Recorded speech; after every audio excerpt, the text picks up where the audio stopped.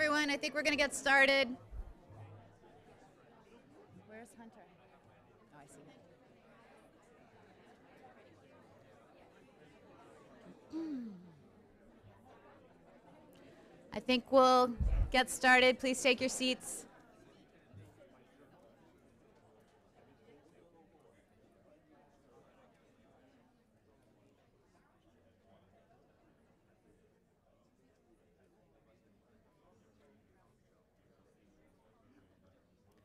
All right. Yes? Okay, we are live now, so we're going to get started.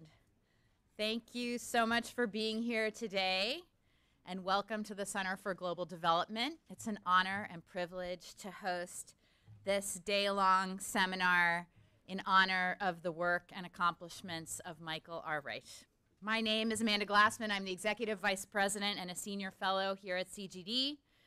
We are an independent, not for profit think tank. Our aim is to improve global health, reduce global poverty, and improve lives through innovative economic research. And to fulfill this mission and to deliver on everything that we talk about in global health, you know, understanding how politics and policy intersect, how they do or do not have an impact on outcomes is absolutely critical. And there are few political scientists who have made it their life's work to understand and indeed practice the use of real time political analysis to improve outcomes. And one of those few, of course, is the Taro Takemi Professor of International Health Policy, Emeritus Michael Reich. So, this event today brings together a community of his colleagues, his former students and mentees, and other prominent public health and policy scholars to celebrate and reflect on the contributions of Michael to literature, research, teaching, mentoring, and just being an overall amazing human being that we've all had the privilege to work with. To those who might be less familiar with Michael's work because you're joining online um, or you're, you've, you've joined because you're interested in the topic, here is a brief summary. His research, writing, and teaching over the past half century have significantly contributed to our understanding of the political economy, of public health, health reform, and other domains of public policy. If you've ever taken a class with Michael and he explains a reform to you, you're like, what were those people thinking? And why didn't they ask Michael first? He's really considered the founder of applied political analysis in global health his work has influenced health reforms, policy implementation in many domains, and shaped the very highest levels of policymaking, including at G7 summits. And we have uh, a representative of Japan here today who's leading this G7 process. And through his teaching and mentoring, he's inspired students and practitioners, many of which are now in very important leadership roles, including ministers of health, senior officials in multilateral institutions, and others. Um, his work is the basis of current research for scholars around the world on health reform, on political economy, pharmaceutical policy, and so many other areas.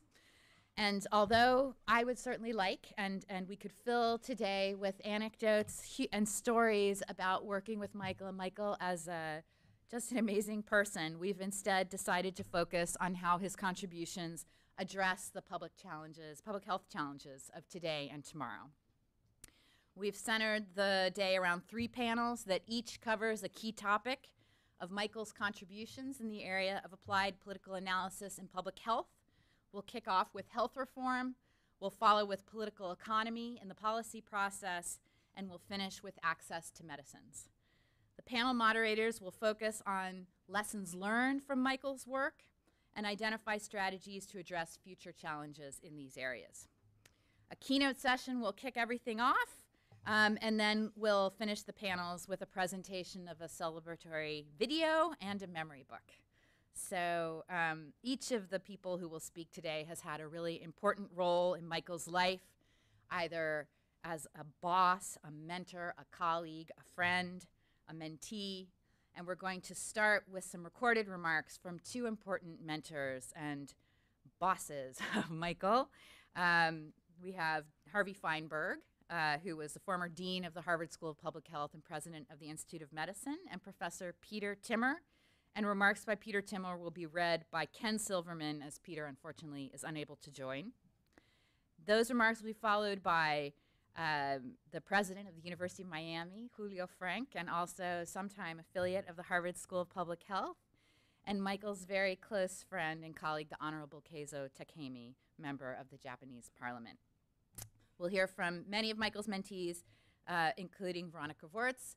Um, I do want to say a couple words about the, the junta that organized this event in consultation with Michael, Veronica, uh, Jesse Bump from Harvard, and Prashant Yadav here at the Center for Global Development. So let's get started, and we'll begin with Harvey's recorded remarks. Thank you.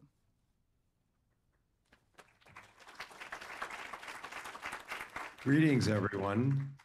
Uh, this is actually me remotely, live, not recorded, but I'm very happy to be with you and especially pleased to be part of this opening panel with uh, my dear friends and colleagues, Keizo Takemi, Julio Frenk, Veronica Wirtz, and I know we'll hear from Peter Timmer as well, and especially uh, to be joined with you, Michael, our dear friend and colleague, whose career-long achievements uh, we celebrate today. Rudolf Virchow, the father of modern pathology, famously observed that medicine is a social science and politics is nothing else but medicine on a large scale.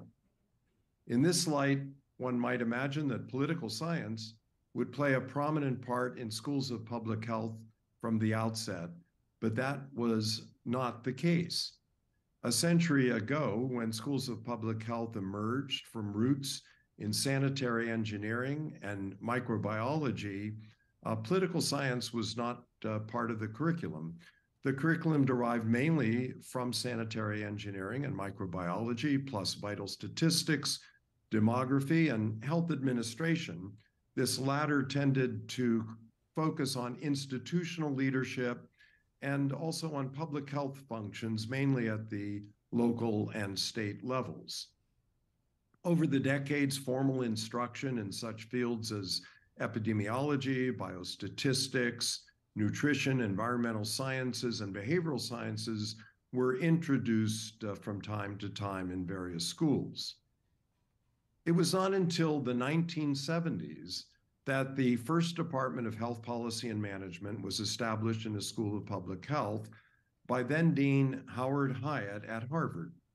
Dean Hiatt was a champion of interdisciplinary approaches to health, uh, and he had a global outlook. Through a chance encounter, he found common ground with the renowned physician leader, Dr. Taro Takemi of Japan. Dr. Takemi led the Japan Medical Association for decades, and during the mid 1970s served as president of the World Medical Association. Both Doctors Takemi and Hiatt appreciated the profound need for global leadership in health, especially in less economically developed countries. With Dr. Takemi's full support and encouragement, Dean Hiatt established in 1983 a new fellowship program for rising leaders in global health, known from the outset as the Takami Program in International Health. Michael Reich was ideally prepared and positioned to take up leadership responsibilities for the Takemi program. As a recently minted PhD in political science from Yale, uh, you could tell it was Yale from his penchant for bow ties. Uh, Michael came to Harvard in 1981 as a postdoctoral fellow in the interdisciplinary programs in health.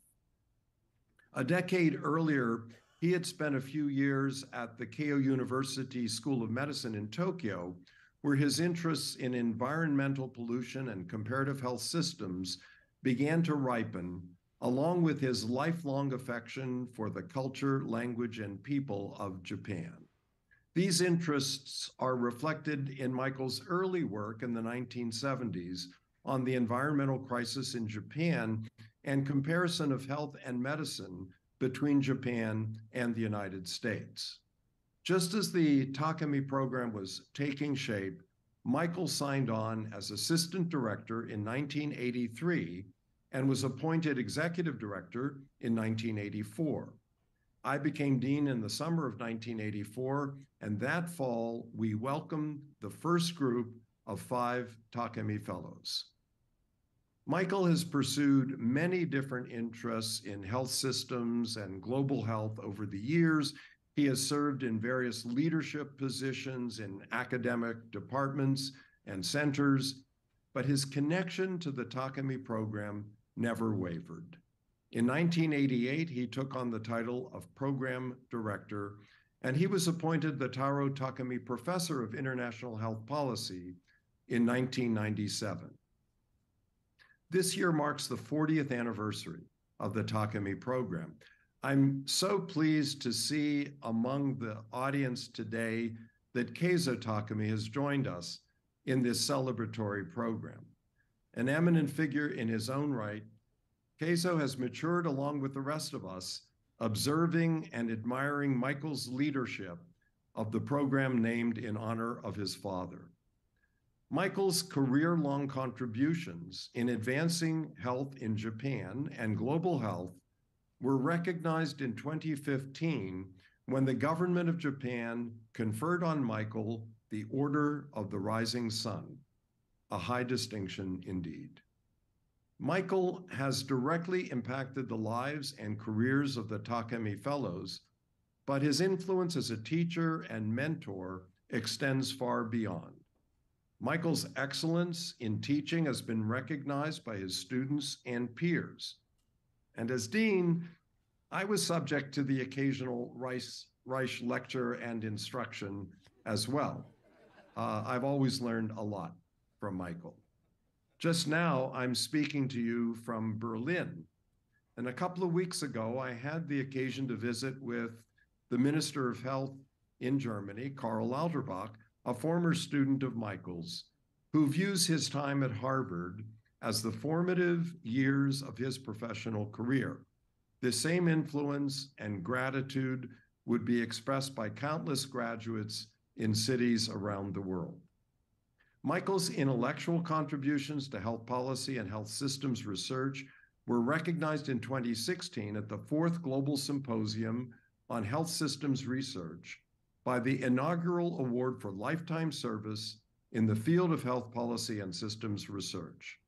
Particularly noteworthy in this domain is the landmark work on Getting Health Reform Right, a guide to improving performance and equity that Michael co-authored with Marc Roberts, Bill Hsiao, and Peter Berman.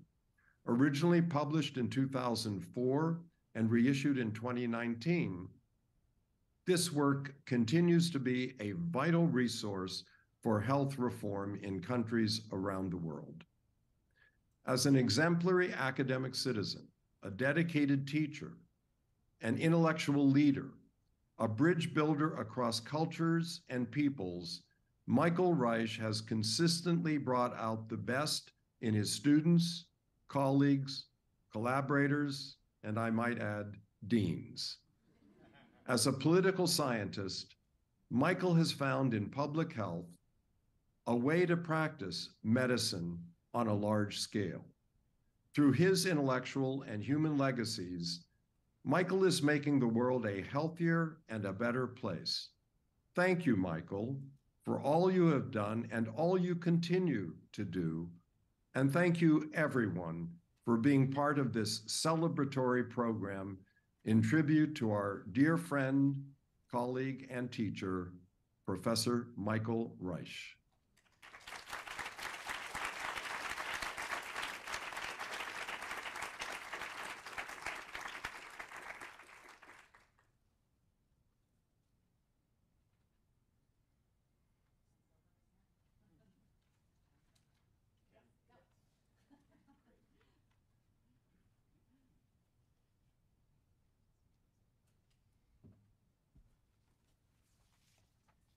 Good morning.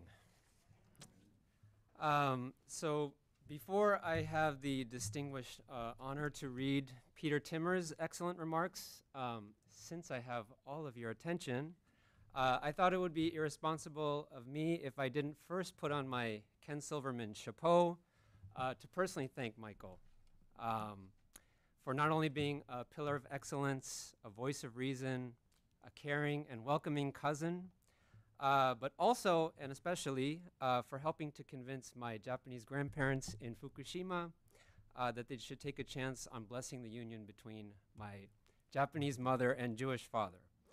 Uh, and just to situate the historical context, this was back in the 70s, uh, barely a decade after Loving versus Virginia, so interracial unions were still a highly novel, if not controversial idea. Um, and so I arguably owe my very existence uh, to yet another facet of Michael's many and enduring pioneering efforts, and I just wanted to first personally thank him for that. So, thank you, Michael. Okay, now I will put on my Peter Timmer chapeau, uh, and it's an honor uh, to read uh, his remarks for you today. Uh, so, his remarks are entitled Michael Reich, The Early Years at the Harvard Business School with Peter Timmer.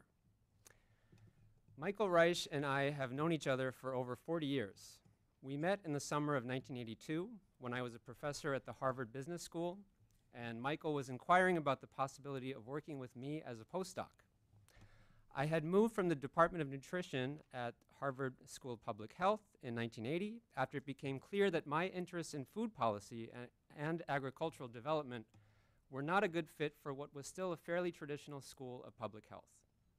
With President Bok's blessing and Dean Howard Hiatt's permission, I moved to the newly created John D. Black Chair in Agriculture and Business at Harvard Business School.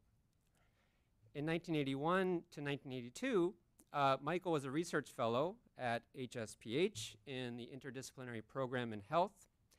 He wanted to stay at Harvard and maintain his links to HSPH, but needed a new base. I had never worked with a postdoc before, but uh, HBS, Harvard Business School, uh, had ample research funds and approved my request for one. Michael was immediately a significant force in my academic life. He brought two distinct perspectives that had not been factors in my own academic work state of the art training in political science, a deep immersion in the science and politics of the public health disaster in Japan that formed the basis of his PhD uh, thesis at Yale, and the widely acclaimed book, Toxic Politics. We, click, we quickly were asked to join a research project getting underway at HBS under the leadership of Professor uh, Tom McCraw, the distinguished business historian. Uh, Tom served as research director and editor of America versus Japan, published in 1986. It was a massive research project with extensive funding for field research. Michael and I, along with Yasuo Endo, a senior official in the Japanese Agricultural Ministry who was spending uh, 1982 to 83 at the US Japan program, made several trips to Japan to understand the economic and political stresses induced by a rapidly changing economy. Our chapter, Agriculture, the Political Economy of Structural Change, started my academic work in two fields new to me, the political economy of agricultural development and food policy, and the in-depth analysis of structural transformation. I am now more identified professionally with these two fields than with my early specialization in the economics of food consumption and nutrition, and the estimation of frontier production functions, the topic of my own PhD thesis. The field research with Michael was a real eye-opener. I had traveled a bit with the family in Japan in the early 1970s uh, and visited many temples and shrines in, in uh, Kyoto and Nara, but I never visited farms, agricultural co-ops, a real force in Japan, food processing facilities, supermarkets, or government offices. Visits set up by Yasuo Endo were especially productive. But I was totally dependent on Michael to translate what was going on, and even more importantly, to make sense of it all. Michael made sure our work was visible in Japanese academic and policy circles, and I received many invitations to lecture in Japanese universities and think tanks. The insights from these interactions helped me to understand Japan's reluctance to sell its surplus WTO rice in 2008 during the raging world rice crisis, despite urging from the US government to do so. Eventually, Japan did offer to sell several hundred thousand tons of high quality long grain rice to the Philippines. And the day the Prime Minister made the offer on national television, uh, world, world rice prices started to decline dramatically. The speculative bubble that had rapidly inflated rice prices had been pricked, and they quickly returned to normal. The world has not forgotten Japan's important role in helping to stabilize the world rice market at a very difficult time, even though Japan never sold any of its surplus rice. So once Michael returned uh, to HSPH after the HBS postdoc, he proceeded to make himself indispensable to the development of its programs in, in international health, especially via his links to the Takemi program. His career path within HSPH was quite unconventional, unconventional, excuse me, but there was no arguing with success. Michael's prowess as a teacher and mentor is reflected in these proceedings, but they also built demand for his services inside HSPH. Despite his unconventional path, Michael was put on a tenure track appointment. And when the time came, I was delighted to be asked by Harvard's president to chair the tenure review committee. These are never slam dunks, but Michael's record more or less stood on its own. That one was easy. Over the past three decades, our academic interests have diverged, but we remain good friends. And with that thought, I close on a congratulatory note. I cannot think of another Harvard professor who could have assembled such a distinguished list of attendees. Thank you.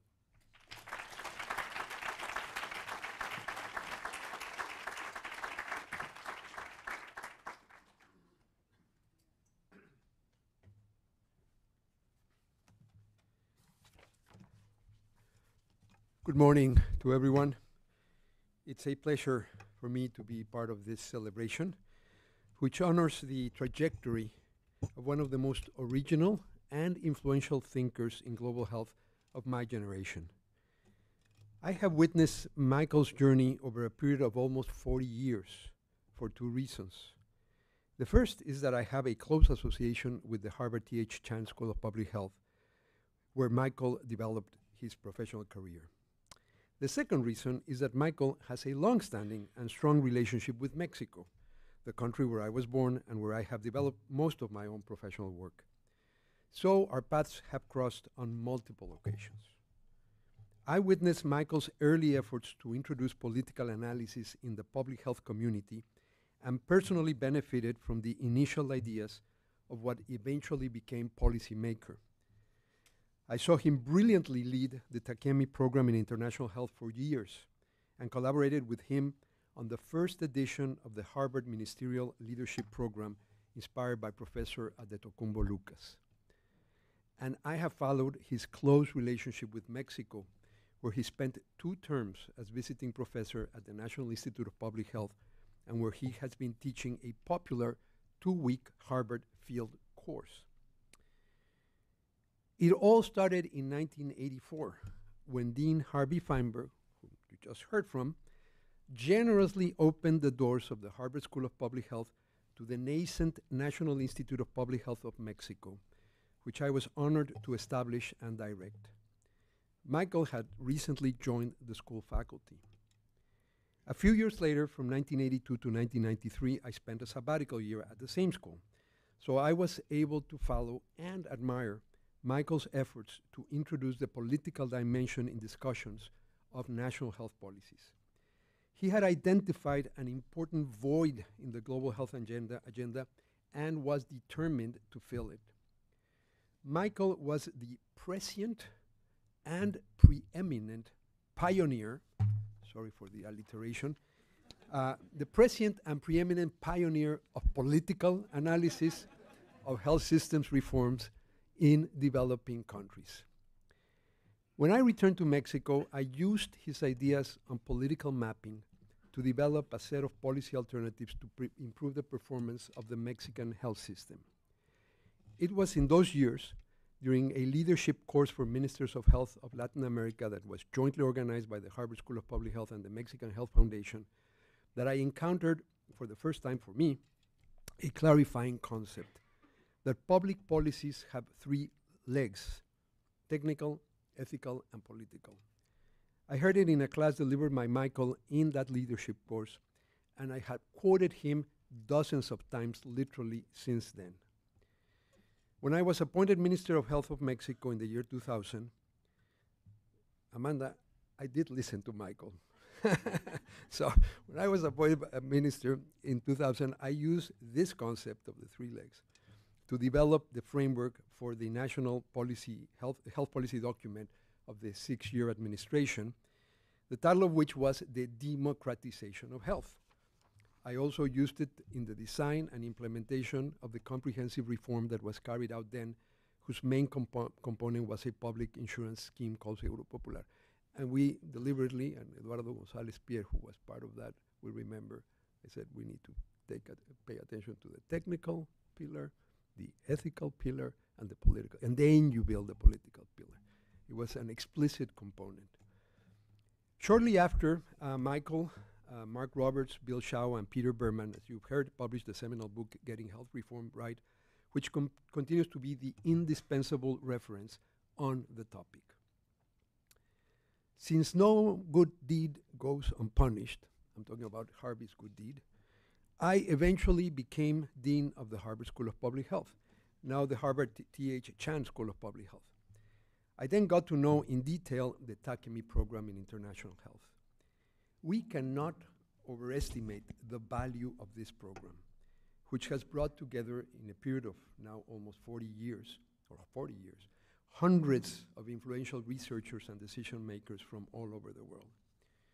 Among other things, Michael's outstanding command of Japanese helped him establish a sustainable relationship with Japan and the sponsors of this successful program led by Keizo Takemi, who's here today. Now it is his command of Spanish that has allowed Michael to run for the past 10 years the Harvard field course on the Mexican health system that I mentioned earlier. Michael has gotten to know almost everybody in the health policy arena in Mexico in fact, I would argue that nobody outside Mexico knows the Mexican health system as well as Michael does.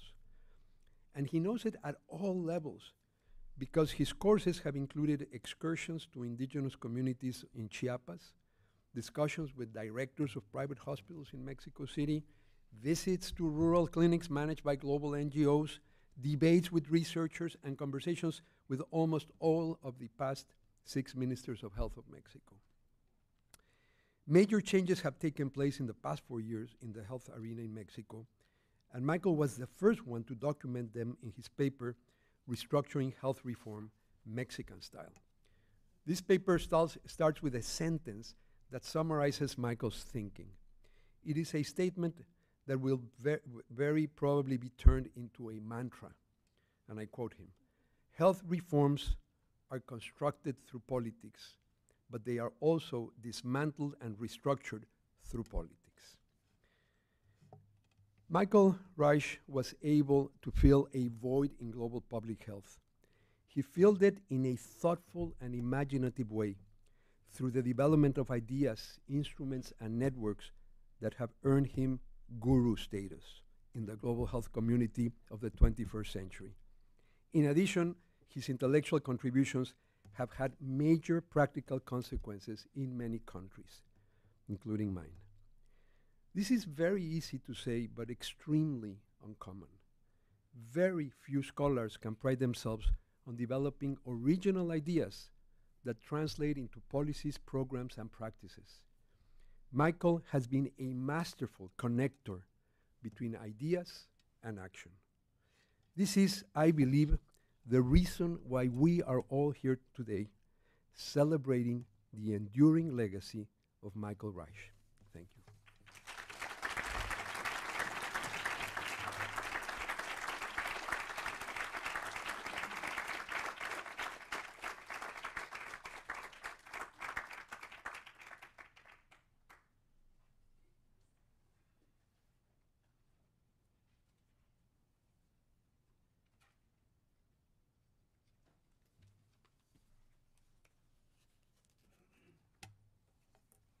Ladies and gentlemen, I'm so delighted having this wonderful occasion to talk about my good friend, the Michael Reich.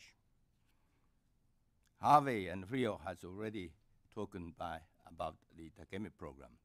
It was happened 40 years ago. Uh, the my the late father uh, just contributed uh, to establish the new program in international health at the Harvard School of Public Health. And Michael, uh, firstly nominated as assistant director, and we knew each other. So nearly 40 years. And then he succeeded the professorship of the Taro Takemi, my father's name, after the, my good friend, the Lincoln Chen. Can you imagine that somebody has a title with my father's name? He works for uh, Japan Medical Association as a president for more than 25 years, just like uh, Hoover of FBI. Very typical Japanese father. So sometimes when I listen the voice of the Michael, I got a headache. anyway, Michael, groundbreaking research, innovative teaching, and tireless advocacy have significantly advanced the field of public health, and his pioneering work on the political determinants of health has greatly enhanced our understanding of the complex interplay between politics and public health. And his insights have guided policymakers and practitioners around the world, of course, including myself. This event, they bring together a community of scholars and practitioners in the field of political science and public health. It's an opportunity for us to reflect on the past, acknowledge the present, and discuss the challenge that lie ahead. Through our discussions and exchange of ideas, we hope to deepen our understanding of the complex and dynamics, the relationship between the politics and the public health. Therefore, at the heart of our discussion today is a recognition that the politics and policies play a crucial role in shaping public health outcomes. We must continue to engage with policymakers and stakeholders and communities to develop the evidence-based policies that promote health equity and address the underlying the social, economic, and the political determinants of health. What the Michael done is a really good, good example for it. He played a vital, vital role in uh, shaping Japan's the global health agenda, as well as the global discussion, particularly through his involvement in the 2008 G8 Toyako Summit and the 2016 G7 Iseshima Summit and the upcoming 2023 G7 Hiroshima Summit, which will take place in the end of this month. At the G8 Toyako Summit in 2008, Michael was a key advisor to the Japanese government, providing critical insight into the political determinants of health and advocating for policies that prioritize the health equity and social justice, which in the past was dominated by the disease-oriented, disease-oriented, the specified, the vertical approach to shed lights on the great importance of horizontal health systems approach.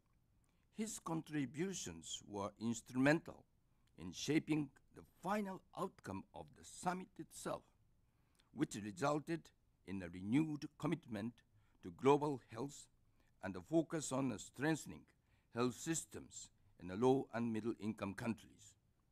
At the G7 Iseshima Summit in 2016, Michael continued to advocate for policies that prioritize health equity and social justice, particularly in the context of the Sustainable Development Goals.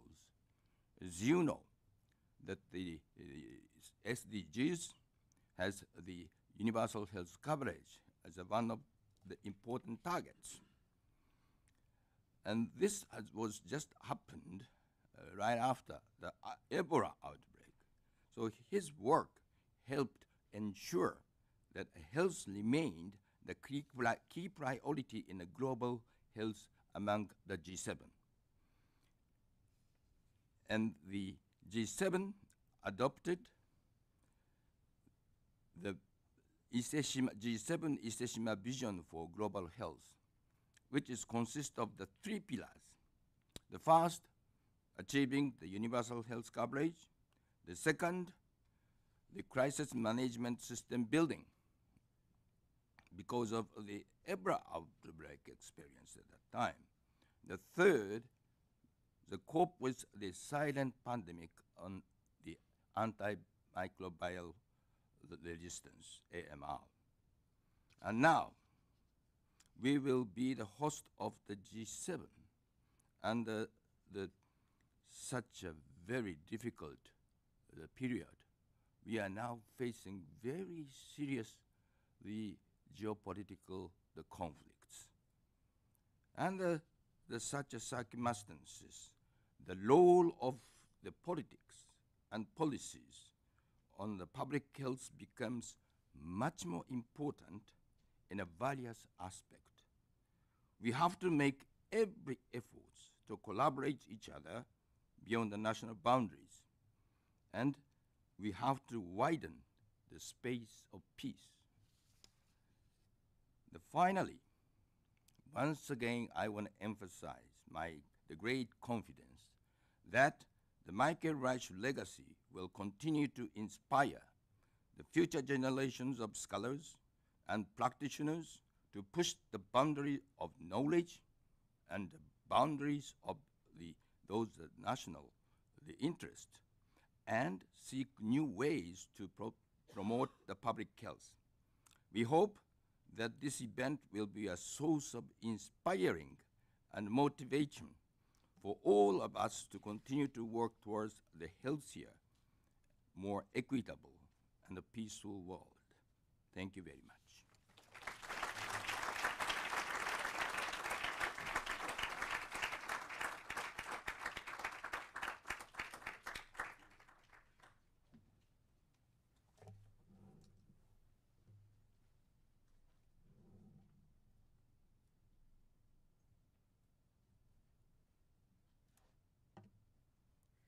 So it's a great honor to be one of the keynote speakers today, and I would like to thank Amanda Glassman and her team for hosting us today.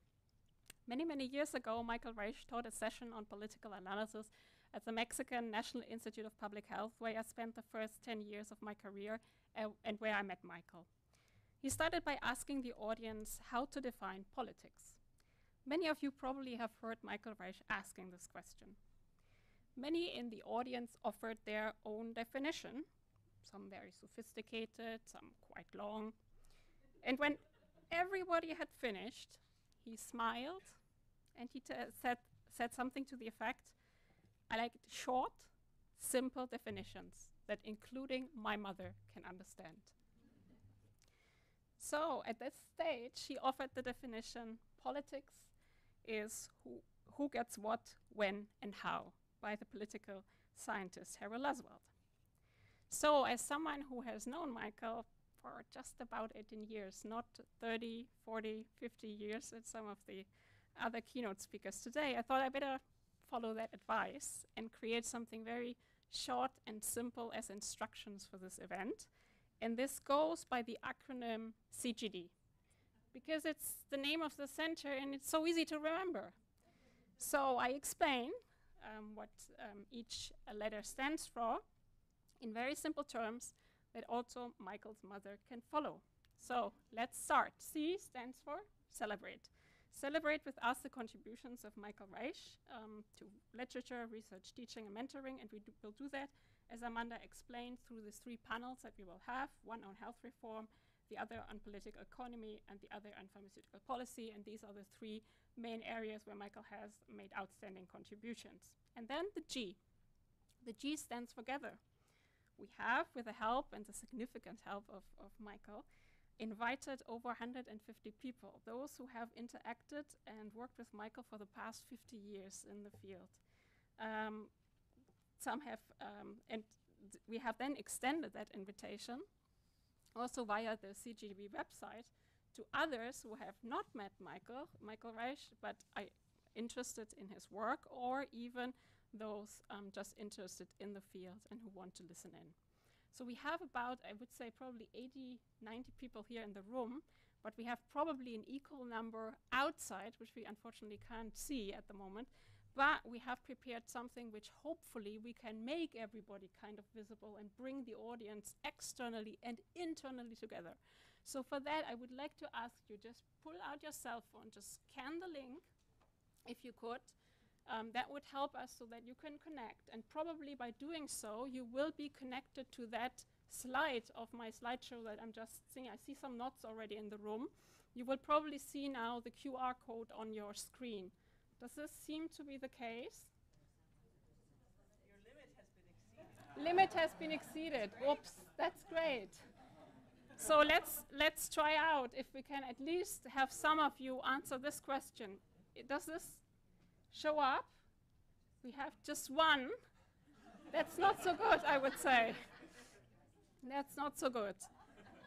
Um, maybe let's do one test more and let's um, uh, see if the technician can do us a favor to just wipe out and let's do one more and see of now. I think we have more connected. Is someone able to answer some of the questions? Not really. I hope not. I hope I see some also connecting from outside. Let's see if some can connect as well. Yes, some hearts of them. Okay, we have we have many connected from Western Pacific. We have many connected probably from Southeast Asia. We can't see them. But let's perhaps go then to the next one. For some in the room, you might be able to answer and maybe show just with the show of your hands who is in the room, who is a colleague of Michael. Just for here, for now in the room. And I see some can also answer online. That's wonderful. Yes, we have a good number. Let's see who is who is um, Michael is a teacher of. Let's quickly a show of hands. I see a lot of people here in the room. Michael was a teacher of. Mentor and advisor. Who? Yes. Wow. We have a boss. Do we have anyone? mentees. Who are Michael's mentees? Yes, we have a good crowd here. Do we have family members in the room? Thank you so much, and let's give them a big applause. Thank you so much for being here today with us and celebrating. Um, so we have obviously also others interested. Sorry, it didn't work out exactly as I planned, but nevertheless, we had a good, I think, a good fun, and you can laugh about me. This one uh, was meant to be a word cloud. Maybe at some point we can test it. Maybe we can test it if it exceeds the limits. At some point we, we can do it perhaps uh, even today when I try to bounce this up to just more than eight. We have obviously more eight than eight people in the room. Okay. Um, but now I would like to move on and obviously introduce you to the last to the last letter that we have in this in this instructions for today. And the last letter is discover. Discover new insights in addressing today's challenges in political and policy analysis and public health based on Michael Reich's work.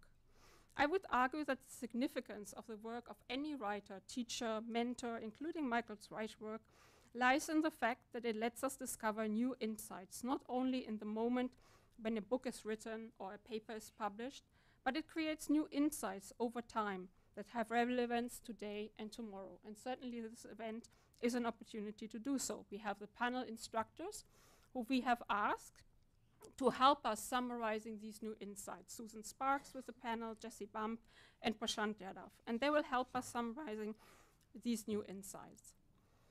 But I would also like to ask that you help us summarizing these insights from each of the panels. And for that, we have in the program created a QR code.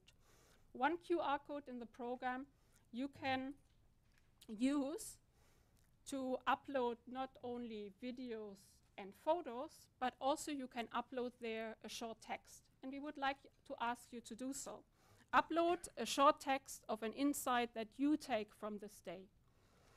I have done so now. This, if I if I um, am an organizing member, obvi- obviously I should go uh, with a good example. And so I have done this. I have done and summarized an insight. I have not uh, have not uploaded that yet, but I- will do that in a short while. And my message um, that I have as an insight from my work with Michael is um, thank you for creating authentic connections in public health. Relations based on generosity, mutual respect, the desire to be supportive and listen deeply. The connections feel genuine and congruent and enable us to be our best selves. I would argue that one can only teach and mentor effectively when one creates these authentic connections. Despite teaching and mentoring being so shamefully undervalued in academia, including public health, Michael Reich chose both as part of his most outstanding contributions within his field, and because of that, the creation of authentic connections. The community gathered here today is abundant evidence of Michael Reich's ability to create long lasting, authentic connections, not only through the Takemi program, not only a few here and there, but hundreds, literally hundreds of connections forming a public health community. Moreover, I believe that also Michael Reich's writing, ideas, and knowledge generation in the field of applied political science and public health and public policies are outstanding by themselves. They would be short lived if we, they would remain in books, if they would remain in papers and reports. It is through the authentic connections with one another that we are able to implement those ideas and insights along our own and to address today's and tomorrow's public health challenges. So I hope you all enjoy with me today this special event with the instructions CGD. Celebrate Michael Reich's important contribution, gather with friends and colleagues, and discover during this event new and authentic connections that will bridge into the future. Thank you.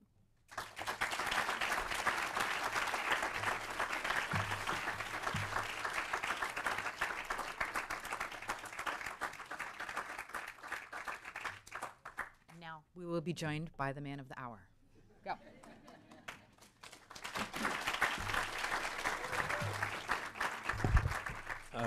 So, Amanda, that means I have an hour? okay.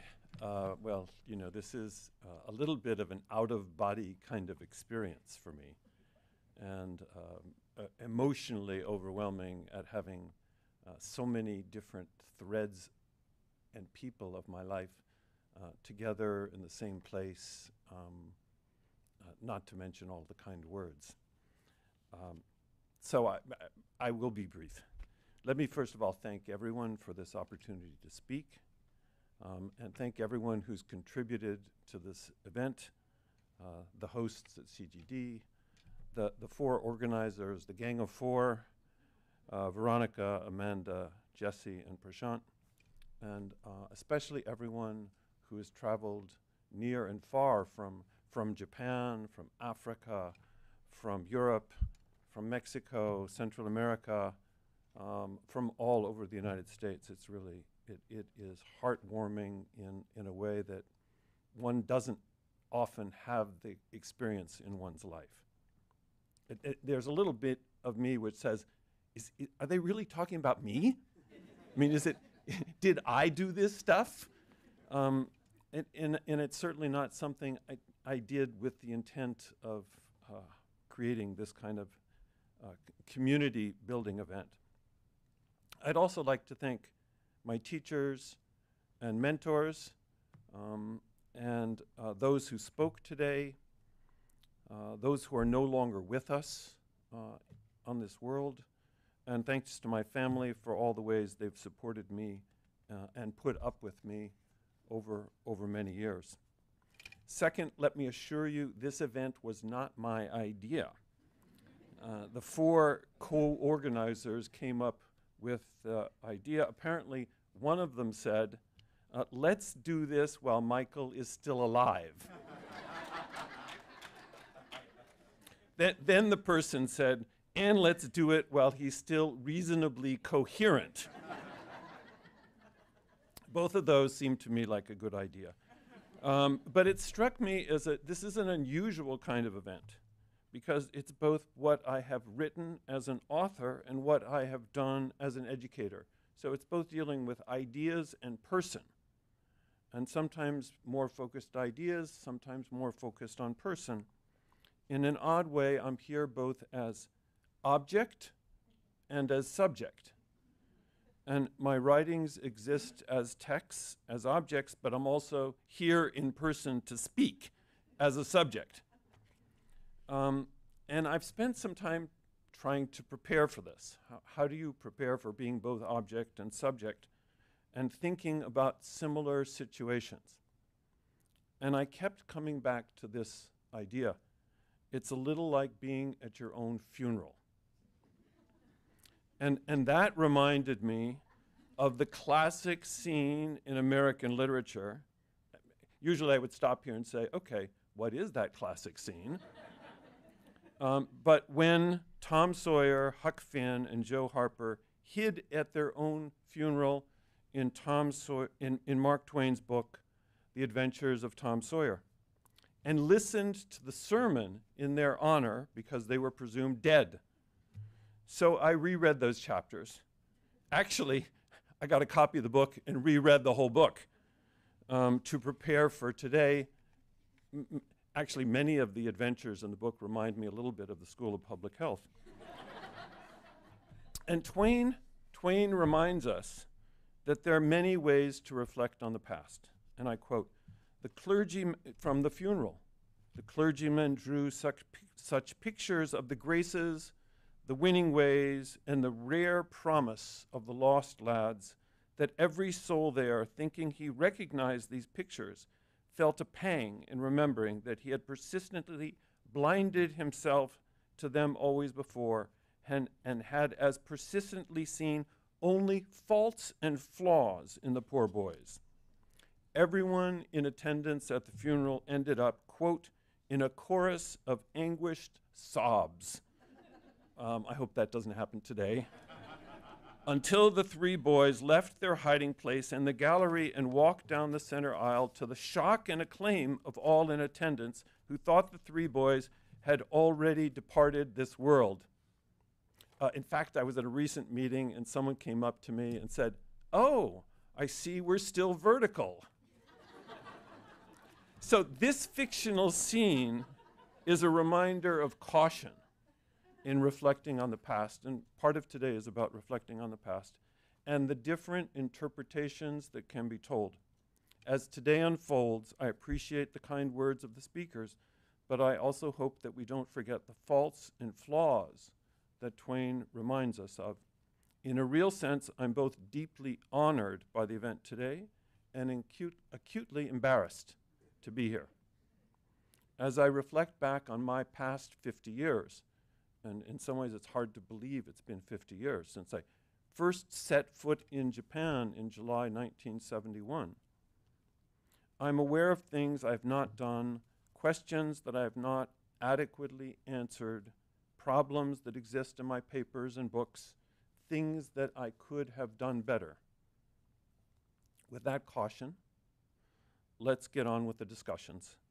You can try to forget that I'm sitting here um, I, I really will be quiet until my end of the day when I have another five minutes to have some additional reflections. Actually, the people who were really my students will hear me throughout the day speaking in their heads. and then the, in the next sessions, let's think together about how to move forward in the fields that I've explored and tilled and the puzzles that I've tried to explain over the past half century. There's still much to do, and thank you, one and all.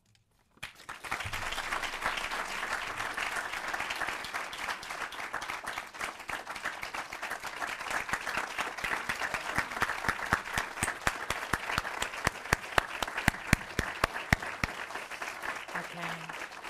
So thank you so much, Michael. And to recover from that, we'll have a brief break and then come back here for the first panel. Thank you.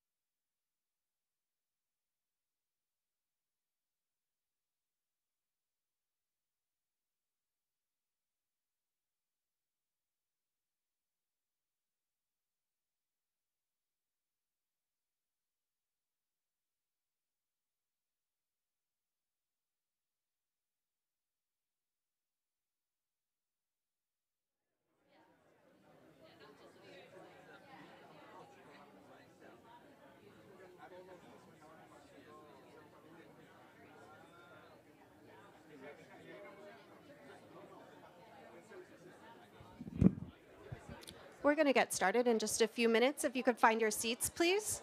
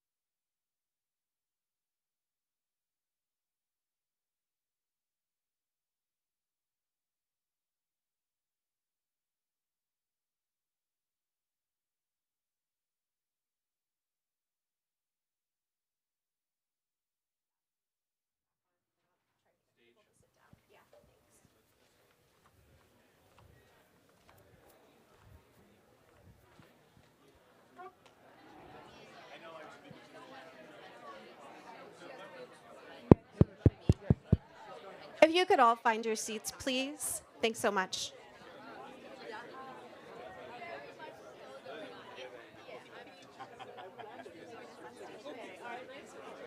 You're in this.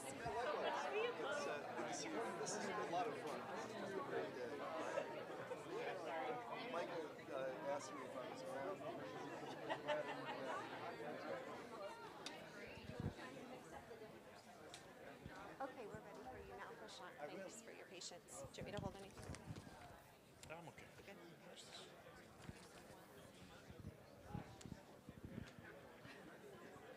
Everyone, a sincere plea to please come back and settle down. We are ready to start our next panel session.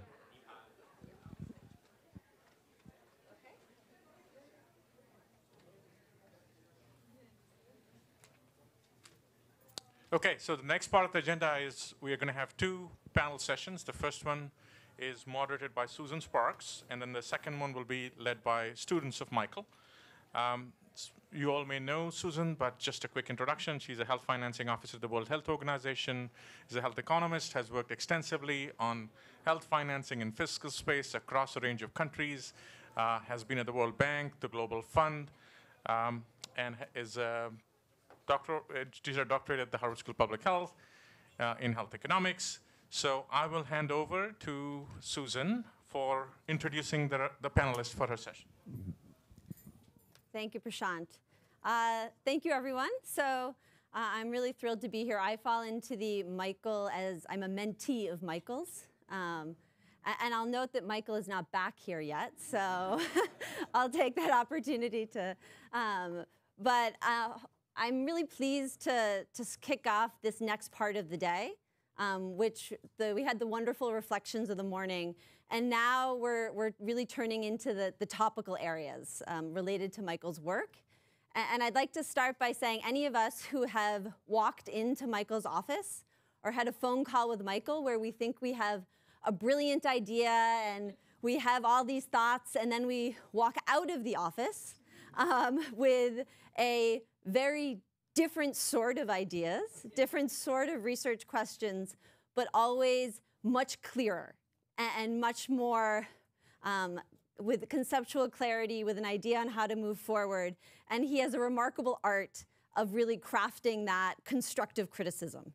Um, but I think for all of us here, it's our job to now uh, show that the mentorship is paid off in terms of our own conceptual clarity and, and how we approach these ideas. And so this panel is focusing on are we getting health reform right? Um, the need for evidence generation and training and public health for of public health practitioners and researchers.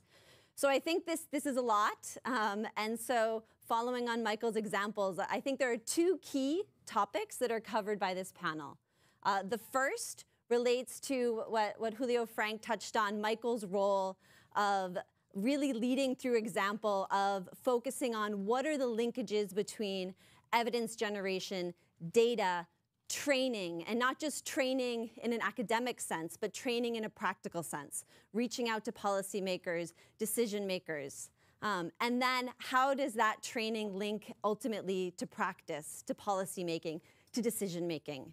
Um, and then the second part really has to do with the, the role of frameworks and the flagship approach, the getting health reform right, um, that I have my green book here um, that is well worn. And I'd also like to note that I keep in it a, uh, an email that I received from, from Marc Roberts um, that is a two-page um, piece on the role of theory in research questions. Um, but I'd also like to pay tribute to, to Mike or to Marc as a as a real um, intellectual sparring collaborator and partner of Michael's and, and all of ours as well. Um, but as part of this, we'll be reflecting on what is the role of frameworks. Why are we all disciples of, of Michael's thinking around what is the independent variable? What are the dependent variables? What is the real question we're looking at? Why does it matter to start health reform with thinking about problems? What are root causes? What are the policy levers or control knobs? Um, what are the political, ethical, not just considerations, but what are the strategies? How to move this process forward and then thinking about evaluation. And so uh, through this panel of really illustrious uh, speakers that I'm thrilled to have here today, we'll be both reflecting on the, the current practice, on the, on the evidence, on the, I guess, 20, 30, however many plus years of experience and learning, um, but also really trying to think about what's the agenda moving forward in terms of health reform, in terms of what is needed for evidence generation and training of public health practitioners um, for all of us as we continue our work, but also the next generation who will be entering this field. So with that, I will, um, I will introduce our wonderful speakers um, who really wear the multiple hats that um, that we've all been talking about, whether it's practitioners, researchers, decision makers. Um, so I will start with the introduction of Professor Winnie Yip, who's joining us remotely. Um, and so Professor Winnie Yip is the professor of practice of global health and economics in the Department of Global Health and Population at the Harvard T.H. Chan School of Public Health. And she's also the faculty director of Harvard's China Health Partnership. And then we have Rifat Hassan, who's a lead health specialist in the Health, Nutrition, and Population Global Health Practice um, at the World Bank, a global practice at the World Bank. Uh, and note that I'm not reading the full bios, but I know they're, they're prepared in the, in the um, participant material, so please, um, I, I, ask you to, to look for those details there. And then we have Martin Lajous. He's a professor at the National Institute of Public Health of Mexico and an associate researcher of epidemiology and public health at the French Institute of Medical Research. And then Mohamed Pate, uh, who's the Julio Frenk Professor of Practice of Public Health Leadership at the Harvard T.H. Chan School of Public Health, but also I think has worn the most hats, figuratively and literally, potentially, um, as the former director for health, nutrition, and population in the Global Financing Facility um, at the World Bank, as former Minister of Health of Nigeria, and as well as the incoming CEO of the Gavi Vaccine Alliance.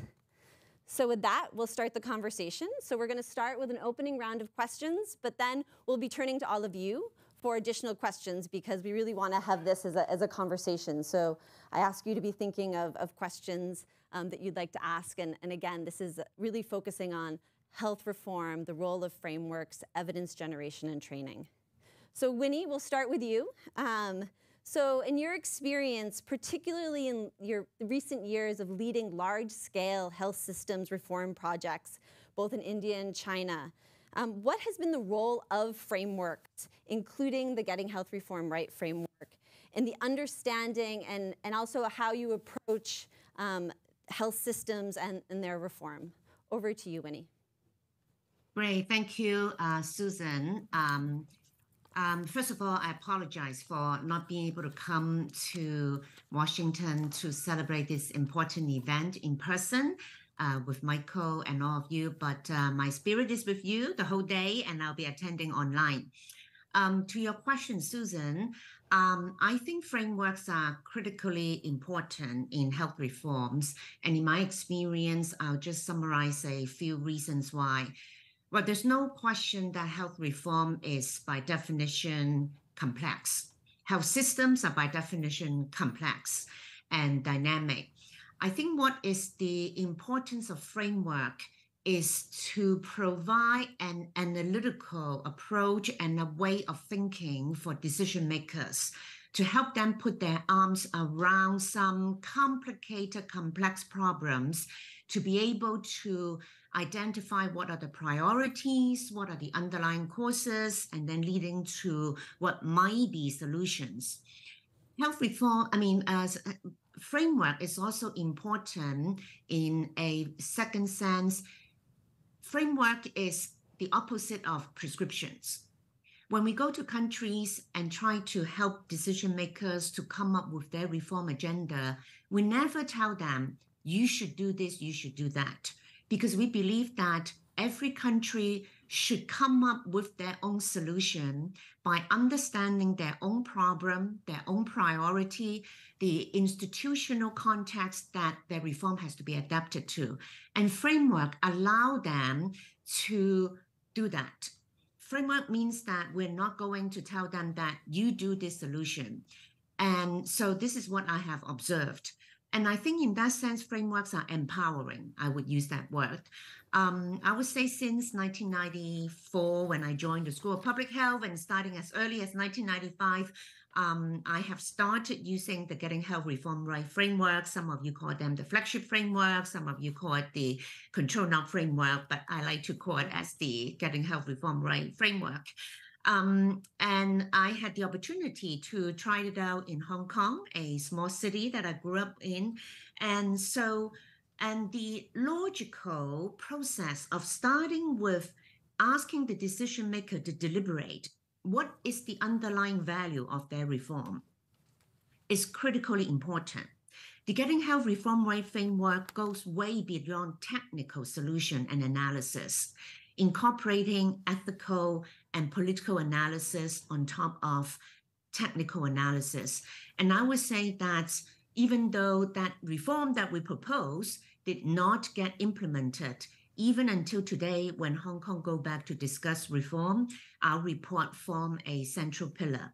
But I would like to draw on the experience that I have from China. Starting from the late 1990s, China has been debating about reform and then leading to 2009 announcing a grand reform that I think many of you know, know of. And um, I think that the Getting Health Reform Right framework actually has made a critical difference in that uh, num- uh, uh, period of time.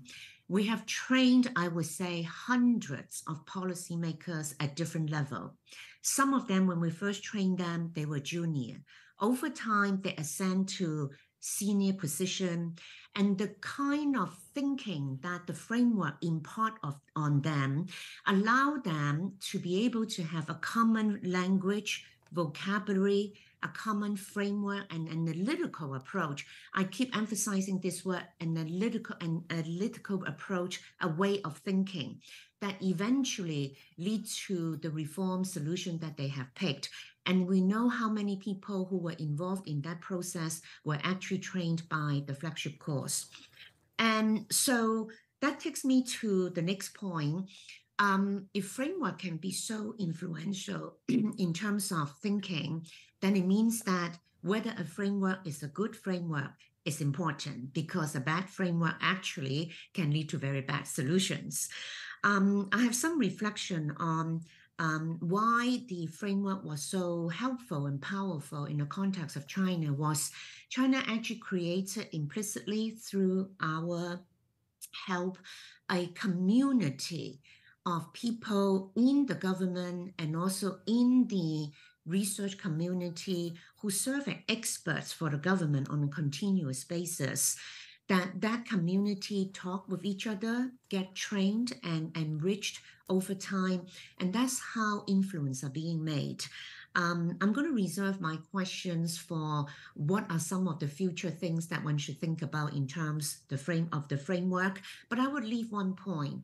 I think we really need to critically and form a lot of effort to train more people on the ground because going forward, reforms are going to be locally driven, locally grown, and locally owned. So um, I think I might have used more than my five minutes, so I'm going to limit um, my comments and leave some of the unanswered questions to the Q&A sessions. Mm-hmm.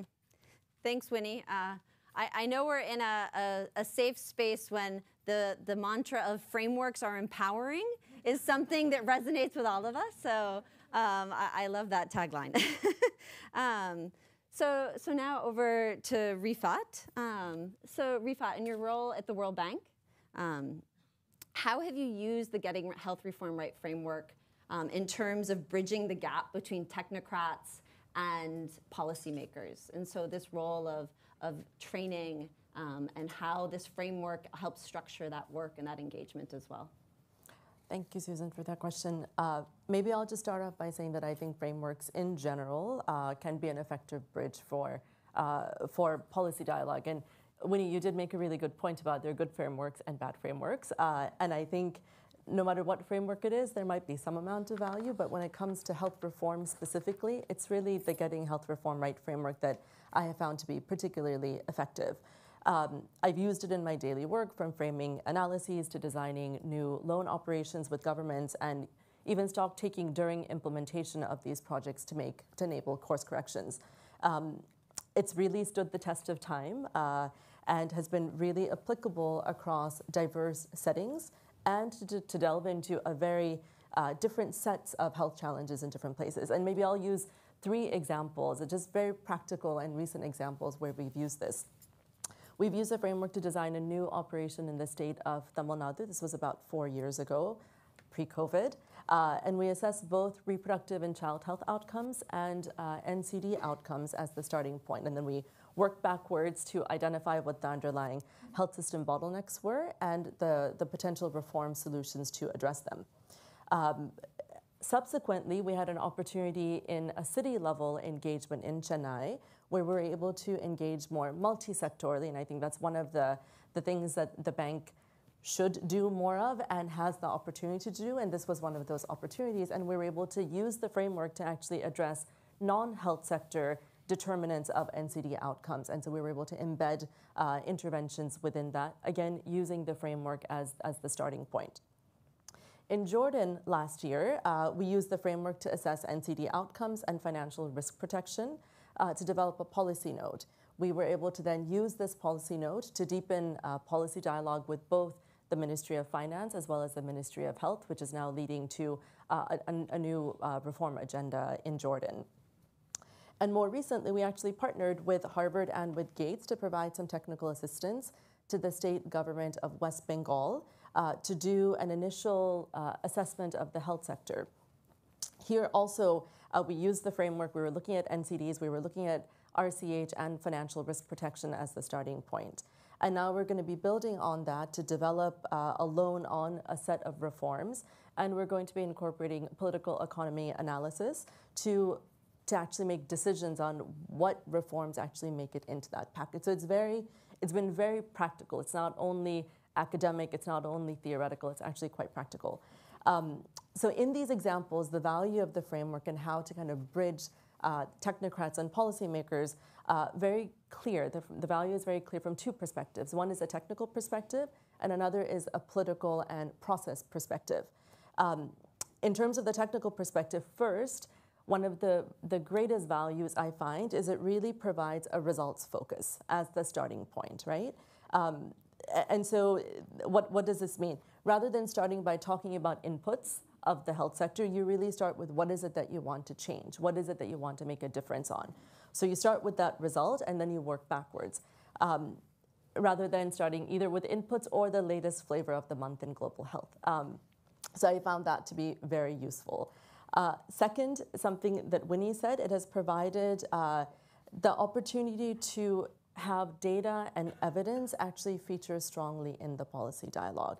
Now, in reality, it's a combination of data analysis, guesswork. Uh, um, you're always working with imperfect information, but still, it provides a platform to really do that. Third, it provides a comprehensive structure and flexibility to assess health sector performance, to integrate ideas, and to navigate complexities. The health sector is messy, it's complicated, it's dynamic, it's changing, uh, and it's, I, I, find it's very easy to lose your way, uh, either by choosing the flavor of the month or what the latest, uh, the latest intervention is or the, the, latest uh, uh, thing that some donor wants to actually finance. But the framework has really provided some amount of structure to kind of navigate through those, those, those complexities. So, so then, aside from the technical part, it also has brought a lot of value from a political and process perspective.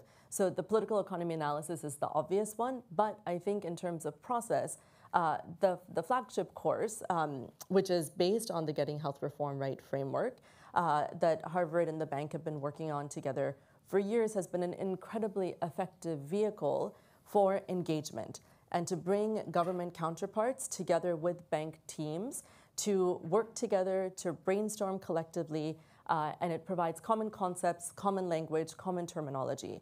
Um, so not only does the framework have technical rigor and, and provide that conceptual framework, but it also provides an opportunity for joint problem solving, co-development, and, and collective capacity building. The government of Tamil Nadu had actually participated in the flagship course, and that was one of the main reasons why we were able to, to move this forward. So in this way, the process of engagement actually drives alignment uh, and joint ownership uh, around a common set of ideas.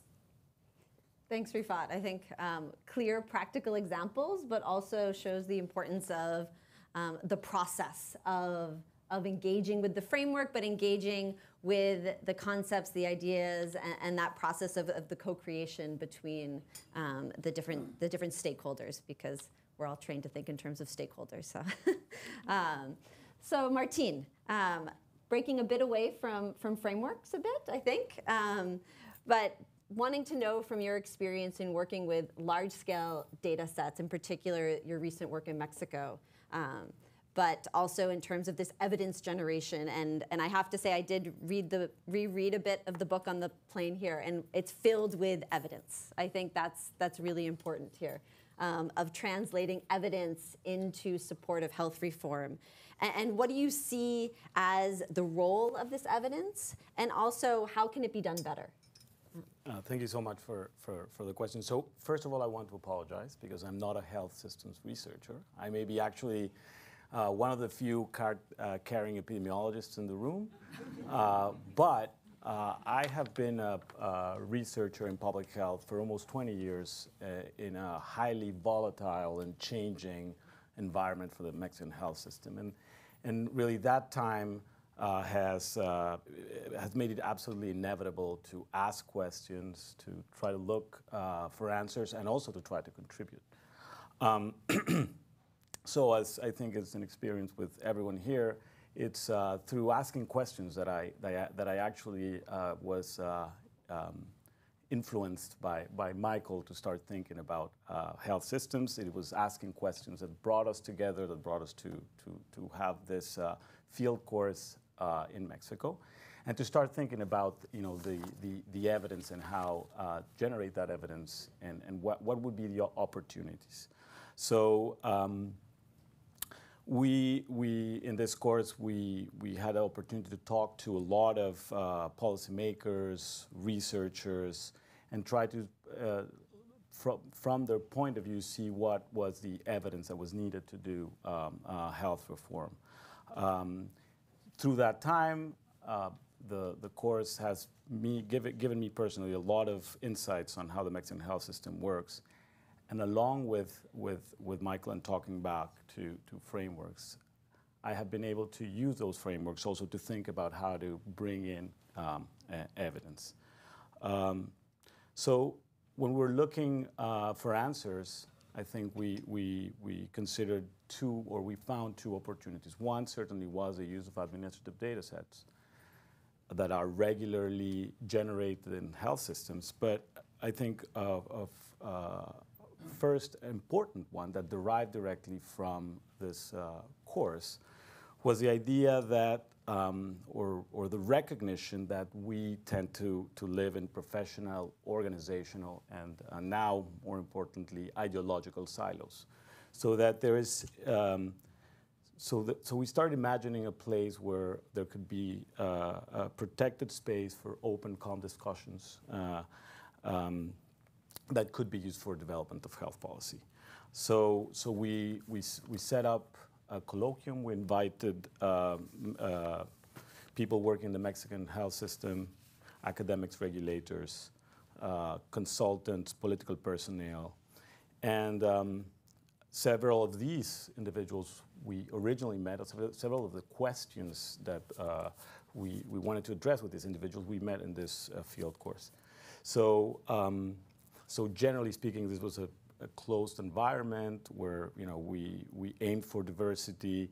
We ask uh, someone to to to introduce a topic, and uh, the space was a protected space. So you know people would come. Uh, uh, we're free to use information from the discussion, but uh, we're not allowed to reveal who who made the comments. It was kind of a we had a kind of a you know the, the the kind of first rule of Fight Club is you do not talk about Fight Club. So there was no PowerPoint, no paper trail, but a lot of politically sensitive uh, conversations.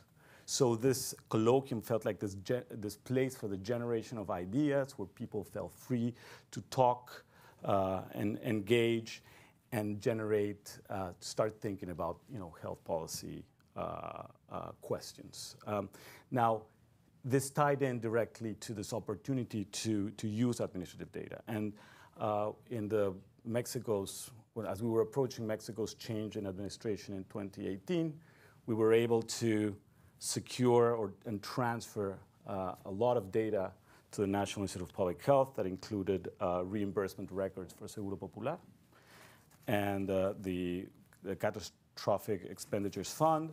So that data uh, has to date been extensively used. And we have been able to answer, I think, key questions on the effectiveness of, of, of, of Seguro Popular, like the survival of child, uh, childhood leukemia or the increasing uh, uh breast cancer treatment coverage.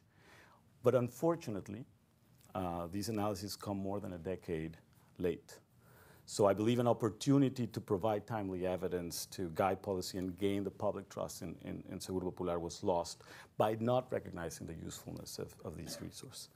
So now that the Mexican health system is being overhauled, I think um, I think it's uh, I'm hopeful that, that we can start um, thinking about these past experiences, uh, really the political uh, polarization and the vindictive uh, atmosphere currently in Mexico call for the generation of these safe spaces where we can talk about policy. Um, and also the disappearance of Seguro Popular, uh, I think, makes it uh, uh, very important to start thinking about creative ways in which we can use um, uh, health uh, information systems to answer uh, policy, policy questions, to aid policymakers and, and not only guide the decisions, but uh, provide support for those policies. So, so I think that um, trying to go back to an original question, how do we find gaps in the evidence creation for health reforms? I think by asking a lot of questions. So. Thank you. Yeah, no, I think this the theme of questions, but also how we intertwine the real political economy around data, around evidence, around how we translate that evidence and data into health reform processes, which are inherently political, and so what that process means and what it looks like. So, thank you for that. Um, so now over to to Mohammed. Um, so based on your your vast and, and really varied experience, in particular reflecting as, as Minister of Health of, of Nigeria, um, how was the Getting Health Reform Right framework, but frameworks in general in this form of conceptual clarity and, um, and process, how was it used in policymaking, but also in trying to push into the next part of, of the, this panel, where do you see opportunities for improvement as well? Over to you. Thank you. And let me just thank also CGD for this great event, uh, the Gang of Four uh, for really uh, bringing us. And I think Veronika started with a thank you to Michael. I think Michael, what Veronika presented actually reflects what many of us think. So Veronika, what you said about Michael, I think it's something that we, I personally deeply feel over the last 23 years in terms of just what I've learned from the flagship course in the course of my work in Nigeria, at the bank, but also even in my most recent term at the bank. I think Michael was very useful in creating that space for me. So thank you uh, for what you've done. So I, I think um, the framework, as was mentioned by Rifat, I think is a useful tool. Uh, it's a tool for managing an inherently political process. It's one tool among several other tools that policymakers and deciders will have to use. It's an important one. It creates uh, structure, way of prioritization, and also uh, a language that can be common between those who are trying to propose, but also those who are going to implement reforms. There are a few reflections that I would like to share with, I think, uh, with the audience, and from two country examples perspective. Uh, one question, uh, which is emanating from Zambia, for instance, is how do you teach humility in global health? How do you teach humility in the interface between supranational influences and national policymakers and people at the country level? I'll use the case of example of Zambia as an illustrative one. In the mid 90s, of several years of efforts to reform the Zambian health system before the Getting Health Reform Right book. I wish it was 10 years earlier. Um, very brilliant economists, health practitioners, donors, supranational actors, lots of resources to design a reform program. If you look at that package, it's almost perfect. And it's still relevant today. But it got derailed over time because the reform team became isolated from the needs of the population. The reform process became very encumbered. The budget of the health sector became more around planning, administration, while outcomes were going down. And in, you recall, in the 90s, HIV was ravaging, child mortality up, immunization was going down, maternal mortality was, but yet there were health reformers. In early 2000, before again the book, a new minister came in place and just flushed it out. And the health reform team, three years later, were all out of the country. Well trained folks, brilliant economists, but when I went to Zambia in 2003, none of them was in Zambia. Only one was in Zambia because they've become sort of very a cohort that lost this um, sense of humility and also focus on achieving the results, on what are the needs of the actors that you're trying to respond to and became sort of an elite group in that sense. That's sort of one reflection. So in the context of reforming health to improve health system to achieve UHC, how do we teach humility to appreciate what we know and what we don't know? How do we use those tools and the knowledge, the evidence, to actually adapt uh, within the context of countries to manage an inherently complicated political process? That's sort of one. The second country example I'll give is sort of Nigeria. So Nigeria has been going through health reform from 2004. It's almost 20 years of health reform that has been going on. It's a very long-term process. Uh, from the health policy of 2004 by Eyitayo Lambo, many, I served for five years in the federal government and sort of we chaperoned it. So when you're managing a reform process, it's not a project. It's a very uh, long, arduous political process, and you have to think about how do you sustain it across different administrations. So the idea started with one administration. It was a third administration that ultimately signed the reform into law, and a fourth and fifth one that is implementing it. So how do you build that? How do you teach that in your thinking and the approach that you take? So that you're not just owning it for yourself, but actually uh, deliberately building in management of the process across the successive periods that are necessary to keep improving. This related lesson uh, from the context of Nigeria is this idea of how do you separate out health sector reform from whole of government reforms? Because reforms are not in isolation. In, uh, so, give you a very concrete example. We're fiscally decentralized in Nigeria, uh, which is constitutional. But yet, in the health sector, we've decentralized to the ward level, uh, which is much below the local governments in health. But that is further along the administrative structures of government to actually make sense of that. So how do you do that? So some of the re, uh, reforms that we did, I mean, at least micro reforms, you might say, is to really bring back local governments uh, with states under what we call primary healthcare under one roof policy in 2010 to try to address that because the reform within the sector went further ahead from the whole of government reform, where civil servants were there are other reforms that were going on. So how do you manage that process of sectoral reform and broader whole of government reform?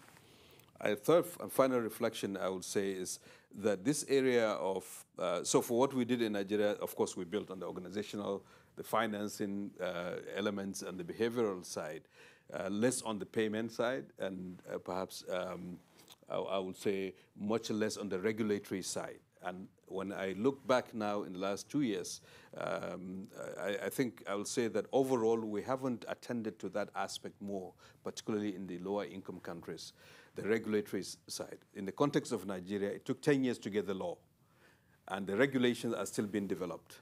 The major piece of that reform has, is yet to be uh, really implemented because the regulatory side, the, re the, the regulations, the, how to construct that, I think has not been as attended. And if you, if you step back and you look at uh, national regulators in the context of Africa, 41 of them are at level one. After 20 years of intense global health effort, they're at level one in terms of maturity using the WHO global benchmarking tool. We've not attended to that as much in terms of the institutions in countries to actually exert that.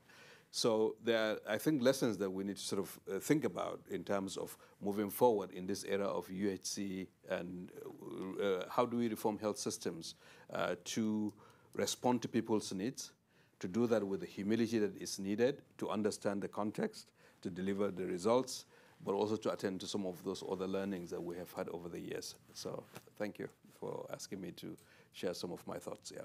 Mm-hmm.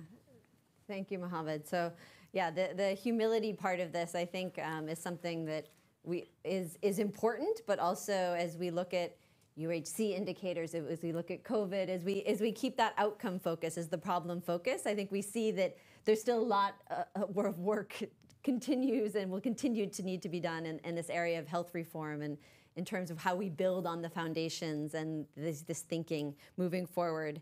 And, and I think this has come up across the panel, this idea of what does it mean for to have sustainable health reform, resilient health reform. Um, what does that, you know, what does that process look like?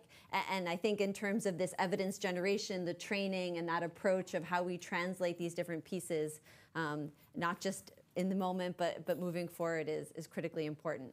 So I'm cognizant of time. I believe I have about we have about 20 minutes.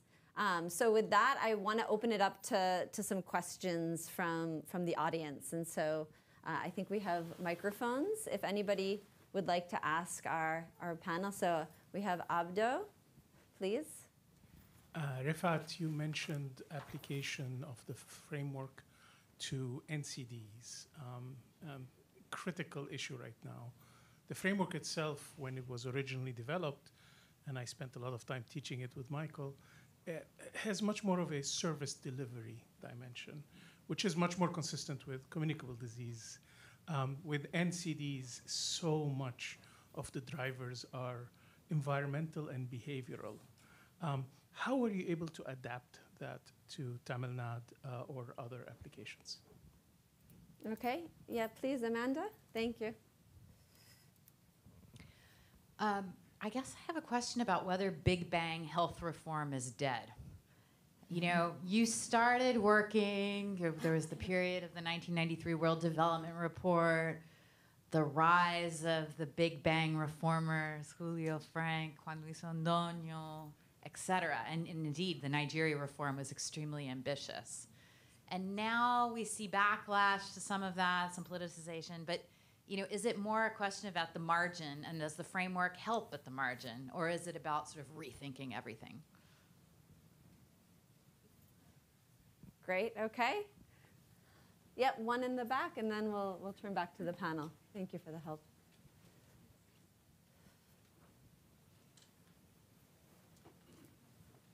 Um, thank you. I'd like to ask, um, thank you for the reflections on this framework and um, what we've, what Michael's been um, building the foundation of these frameworks and um, this work. Um, so I would like to ask, like, what's the unfinished agenda that we work on towards to build a more resilient health system in the future that also not only work in the specific country, but also like global setting. Thank you. Thank you. And apologies, I didn't ask you to introduce yourselves as you stood up, but. Uh, okay. I'm Asti from Indonesia. I'm recent Michael students from, uh, also Martins for the Mexican health system and getting health, uh, doing health reform better course. Wonderful. Okay. And Amanda, we've already met, and Abdo Yazbek. Uh, yes. Okay. Maybe one more, and then we'll we'll turn, please.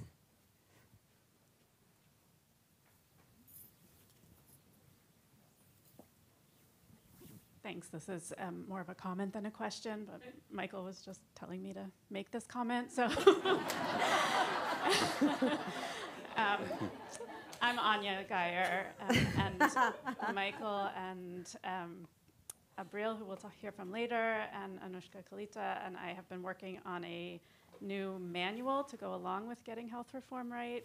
Um, I have a few copies. It's a very early draft right now, but we will be sharing it with all of you in the next couple of months um, to get feedback, but it's basically, it's called Practical Guidance for Policymakers and Advisors.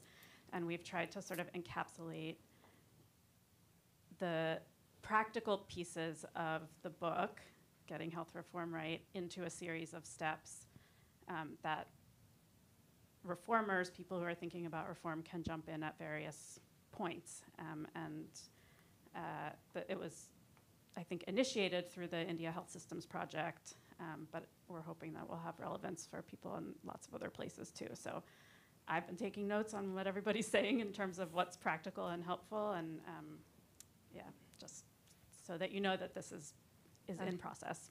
Thank you, Anya, and I think um, Michael's way of trying to an- trying to keep quiet but also answer some of the questions. we, we, are we're all well aware. I'm going to turn to the, the panel and perhaps maybe we'll start with the, the first question from Abdo. And this, um, I'm going to direct a bit, but please feel free to, to jump in. But I was thinking, Rifat and Martin, this question about adapting frameworks, but also the evidence that's needed in terms of health, the emerging health cha- uh, challenges that we're facing um, both your experience in that, but also where you see that agenda moving forward.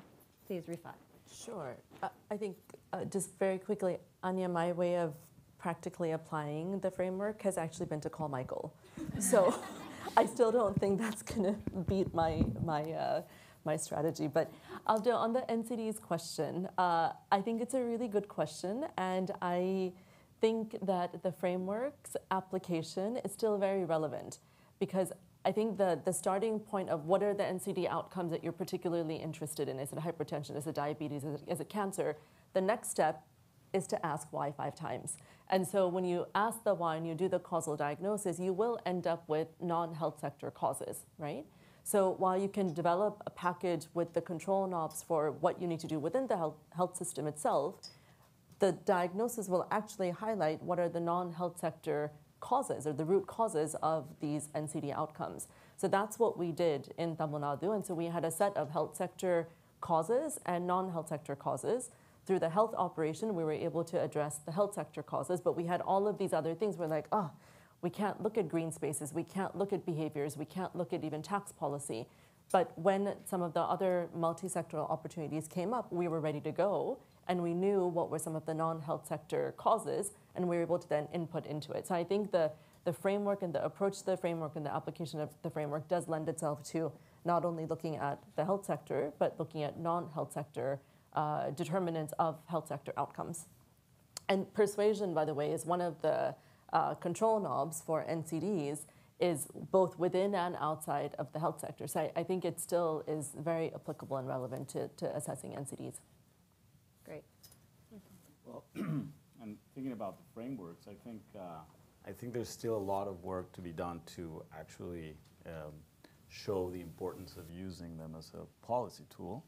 Uh, what we've seen in the current overhaul of the Mexican health system is an absence of frameworks in the way the reformers are working or using frameworks most, mo mostly as a post, uh, uh, you know, something to refer, to refer to as something that they've already decided on doing, not as a tool, but as something to justify decisions.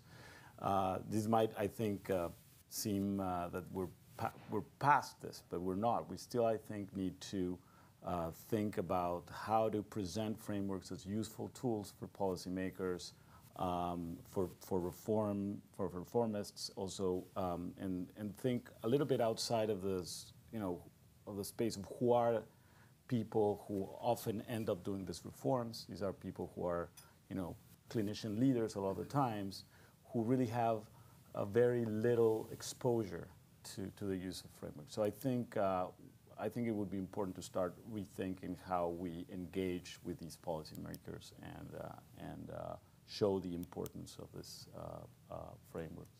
Okay, great. So a clear, unfinished agenda for all of us to, to take forward. Uh, so, so now the question, I'll, I'll, turn to, to Winnie and, and Mohammed and on, is Big Bang reform dead? Uh, and um, I'll leave it at that and, and, turn, maybe Winnie, we can start with you, please. Um, I'll be bold to say no.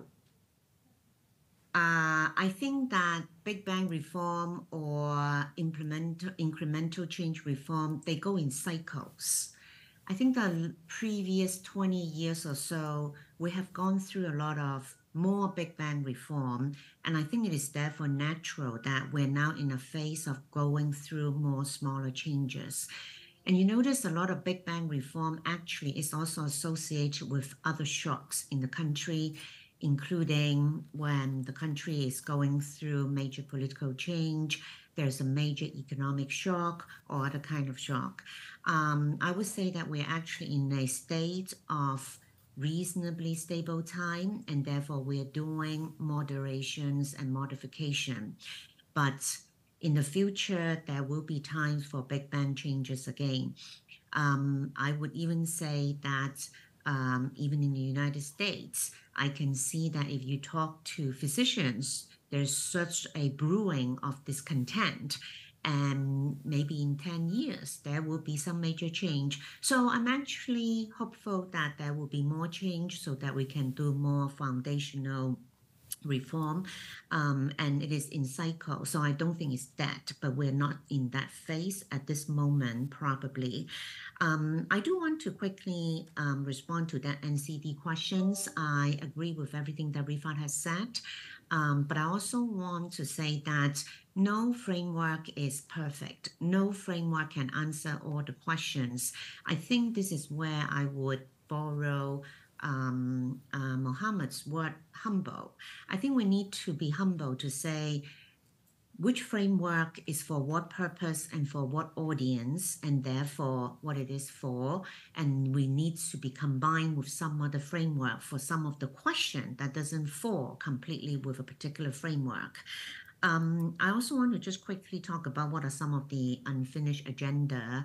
Um, I, I want to repeat again, I hope that in the future, and that goes with the little uh, menu that Anya was holding up, is we want to train a lot more people on the ground who can do this kind of work rather than always coming back to Harvard, to the World Bank for help. That's the only way influence can take place. And um, on what are some of the other re- unfinished reform agenda, uh, uh, agenda of the um, Getting Health Reform Right framework, um, I use it a lot and I have a few reflections. I think the framework, there's no question that it is very helpful for all the reasons that is already set. But I don't think we have done enough job to a good job to really lay out how the different parts of the framework and explicitly the five control knob policy lever, how they actually interact with each other and come together. In the framework, they look a little bit like standalone. And I think that we owe the users the further development of how these policy levers interact with each other, how they need to be combined together to have the effect. And that's why when we see in the world, some people who are interested in financing just pick on financing, some other just pick on organization of delivery. But we know in the world that in order to have real reform, it's really a combination of them. And I think that a lot more work needs to be worked on that if we want the framework to be having practical use and also doing justice to the users that we're trying to convince them to use them. And the other missing piece I think that the framework has is I think that this is sort of subsumed in the organization control knob, but I don't think we're explicit about the whole governance structure of how decisions are being made. Um, I'll stop here. Thank you. Thanks, Winnie.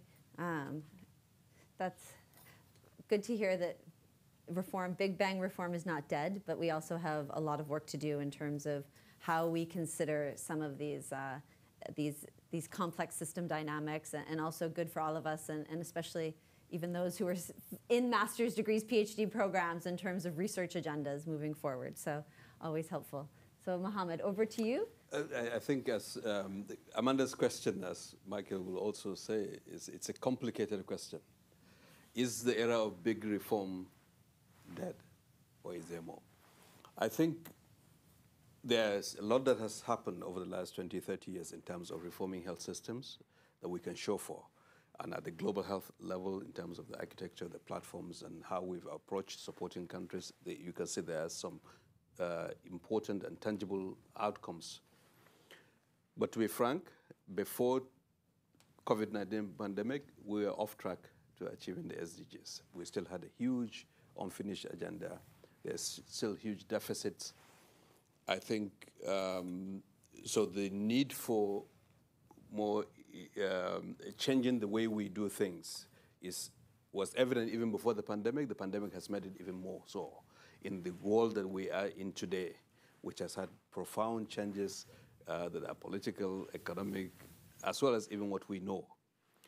And the big bang reforms, in my view, uh, will still be required, and is whether we uh, influence them or they happen by some other uh, mechanism. But change would have to happen, uh, whether it's in global health uh, system or in countries making their own choices.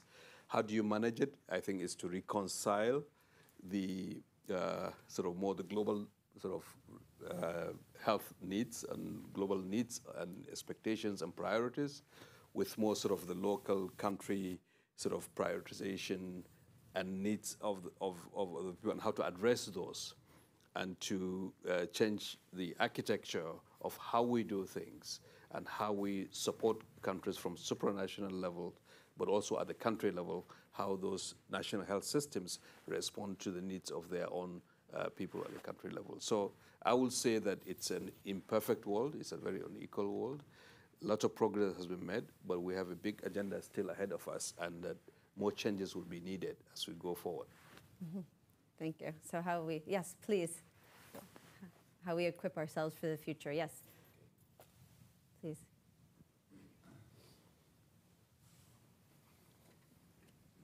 The framework is decisively important for the political leadership and also the governance. As you may know that the, the nearly the end of the pandemic, now we are thinking the global health governance architecture. In this process, for example, we do realize that uh, we are several global public health goods, such as the vaccines, and also the, uh, you know, uh, therapeutics and also diagnostics. We call it the medical countermeasure.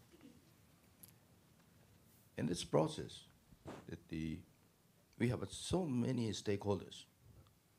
The CEPI can be in charge of the research and development, and also the, we should have the global the clinical trial networks.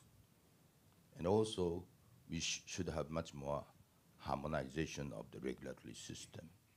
And then we should have the massive you know, production facilities maybe located in the uh, low and middle income countries.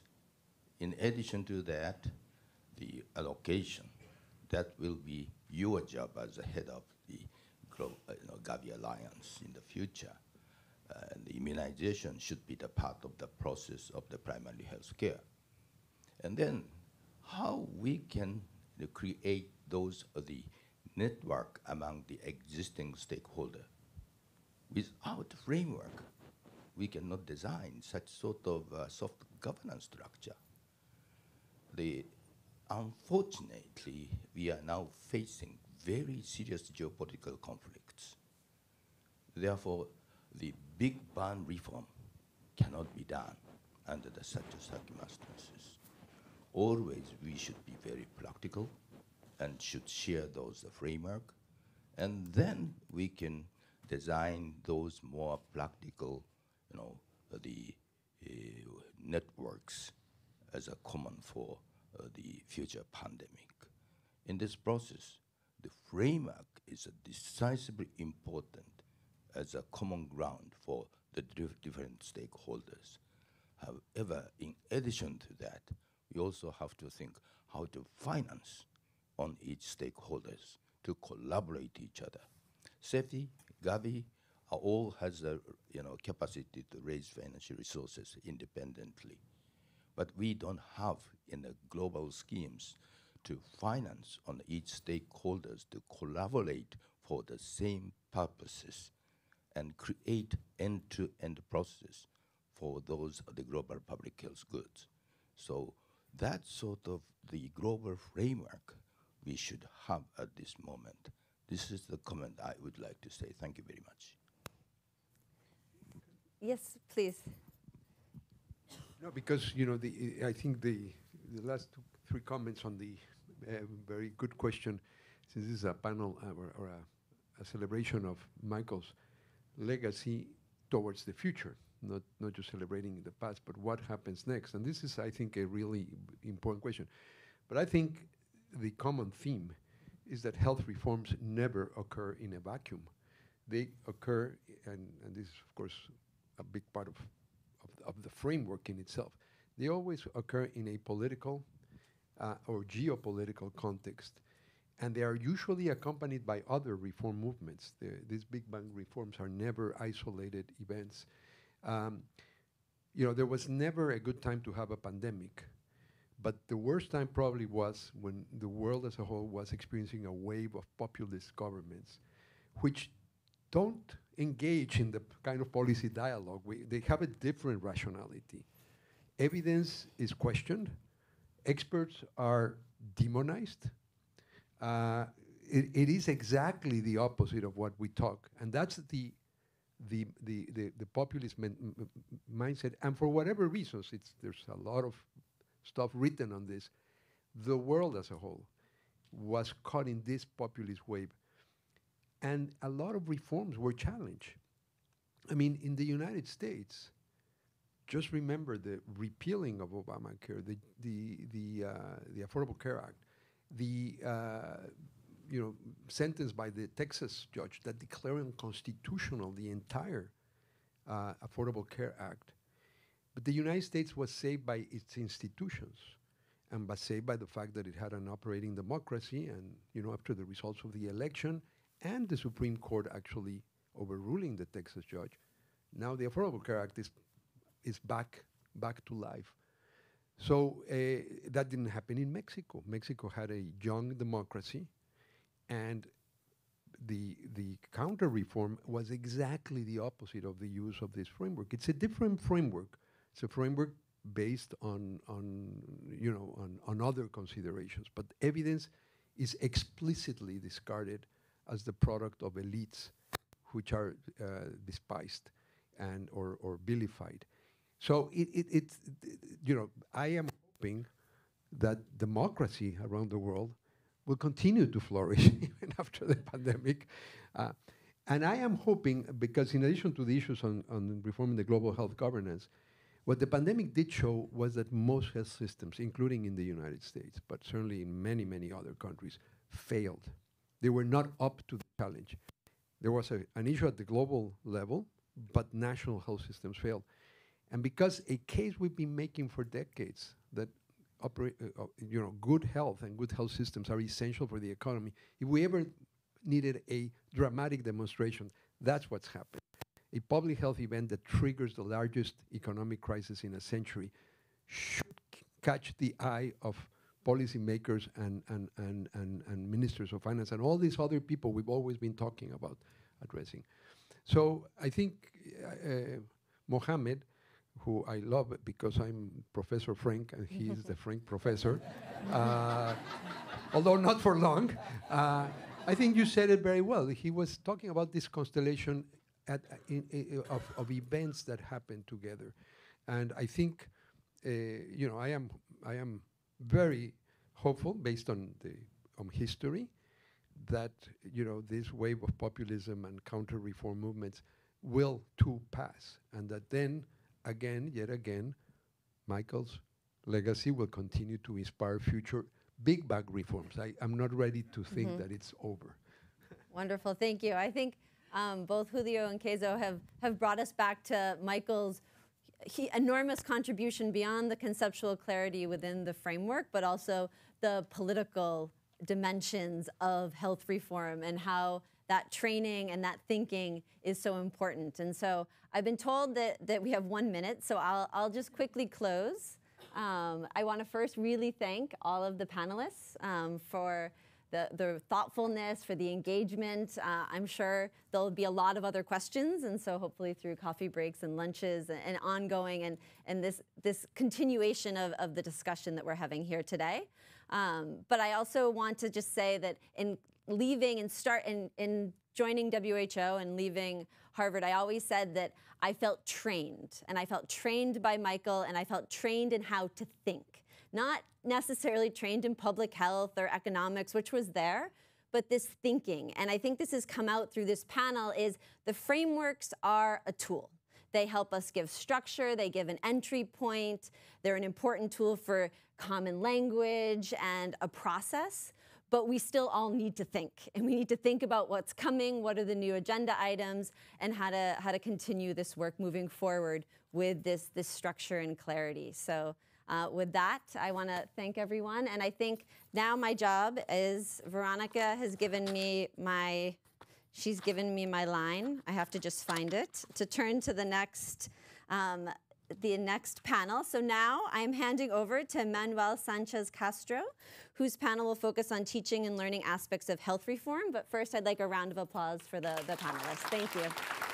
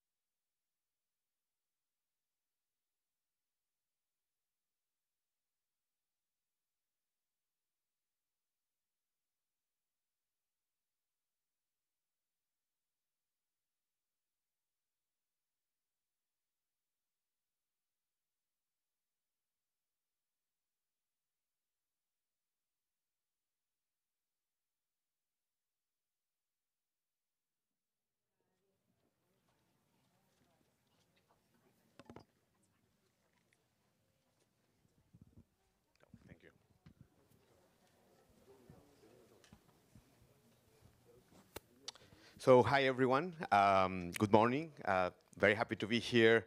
Uh, my name is Manuel Sanchez Castro, and I will be the moderator of this panel that will be uh, discussing uh, the recent uh, students' learnings and the focus that we have had uh, uh, by the way, we all were born after 1983, when and, and most of them in the 90s. Uh, but um, yeah, I was uh, very, very uh, fortunate to, to be learning with Michael together with uh, my fellow students uh, past semester. So um, uh, while there is a great uh, emphasis on biostatistics and epidemiology in many of the public health programs, um, health reform is sometimes learned at the superficial level. So we, we really think that this was a very transformative uh, part of our education recently. And now uh, we want to share with you a, a around 10 minute video that we made together all the students uh, of the last uh, two classes of Michael, one led by Martin in Mexico, the Mexico field trip uh, and uh, doing health reform right of last fall. So I hand over to the, to the video.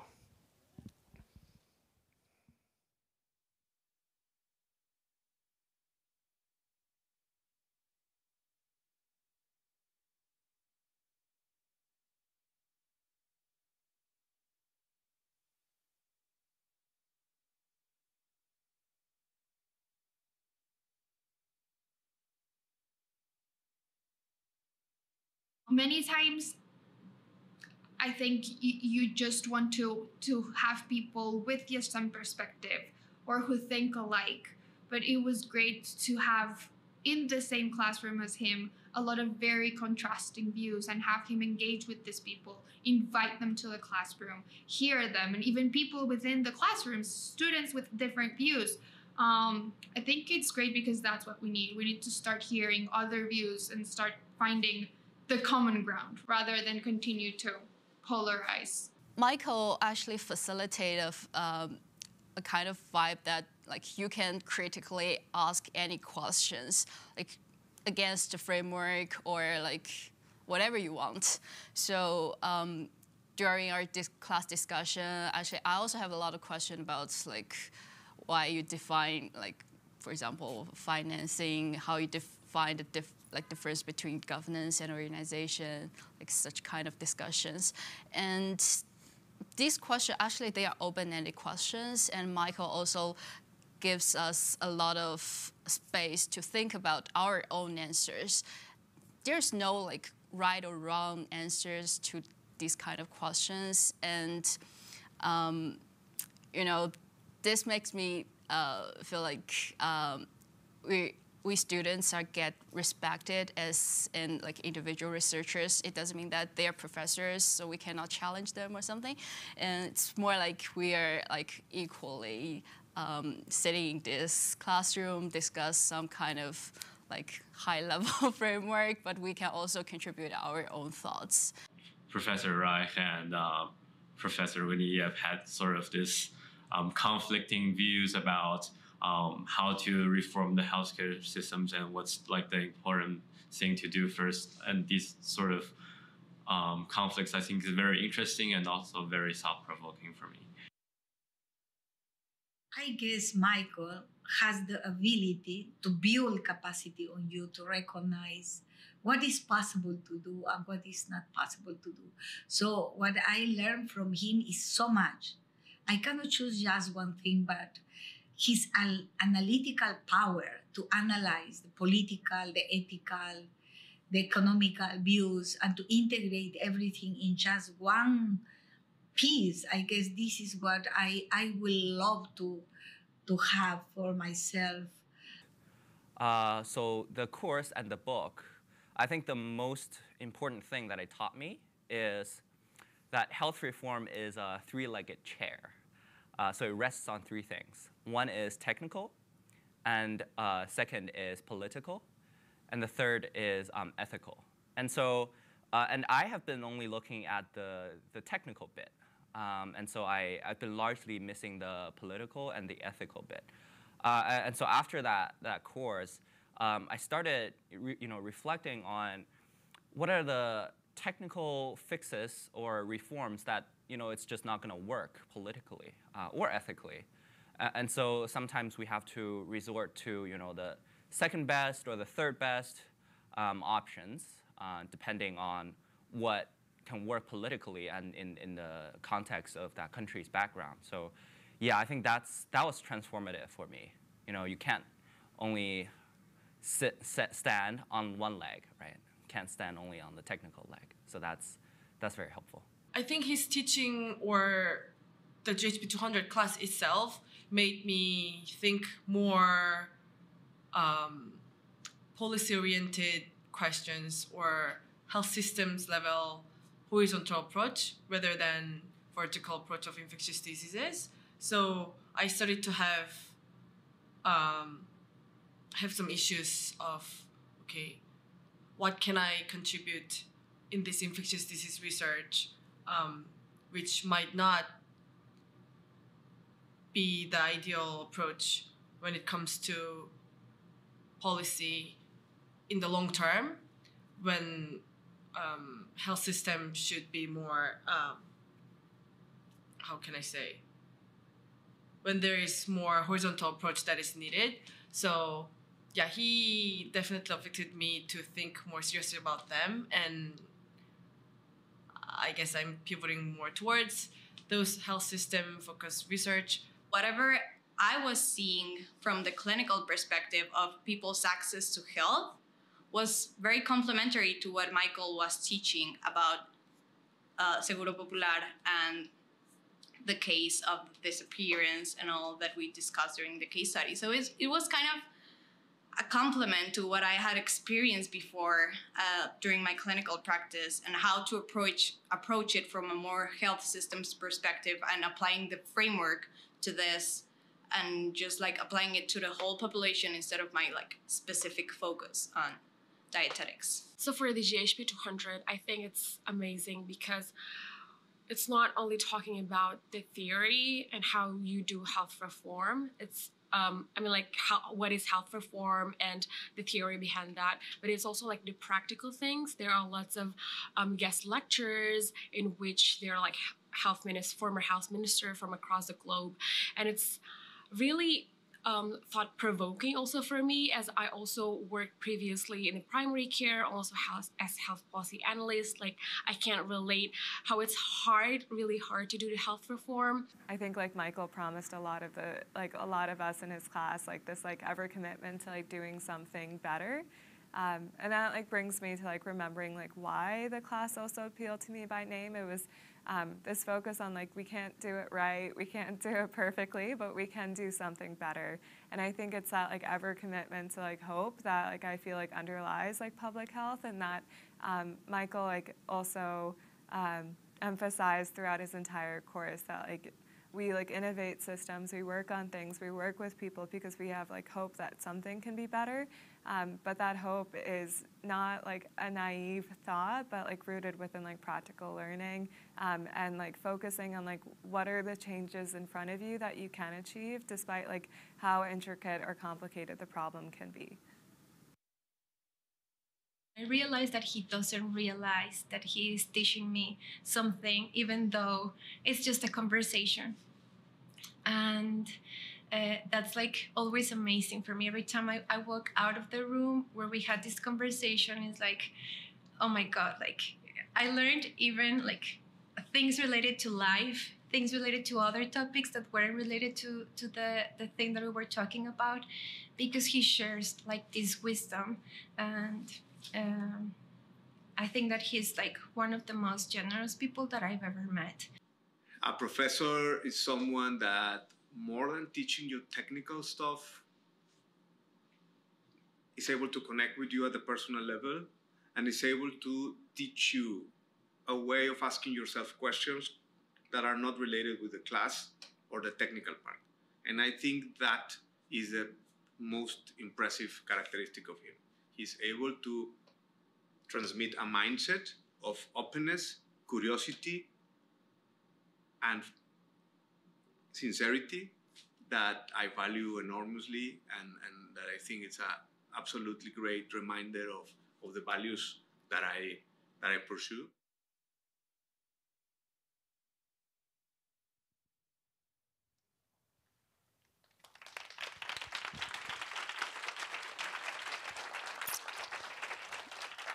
So now we have uh, a little bit of time to follow up uh, some of the questions that we were asking ourselves in the video. Um, and well, let's start with Anna.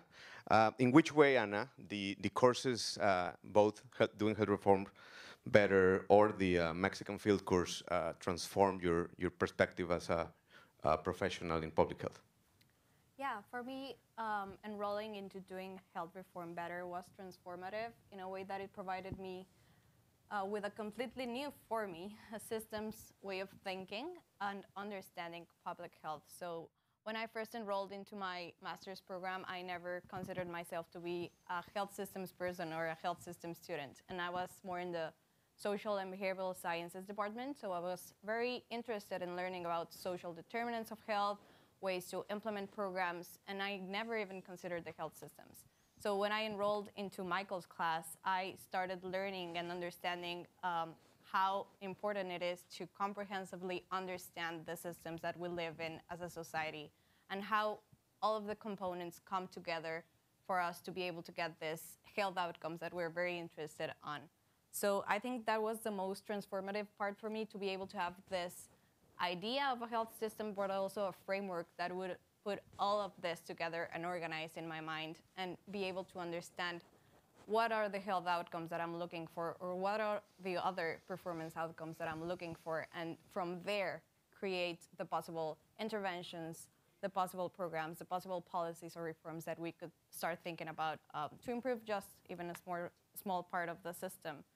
Um, so as a programs person, I was always very passionate about the theory of change and how evidence-based interventions could lead to these outcomes or, or, could lead to these social and behavioral changes that we were aiming for.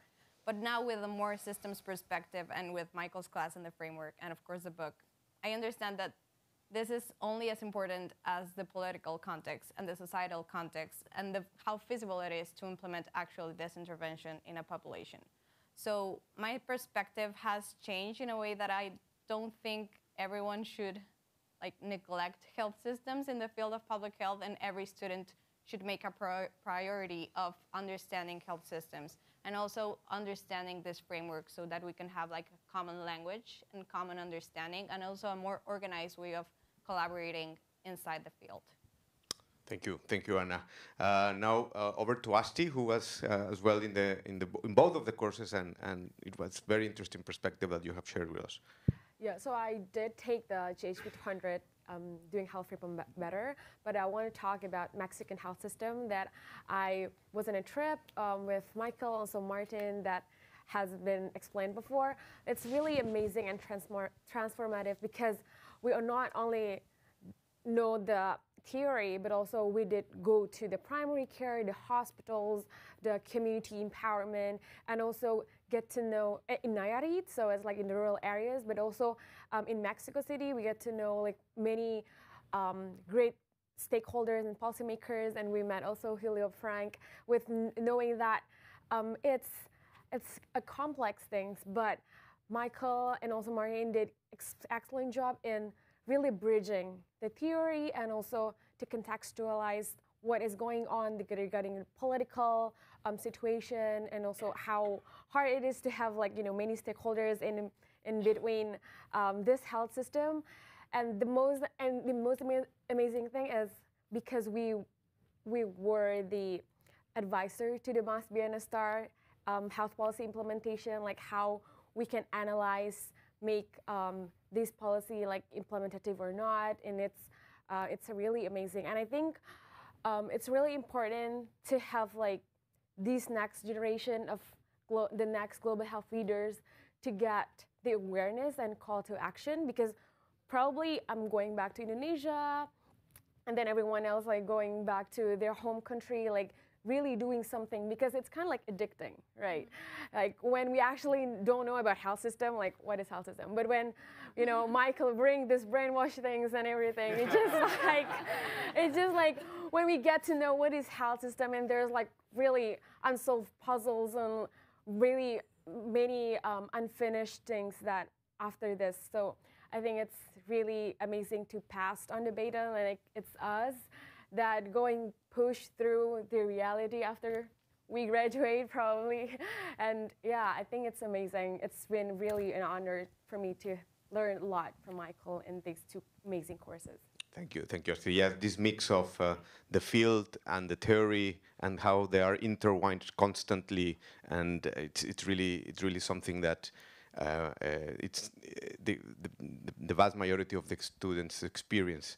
So what about you, Leo? What can you tell us about this experience of, of, of learning from Michael's or that framework's perspective? Uh, so for me, first of all, I, I, like to say I feel really privileged and, and proud uh, to have Michael as my instructor in class and also a mentor out of class.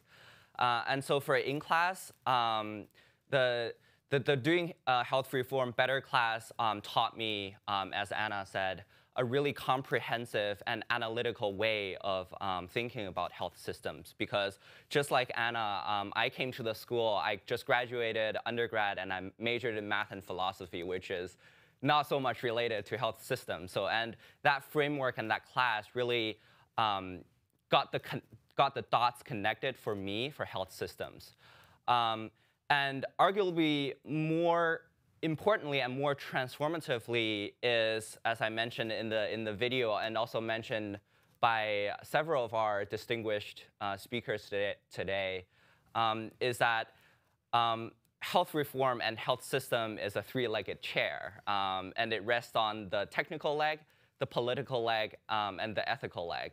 Um, and if you know, if you just sit on one leg, you would you, you would uh, fall, right? And and it's so true because um, at the end of the day, the health system is deeply embedded into the to the political, the economic, and the social conditions of, of the country and are heavily constrained um, by the context of the country. And that's why um, in, in health, health system and health reform, we um, sometimes focus on continuous improvement rather than getting there in the first, uh, first step. And that's probably why Michael named the course Doing Health Reform Better instead of Doing Health Reform Best uh, or Doing Health Reform Right. Uh, and um, also, I'm quoting Michael. He um, said in class that I still remember very vividly. He said, um, in health reform, perfect is the enemy of the good. And it's so true. And after finishing his class and after reading and studying um, more health, health system reforms around the world, that, that idea is really fleshed out and, and reinforced over and over for me. And I, I feel really privileged to have learned that concept um, this early in my career. And so I, I thank Michael for that. Thank you, Leo. Thank you. It's uh, pretty pretty interesting um, the perspective of the uh, three-leg concept, which I think uh, transgenerationally uh, keeps coming and over and over again. So over to you, Kata. Um, so as I mentioned in the video, I think one of the key learnings from Michael's class and interactions outside the classroom relates to, well, first, how complex health reform is, but also how important it is to, one, understand the culture or the context in which you're doing health reform, and to listen to the different stakeholder of, or actors that will be affected by this health reform. So I've been able to apply this as uh, I'm from Colombia, and we are currently doing or proposing a health reform. And as I analyze this, which is similar to what has happened um, in the last couple of years in different countries in Latin America, I've noticed that many times um, we try to impose a reform rather than actually um, creating spaces to listen to what different stakeholders have to say about their needs and what the reform should look like. Um, and as mentioned in the video, uh, Michael was able to show us that even if we have different views, um, he invited different guests with, with different uh, views, and they engaged in very constructive conversations. And I think this is the, the, the greatest lesson that, that I found. Uh, how it is possible to engage in conversation with these people, find the common ground, and then understand from there what the actual reform should be based on. Um, so as I delve into this field, um, I hope to be able to get this, this lesson in practice with every conversation that I have and as I start engaging in health system uh, reform. Um, and I also hope that this lesson can be transmitted to who are currently in power and who will be in power and will create the next reforms because I think that although we cannot do health reform perfect, if we want to do health reform better, um, engaging in these conversations and actually listening to other people rather than polarizing um, the stage will be key for the next couple of years. Yeah, thank you. Thank you, Kata. Um, so as we have heard from uh, different students, um, the learning of health systems and doing health reform, it's critical and, and should be stressed in the programs. And, and we as students believe that this has been a central part of our training. Secondly, um, we believe as well that providing a common language via a framework that allows us to com communicate from the same words to tackle the problem we're trying to solve, it's essential in order to have a, an effective way of doing our, our job as public health professionals. Third, um, we, has been, we have been hearing as well how the field and the theory putting together, put, put together has been absolutely um, one of the most interesting parts of our education, and we, we value that as a, as a central part of our, of our training in the school currently. And, uh, and finally, uh, we, we've heard as well some of the ideas in terms of how clinical approach should not be limited in that perspective uh, as the only uh, point of reference when doing our jobs as, as uh, healthcare professionals, but we should be able to think in a broader sense, particularly the, from uh, persons that are coming from the clinical perspective. And uh, yeah, so uh, we were actually, this is uh, um, not normal, but we have a little bit of extra time actually. So we, what we can do maybe is, if we can have some questions um, from the public, um, uh, we have like four minutes left. Um, no, they say no, okay. So, uh, okay. So, so we will finish now then, um, and uh, thank you so much for the, the, the, for the time. And we believe we have a group photo now, and uh, so we'll see you in the group photo uh, in a moment. Thank you so much.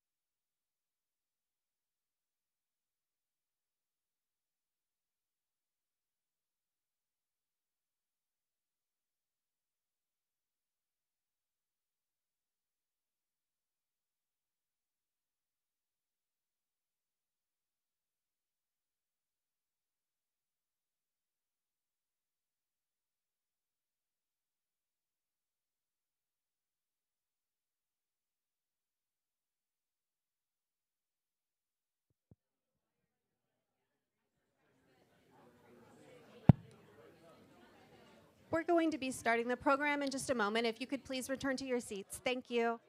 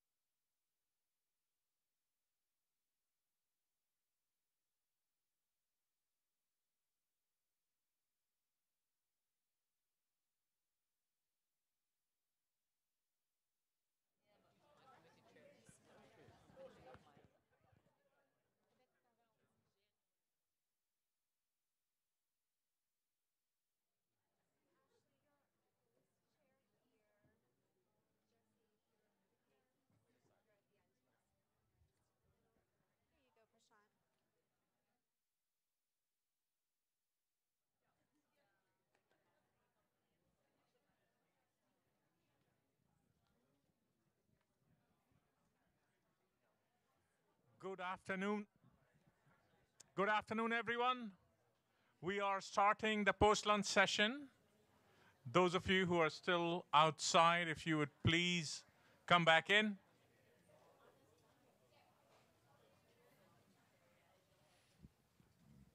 I need a bell. We'll give everybody another minute to just come back and settle down.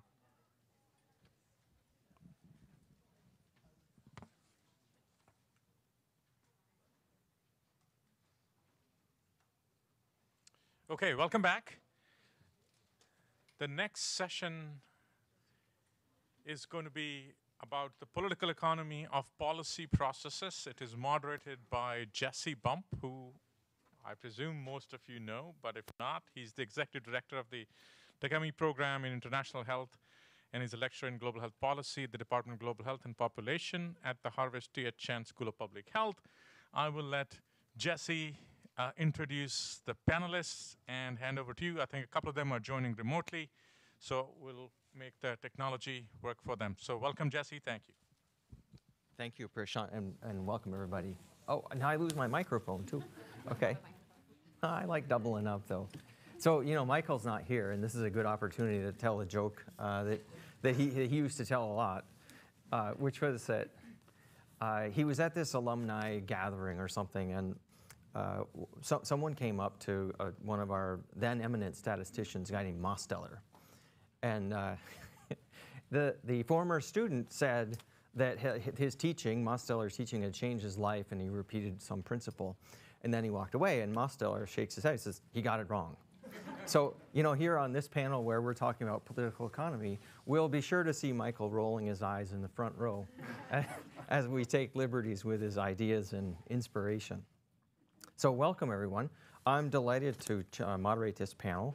We have uh, Jeremy Schiffman from Hopkins and Ashley Fox here uh, from Albany. And online, I'm not seeing our online participants yet, but we're going to have Abril Campos from Mexico, and there's Speciosa. Speciosa, welcome. What are we pointing at? I think I just saw them over there.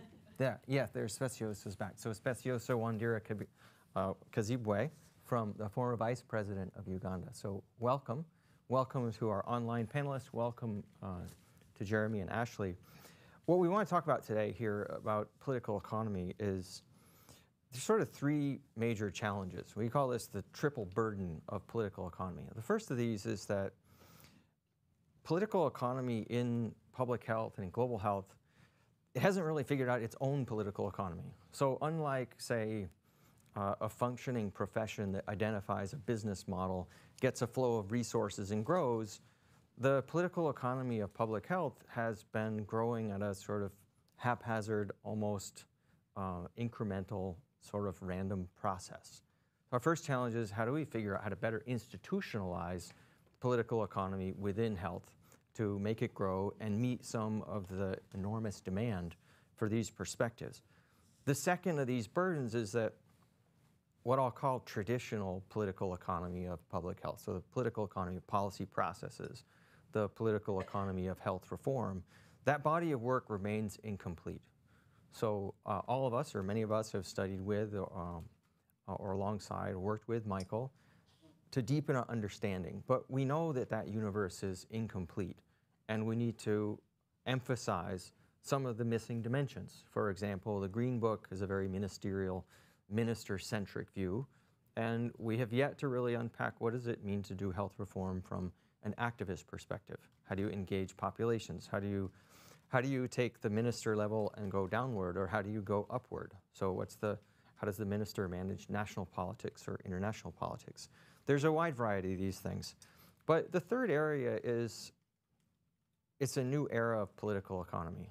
So if uh, many of you have studied Kingdon or read Michael's work, and it takes place in this fantasy land of the 80s where there's like a functioning government, where there's a House of Congress. Yeah, no, really, like you have these bureaucrats that monitor things, and when there are changes, draws their attention, and then Congress debates things. You know, that, that model is, is gone. You know, in a new era, we have many, we have polycrises. We have increasingly nationalistic processes. There's a retreat from multilateralism, and the signs of dysfunction in global governance are everywhere. Climate change, forced migration, multiple crises, Ukraine, Syria. The old style political economy isn't prepared to deal with that. So what we're going to ask each of our panelists are to consider how we can grow in these areas, how we can do more to build the field, how we can do more of the traditional stuff, and what kind of approaches are we going to need to deal with an emerging set of existential problems, from climate change to increasing inequality and other challenges. So if Speciosa, if you, if you would permit me, I'll turn to you first. I'll ask each of the panelists to give maybe a three or so minute introduction of themselves and a statement of their interests, and then we'll just take some questions and have a good time until they make us stop at um, 2.30. Okay, and then you'll have a 30-minute break to look forward to. So Speciosa, would you begin, please? Thank you very much, Jesse. My greetings to the panelists there and the participants. I wish I was there with you, then you would see how passionate I am about political economy after being in government and parliament and at the local government level for many years. And uh, thanks to Michael I'm here understanding why things in health are not working the way they should work, despite all the science that uh, has gone into framing the questions and coming up to talk about what should be done.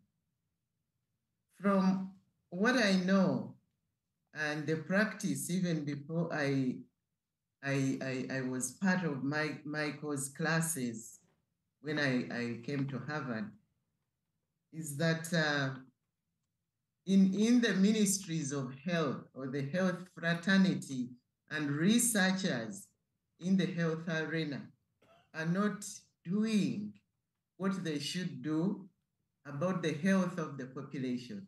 They are actually looking at those who fall out of the, the basket, the sick people.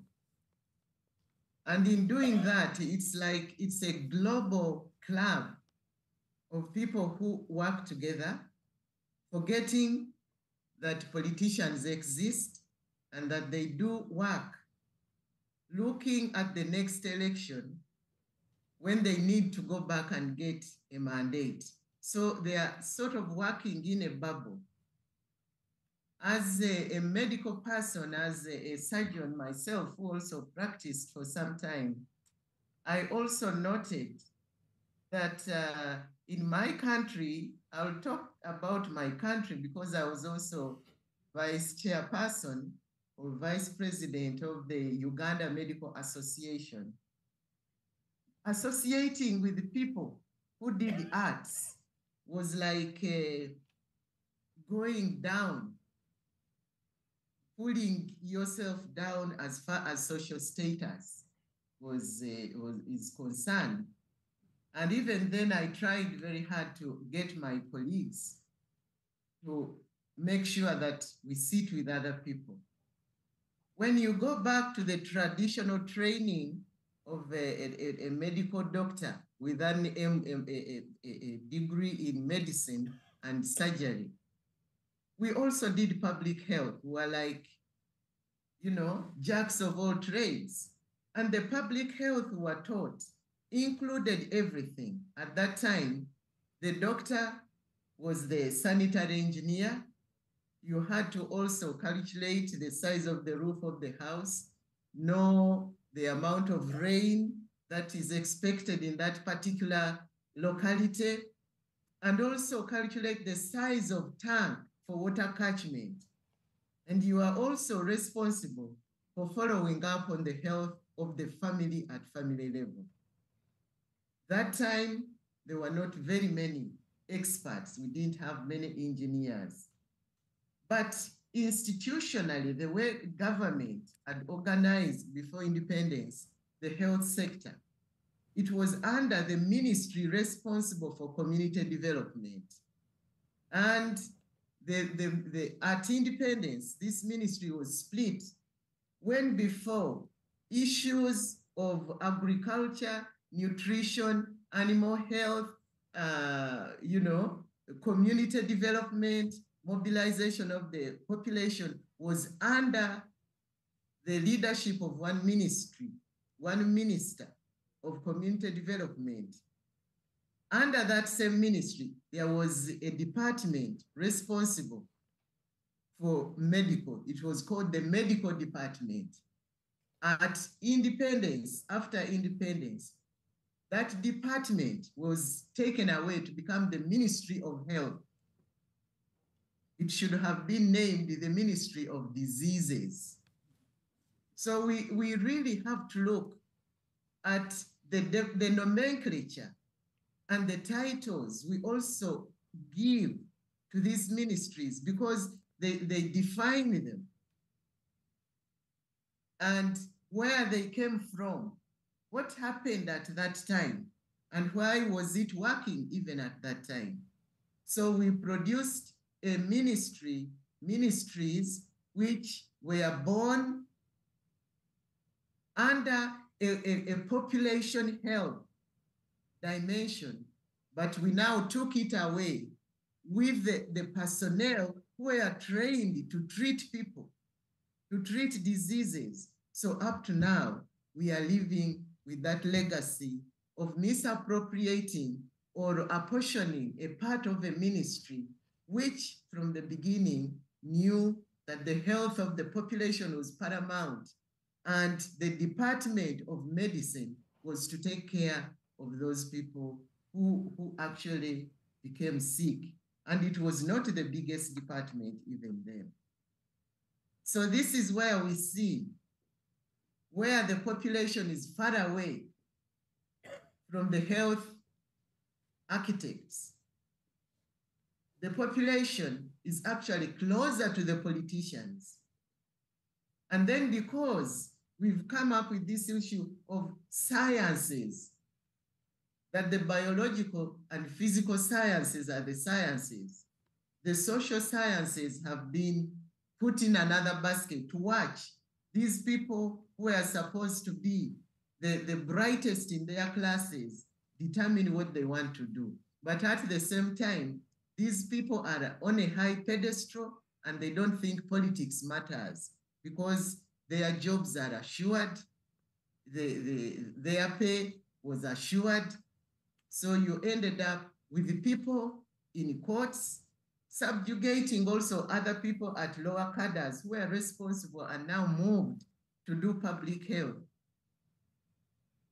In the end, we get what we have.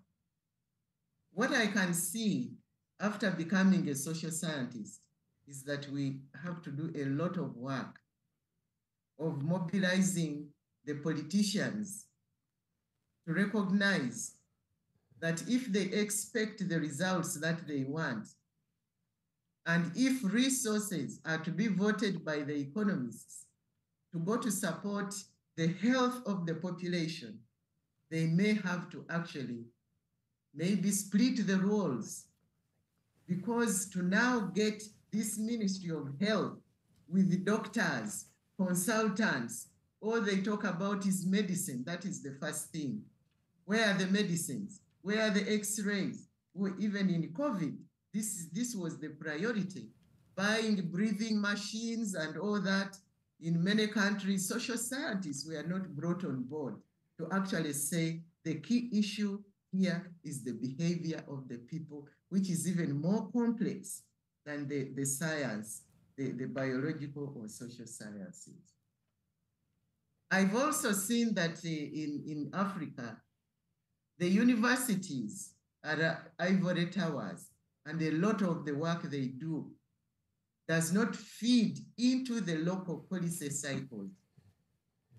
They work mainly with external donors, and when they've given them the money, they report there, and you hardly see, you actually, I have not, I've been sitting in my Ministry of Health since 2011, a very good number of years now, and I have not seen a researcher locally calling policymakers in the Ministry of Health to be part of the reviewing of their research. They work in isolation. The universities are not engaged as departments with all these uh, the professors so that they engage the, the key issues, they do the research, send whatever they want, they write uh, papers, and they get promoted as professors and that consultants. But in the end, the country many times sees it does not benefit a lot. So just uh, in, in brief, I like definitions. In our culture, what is in a name? When you give somebody a name, they usually end up looking like that name. But uh, the Ministry of Health has failed to look like the name it is given. It should be called Ministry of Diseases. the public health we talk about chases diseases. They look at issues of immunization, bringing in vaccines and medical technology, forgetting that health is actually made in the home and in the communities. So to me, a lot of mobilization needs to be done. It's not only about communication, because when we say communication, the very same policymakers in the ministries of health who are doctors will go and do a two weeks course in communication and call themselves communicators instead of working with people who have degrees in communication.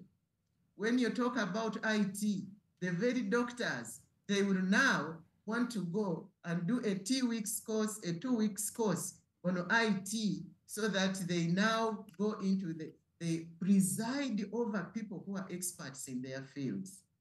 When it comes to laboratory technology, again, these people are experts in their area, but they will also get somebody with an MBCHB or an MD to preside over what is happening. So the work is quite a lot. And I think uh, researchers also have to, to, to rethink how they frame the questions they are putting forward to address the people who are incumbent because change is many times slow when it is at the technical and professional level.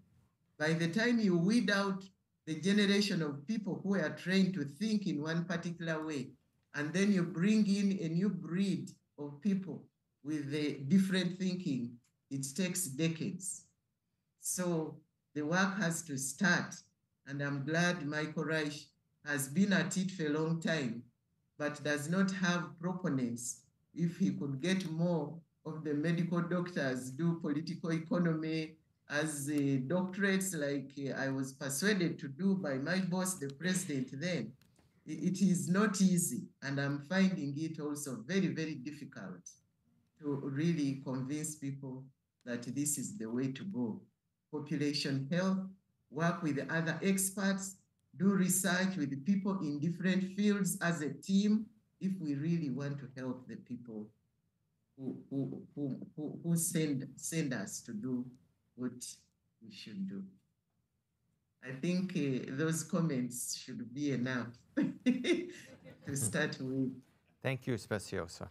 Yeah, so let me turn to Jeremy and Ashley and reiterate the three-minute expectation, please. Thank you. It was was I to speak for three minutes only? Hmm. Sorry. Please go ahead, Jeremy. You've got uh, Abril. Did you want to? No, we'll go back to Abril. She- Abril is our, our fourth panelist. Oh, okay. So, we'll, yeah, sorry. We'll go uh, Jeremy and then Ashley and then over to Abril.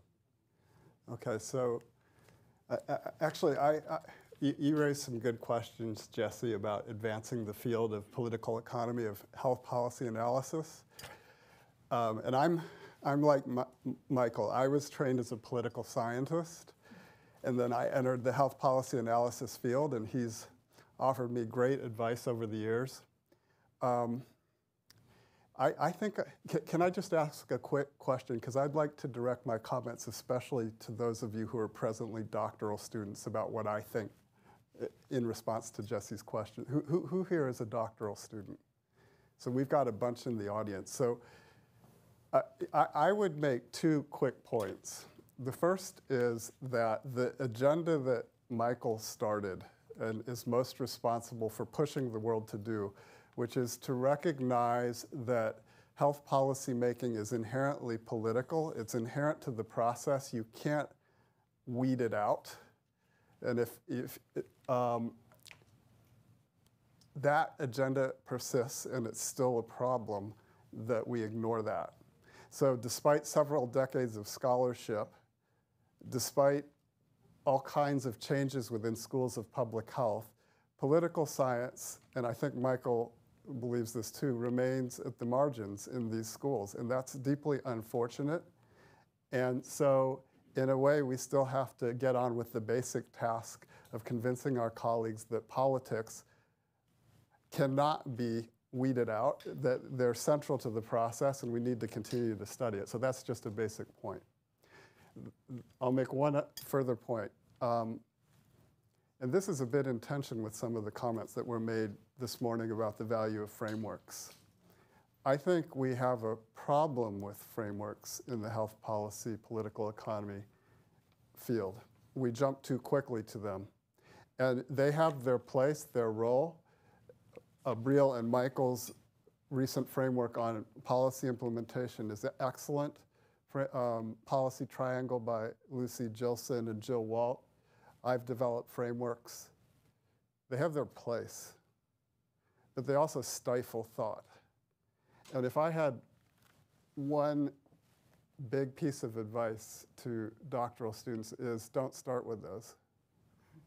It's the opposite to some of the advice that was given this morning. Go back to the social science upon which these frameworks were founded. Read the sociology, the political science, the anthropology, the history, the psychology. Go into moral foundations theory. Look at Bourdieu in sociology and theories of structure and agency. Go beyond the policy process models. Kingdon is great, but look at cutting edge research in constructivist international relations theory. Look at new uh, developments in the study of history.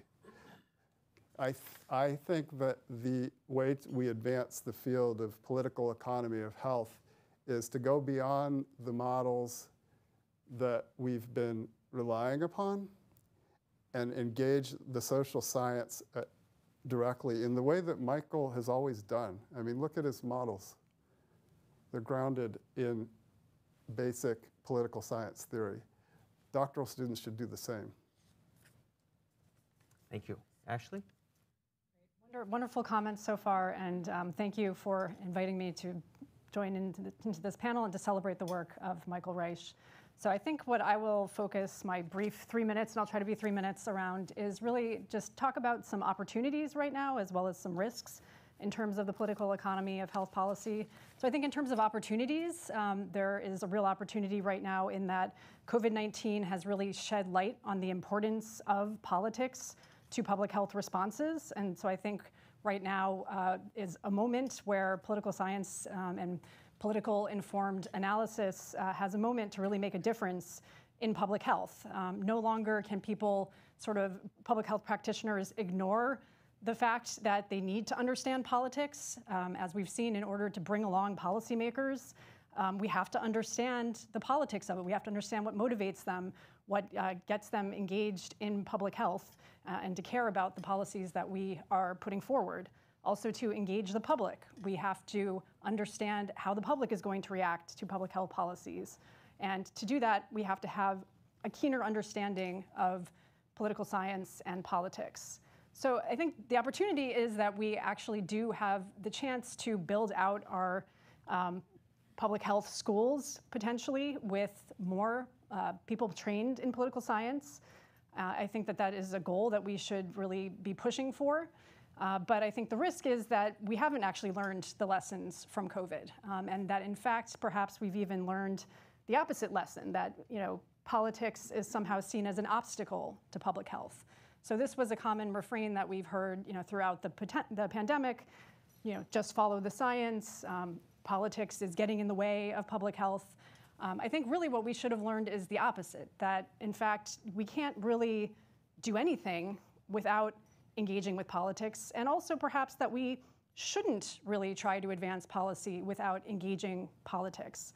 There's something very anti-democratic about the idea that we should have these sort of you know insulated bureaucrats and technocrats um, you know making policy from on high uh, without um, engaging the public and the broader um, constituents that are involved. Um, so I think there's an opportunity to push back on that, but also the risk that um, we um, that public health has not learned that lesson. The other quick point that I want to make, sort of related to that, um, is about the, the three-legged chair, which has come up a number of times today. Um, and you know, I really think that we need to recenter the political and the ethical analysis uh, in that three-legged chair, and maybe make the, the, the, technical part a little less central, actually. Um, so, I, you know, I really think that we first need to agree on where it is that we want to go, um, and only then can we figure out how to actually get there. Um, and the technical is really a means to an end as opposed to an end in itself. Uh, so we need to first recenter the political and the ethical and understand what are we trying to achieve, what are our goals, and then the technical is really just, well, okay, how do we actually get there? Um, so I think I'll, I'll stop there. Great, wonderful. Now let's let's turn to Abril again online. Jesse, um, let me start quickly by saying that um, I wish I could be there in person. I'm about to give birth, and a friend reminded me that one can have it all, but not at the same time. But Michael, this was very hard to let go. so I really wish I could be there.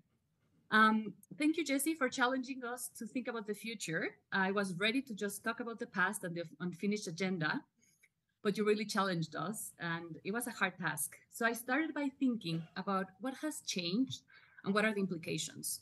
So I think that the processes of health policy making are changing in three important ways. Uh, especially drawing from my experience in Mexico, I see three major changes. Um, the first one is that policymaking processes are less transparent now. The second one is there is less focus on evidence, data is questioned or ignored. And the third one is it's harder for multiple stakeholders to participate in the process.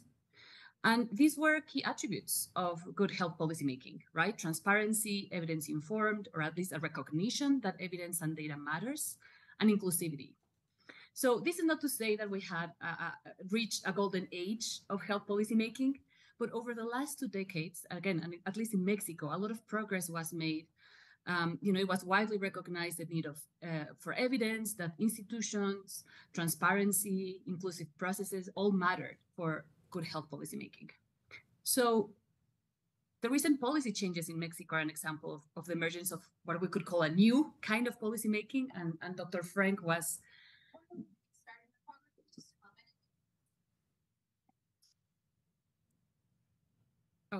Are we still here?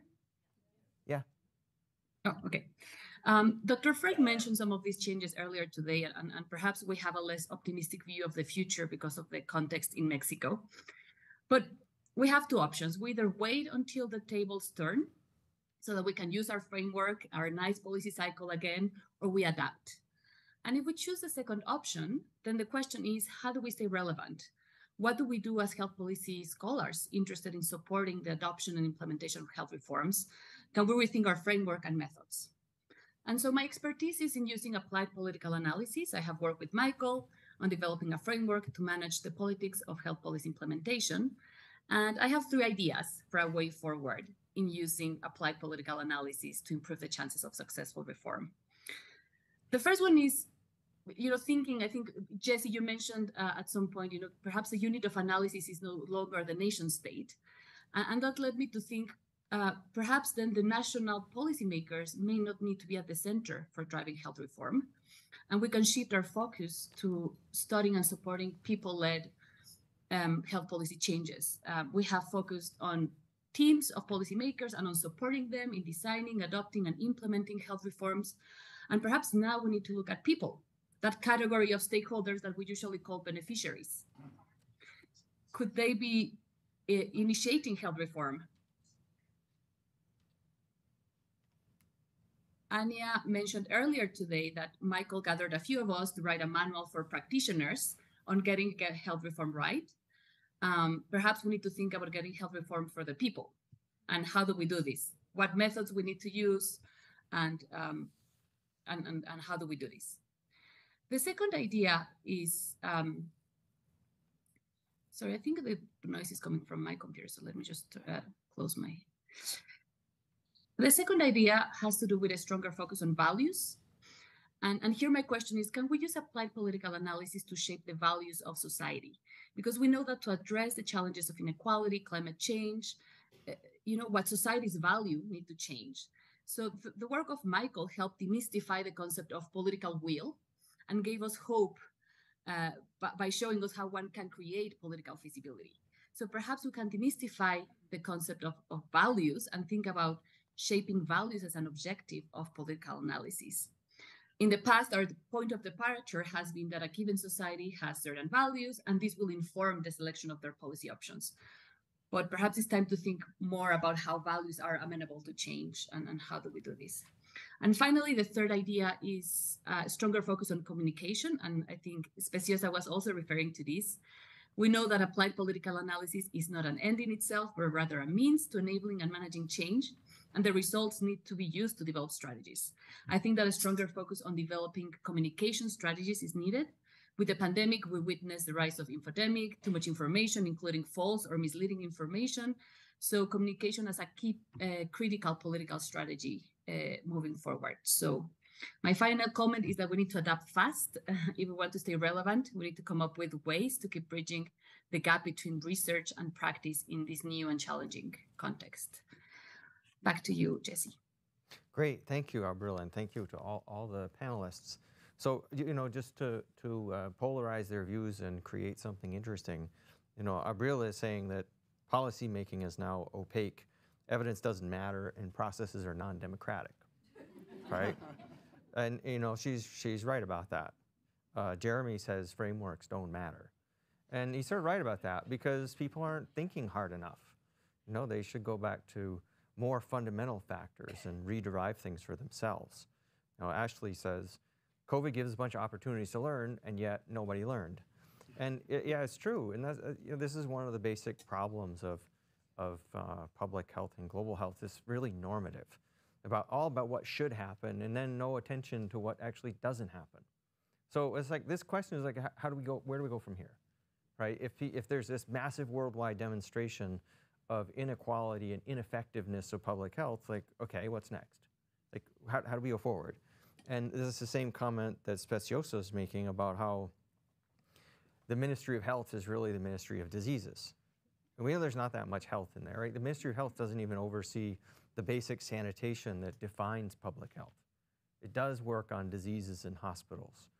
So the question like where do we go from here is particularly salient in, in view of the remarks that our panelists have made.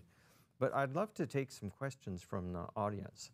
Um, let's see, uh, see if we can generate a little conversation here amongst our very controversial panelists.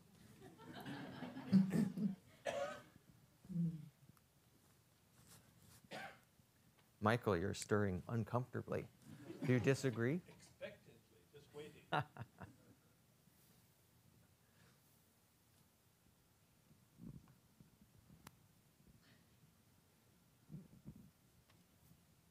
Thank you. My name is Sandra Lubiano. I'm a PhD student in health policy, second year at Harvard.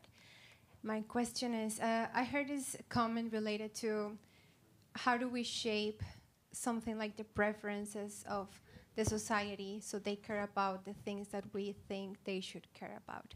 And my question is um, why don't we first learn what society cares about and then how can we shape what we think is like something that they should be caring about, but like attaching those things to the things that society really cares about. Like, why should we be the ones shaping their preferences instead of first um, understanding their preferences?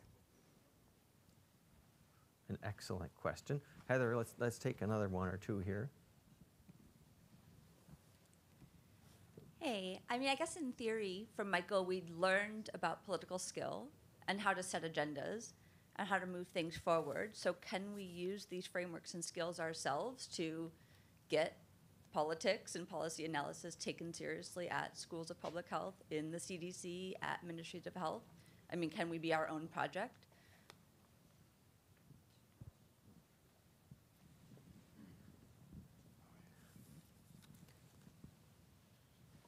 Yeah, so I'm Thalia Porteny. I'm an assistant professor at the Department of Health Policy at um, Columbia University School of Public Health.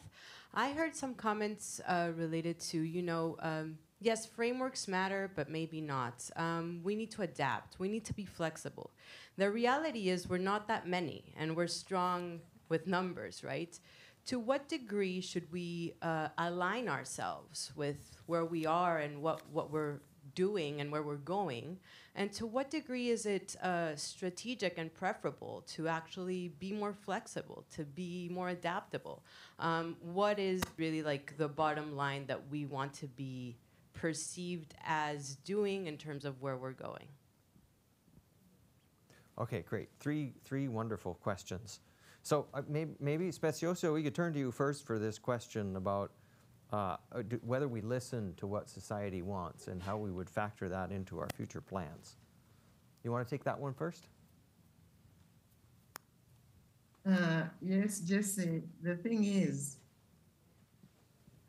maybe it's the way we are trained. We are elites, and we are not trained to listen, even when we are in the in the area of uh, of uh, the, the health, those who do research in health.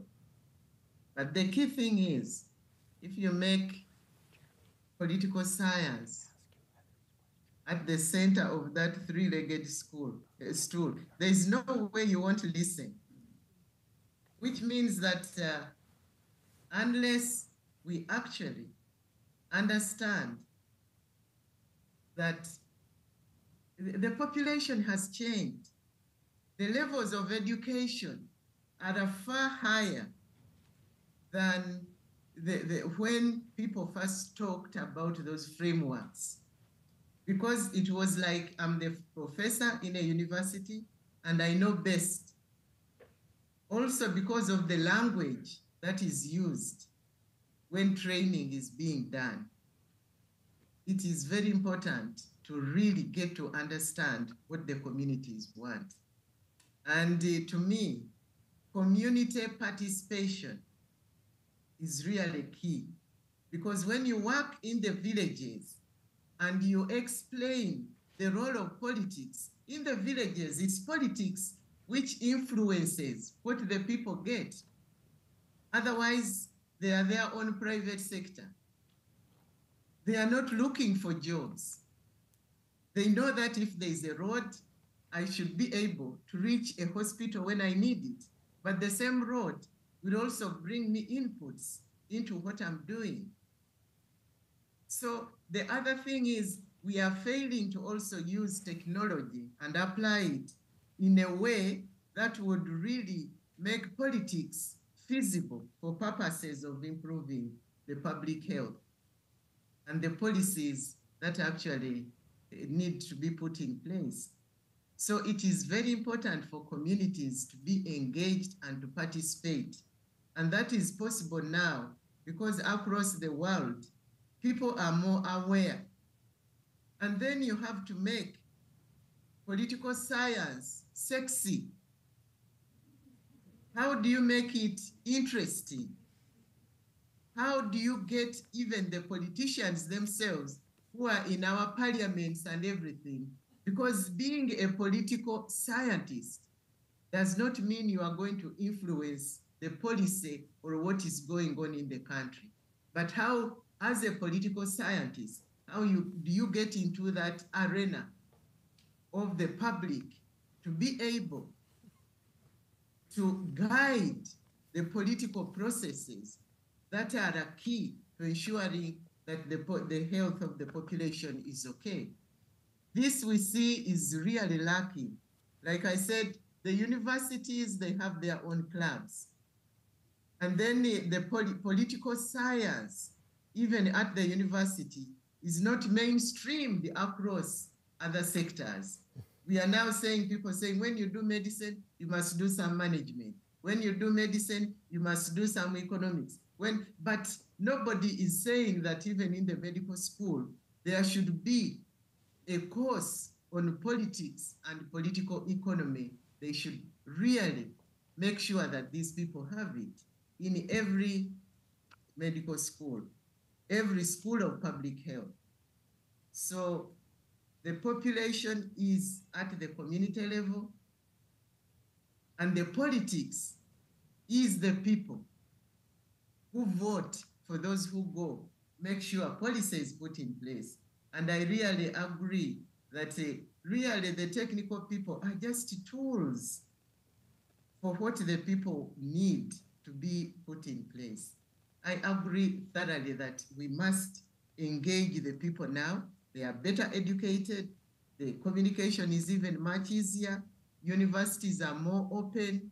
And we, with the, the new technology like what we have, people are having their minds even more open to listen and understand that politics is very important. And from Africa, people are recognizing that. What can be done to the health of people in Sudan, in Somalia, all this is the, the, the political players are crafting the playing field for anything to happen.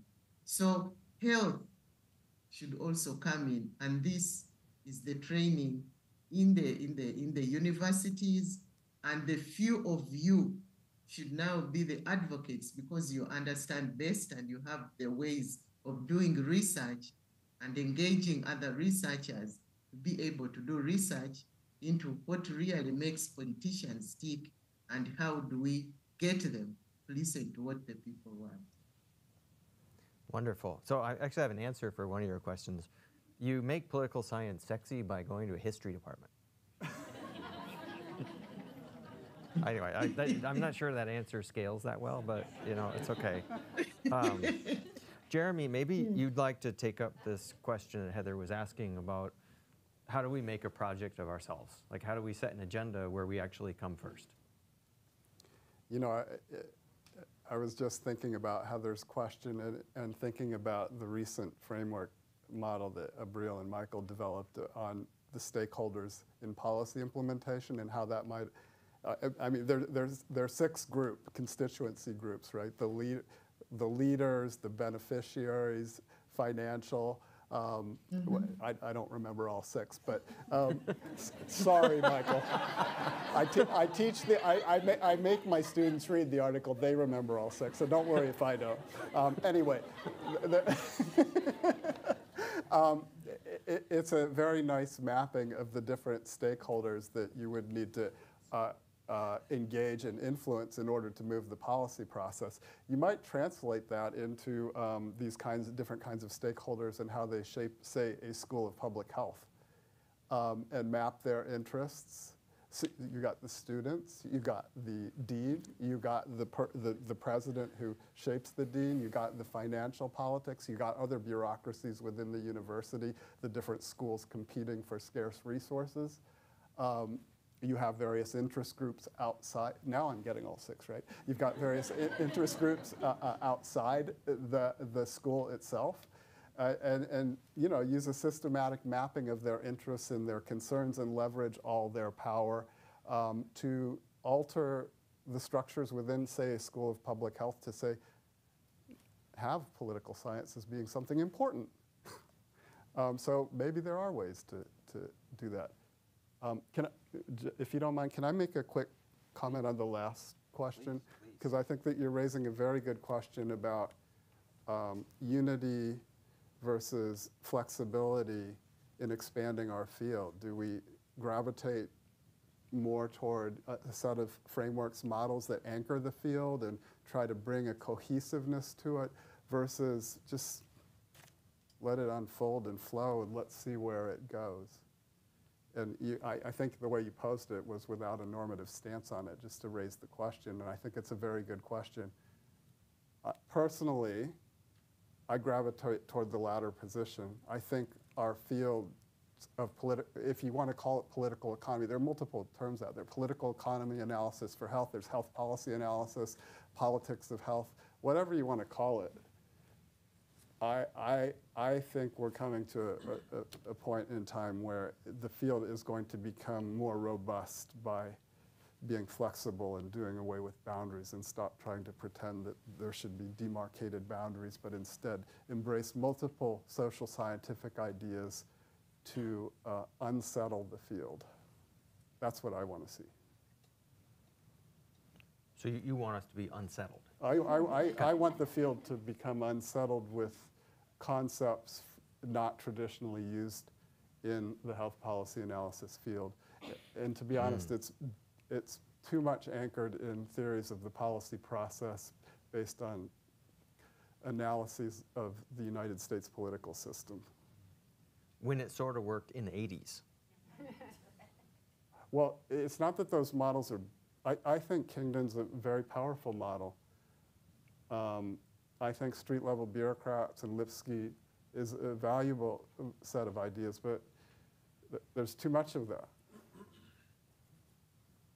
Bourdieu, more, for your question about we, under, we need to understand what people think. Moral psychology Jonathan, uh, uh, Jonathan Haidt of, of, of, New York University and that whole tradition of understanding the deeper um, belief systems of individuals that animate, that are conservative versus liberal, that animate what we value and that underpin differences in society. Let's bring moral psychology into health policy analysis. That's an example to get at what you're getting at. They're not traditionally used by us. They should be. So Ashley, Ashley teaches in a school of public administration. So in expectation, your students are going to become administrators, maybe politicians, but people who are concerned with some aspect of the public sector. How do they engage with these areas? Or how do you, what, what kind of teaching do they want? What lessons do they take away?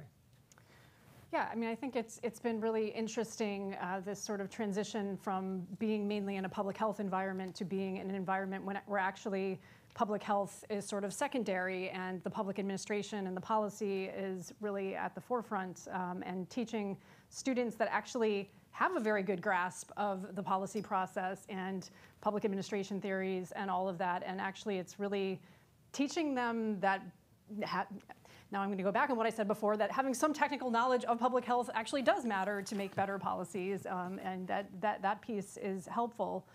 Um, but I, I think I, I, do want to see us better integrate these fields. I mean, I really think that these silos are one of the biggest challenges. And we were, you know, chatting back in the green room about the fact that, you know, the, the typical arrangement is you have a school of public affairs in one place, often on, an entirely different campus, you have a school of public health. So that's the case at my university, case in many universities. And I, I do think that that stifles discussion and exchange um, even the fact that our, uh, the way that we search for articles, right? You know, if you are a health scholar, you search in PubMed. If you are a uh, public affairs person, you're going to search in JSTOR, right? Um, fortunately, with Google Scholar, you can pull up all of that uh, all at once, so maybe that's helping to rectify the situation.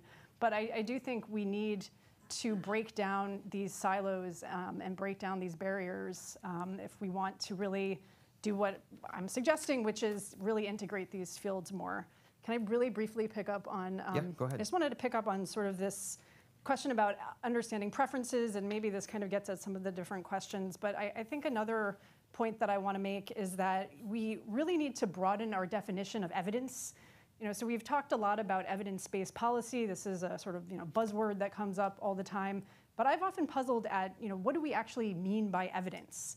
I, guess maybe coming from more of a political science background, I, it, it, I'm not exactly even sure what that means. Right? Is that evidence that we can derive from randomized controlled trials? Is that evidence of effectiveness of a policy? Maybe a little sprinkling of you know cost effectiveness or efficiency. I think we really need to bring in all the different types of evidence to bear um, when we're trying to design and craft a policy, right? Including things like evidence on public preferences, right? So public opinion um, information. That a lot, a lot of my research is on public opinion.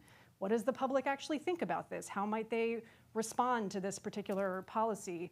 Ethical analysis, right? Um, actually take seriously the fact that there are ethicists that engage in you know their own process for coming up with what is the most ethical solution in this given scenario uh, and put together all these different pieces of evidence from different fields to make a well-rounded decision in the way that policymakers actually do right they they do look at all the sources of evidence not just a narrow definition of is this effective or not but what are going to be the broader impacts on society what are these different stakeholder groups? How are they going to respond to this? You know, how is this going to affect the economy and not just how is it going to impact this narrow particular disease? Um, so I think that is also our task is to build more well-rounded students that have the ability to bring together those different sources of evidence. Great. And Abril, I, I wanted to ask you a related question. We've been talking a lot about politics, and on the economy side of political economy, since you're a research professor, I wanted to ask you, what are the sources of money? So where you can raise money for research, which, wh who are the funders and what do they want to pay for? Mm. Let me start by saying that I'm a very new research professor. Until very recently, I was a practitioner, Jesse. So I'm also finding out um, about that uh, as well. I mean, at least in the institute where I am. So I'm in the School of Government, but also affiliated to an Institute for Obesity Research. And actually, that's one of my um, top questions, right? And, and I'm, I'm, addressing it more from the perspective of a, a, an ethical code, right? Like where, where is it, you know, where is the financing coming from? Where, where can we get um, funds to do the research that we want to do in a way that um, doesn't uh, bring, uh, you know, harmful actions or inappropriate actions due to conflict of interest. So um, that's not exactly uh, related to what you were saying, but that's really on top of my head right now. Um, so I think it's been hard to find um, research funds to do political analysis, I, I, I should say. Um, I think, I mean, Michael is able to do this, and I still have to learn how he manages to do that. But I, I do see a big gap in in in funding for applied political analysis, especially because we are really, or at least my interest is in supporting practice and supporting practitioners. And so it's, it's kind of this research that is quite action oriented and, and, and who funds that, right? It's, it's either the person interested in the research, so like the, you know, the agencies of the government, etc. But I, I, I have found a big gap in, in, in identifying funding for this kind of um, research, I should say. And if I may just add two points, uh, Jesse, on the question about the values and preferences, uh, which I think was a, a, really great one. Sure, go ahead. Um, just so for me, there's no question that of course we need to we need to listen to people. Um, I think what I was thinking is when you know, for example, thinking about climate change, right? Like we need to, we know that we need to think about long-term benefits and costs, right? Like we need to care about the health of the future generations. And that's that's a value of society. And, and, and, and so when thinking about that, I said, well, is there a space for us to then also shape and generate the evidence, generate the communication strategies, etc., and support the people um, to, to, to, to care about those issues and, and to shape those values. I mean, but I know it's controversial because we've always stayed kind of very, um, you know, again, our departure point was the society has its values, and then we, you know, we come later. We say, okay, these are your policy options based on your. So I think, I, I mean, I'd love to keep discussing this this idea of should we, can we shape the values of a society to address the, the challenges. Uh, and just a second point, I think you know, I mentioned three, in a way, negative changes of policymaking, but I think a victory has been that um, now we don't need to convince anyone that health policymaking is inherently political. I, in my opinion, at least, or in Mexico, it would be. It's it's not hard for people to see that it's political. So I think that's that's a victory, and I agree with you, um, uh, Jeremy, that I think now giving much more flexibility to the to the field and and more space to come up with new ideas now that I think we've we've won some battles, I think would be very useful in advancing the field. Yeah, great, thank you. So look, we'll have chance for another round of questions. Uh, I, you know, while you're while you're formulating that, yeah, Dai, we'll come to you in a second. I, want to editorialize in a dangerous way for, for just a moment. You know, the, this morning we had very nice remarks from Dean Fineberg, and on the historical part, he got it wrong. So, you know, at the beginning, at the dawn of public health, as it professionalized, he said that political science wasn't there.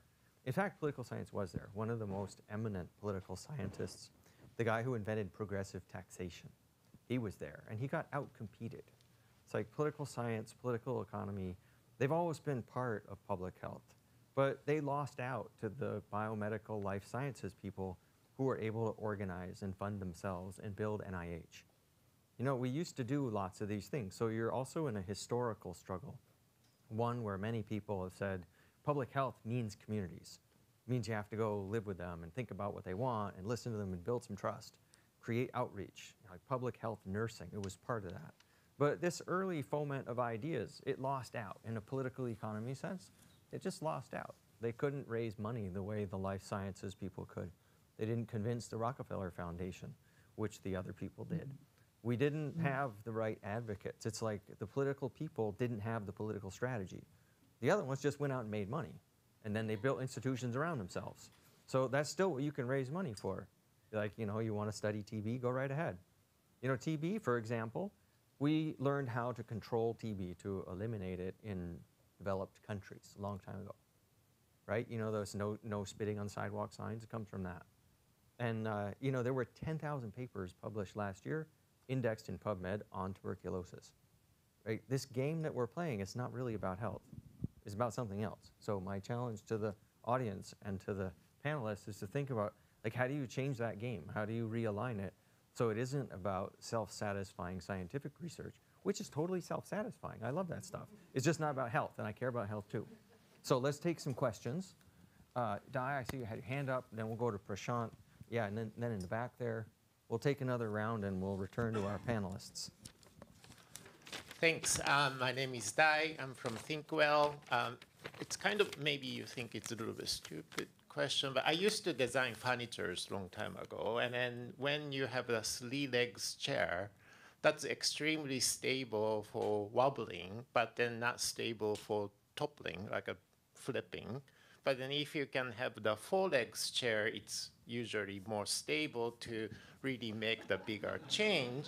So my question is, if you're going to add one more leg to this framework, what would that be? Because for me, for example, like uh, with all those Apple Watches constantly capturing this health data and the people asking the question to the ChatGPT about my health conditions and others, something like a technology or data ownership may be the one that the change the health sector reform in the next generation. So it may be that that three legs may be, as Jeremy said at the beginning, maybe outdated.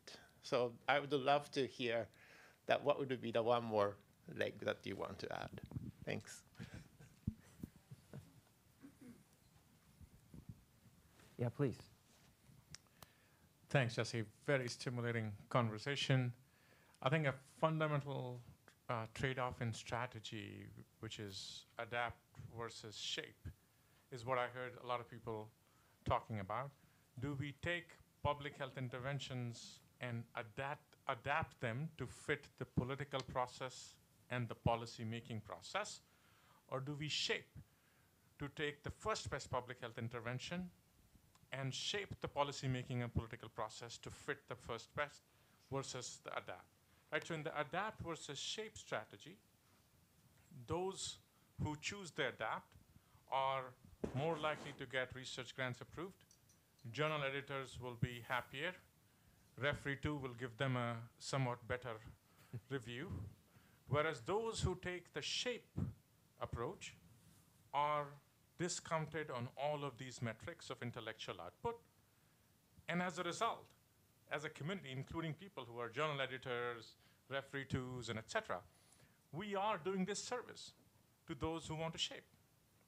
And Speciosa was bringing out this, and, and Abril was talking about the values to society.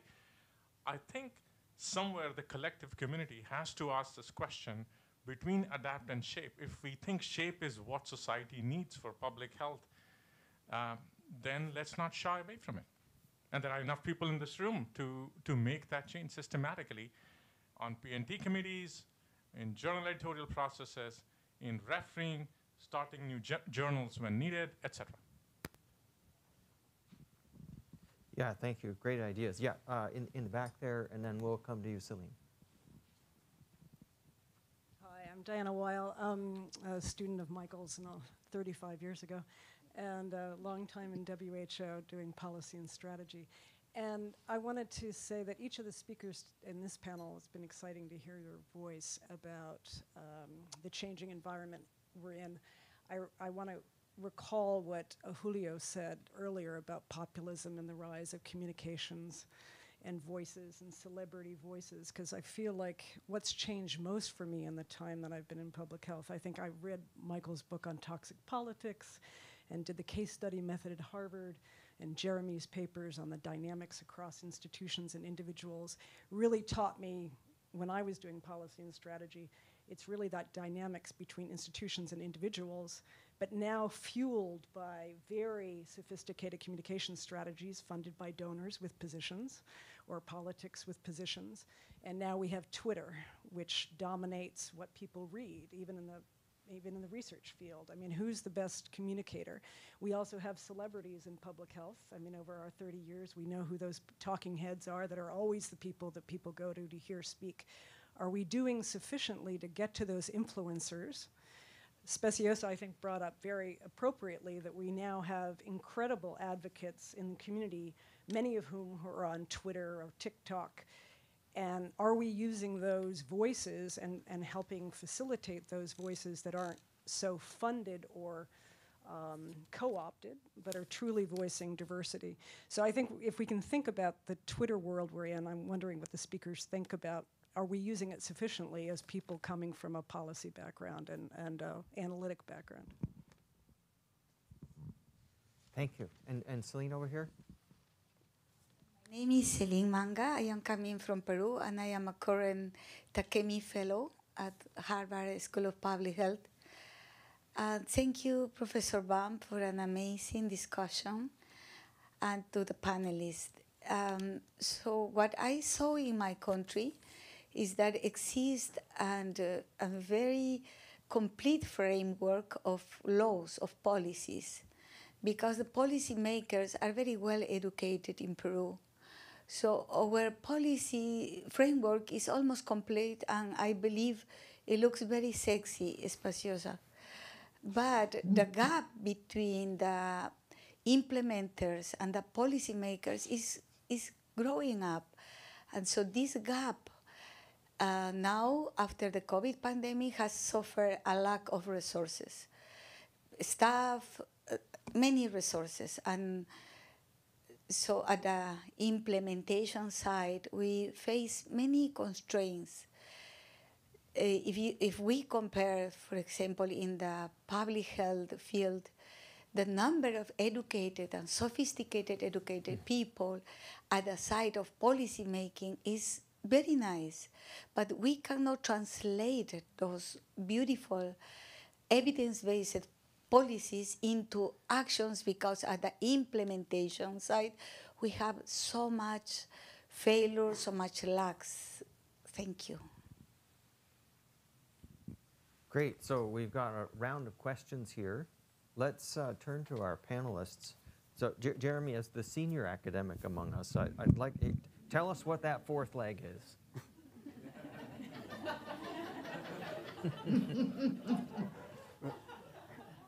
that, uh, that's the question I hope I wasn't. I was hoping I wouldn't get because I, um, I, I, I don't have a clear idea. I mean, I, the one that popped in my mind, but it's already there. I mean, economics is central to the discipline. I mean, political scientists have been fighting hard to get the notice that economists do in the field. Um, and, but, but I mean, that overlaps with the technical, of course, right? So I, I, I don't have a clear answer. Could I answer, ask a, answer a different question? okay, so like... like one of our, the others? our for, uh, okay, our fourth, our fourth leg is evasion. Okay, okay, I got you. Yep. Okay, yeah, sure. Do you uh, want me uh, to choose for you, or are no, you going to no, evade again? I, no, I wanted to choose. Okay. tell me, tell me. What's it going to be? Uh, um, the, the question that came from over here about adapting versus shaping. Well, I, you just you already answered that. If you were going to avoid that, you're, you're not no, adapt, you know, adapt or shape. That was a shaping question. So you're adapting. Yeah, so Okay, see, all right. I, I know how to maneuver. You give your no, own answer. No, no, but I, I, I, were you asking that in the context of how we move school, the schools we work in to appreciate our work? Was that the context? I mean, the person who knows the most about that is sitting in the front row. Um, I, I just, I, I don't have a macro level perspective on that. Um, I mean, I'm, I'm a professor with a joint appointment in the School of Public Health at Hopkins and the School of Advanced International Studies. I, periodically, they try to get me to be a, like associate dean or something, and I always say no. um, so if I had that perspective, I might have more insight. But what I did just want to say is I try in my daily work every day to not adapt but shape, right? Uh, like, and that means things like pu- push for new courses.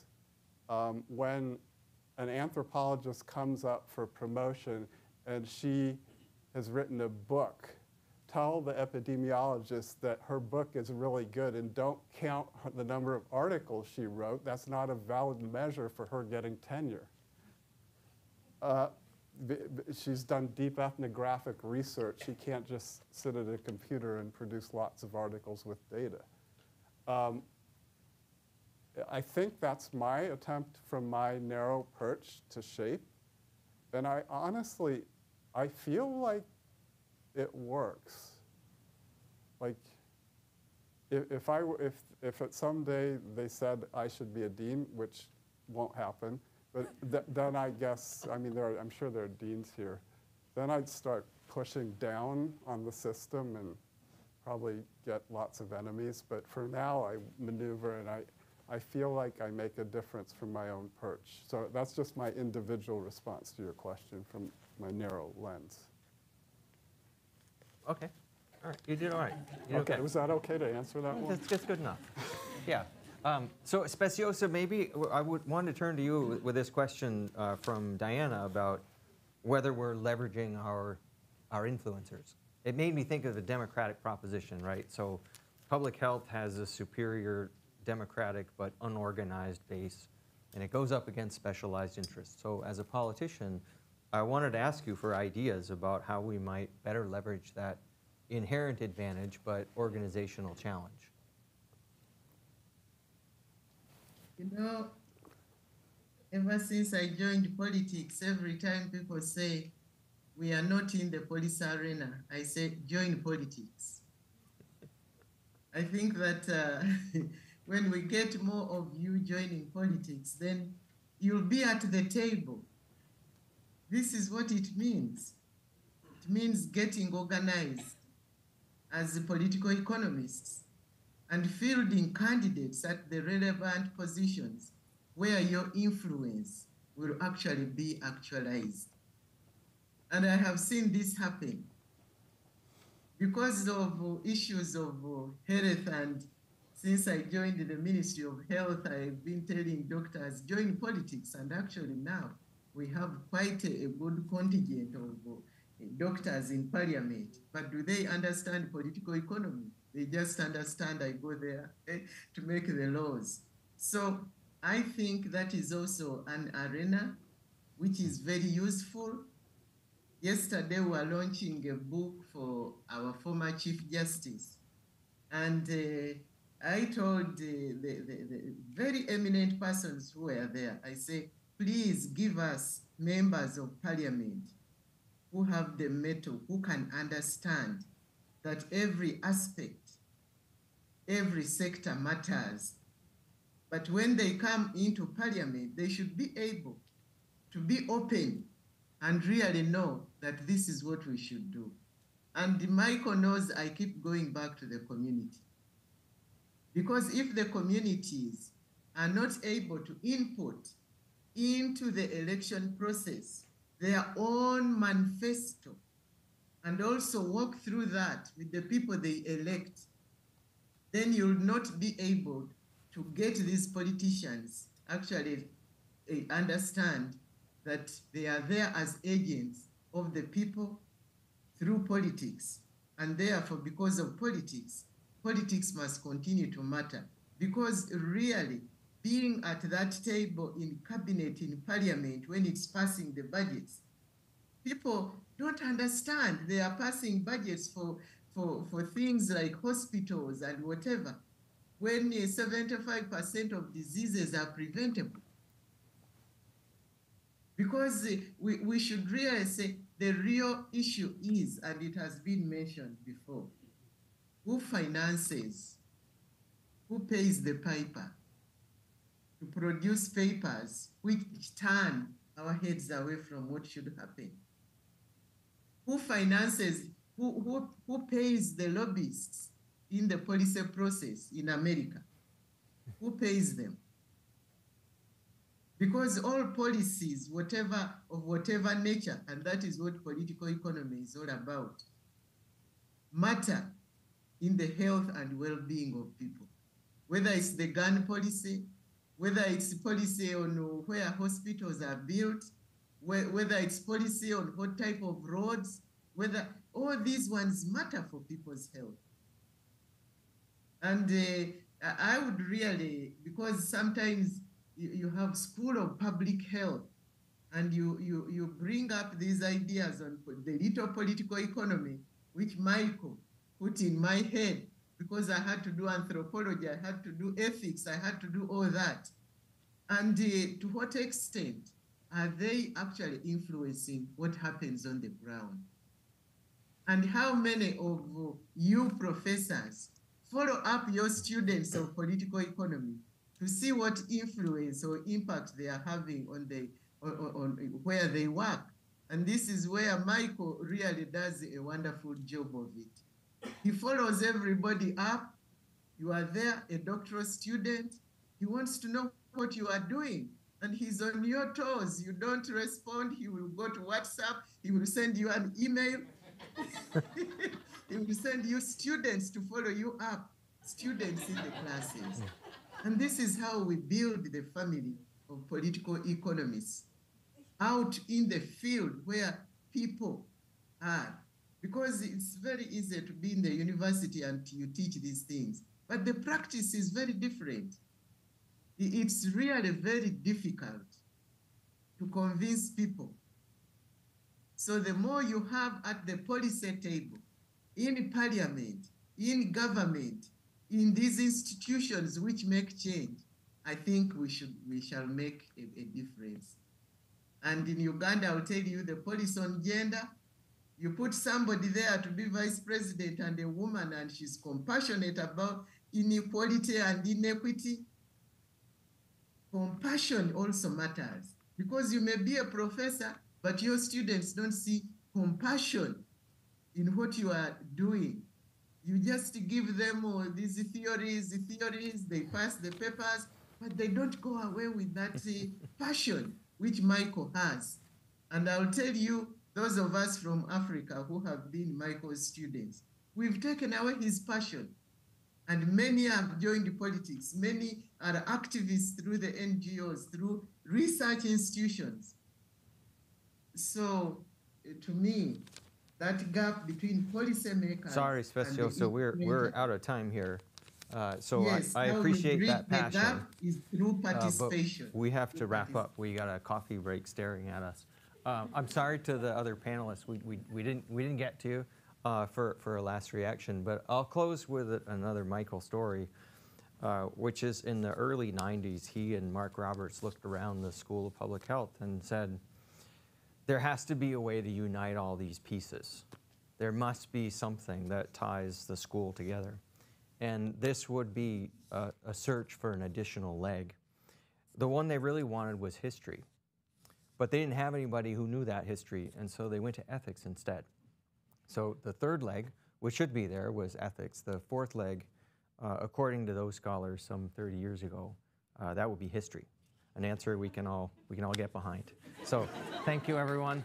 Thank you to the panelists.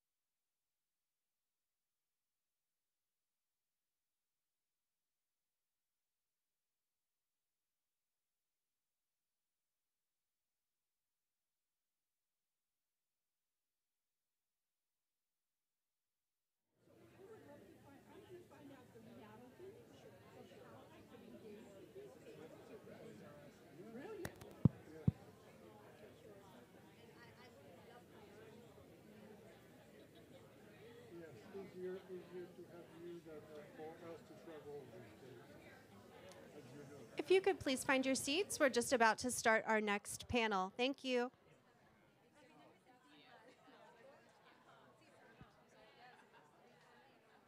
Okay, we'll just give it a minute. Get everybody situated on stage.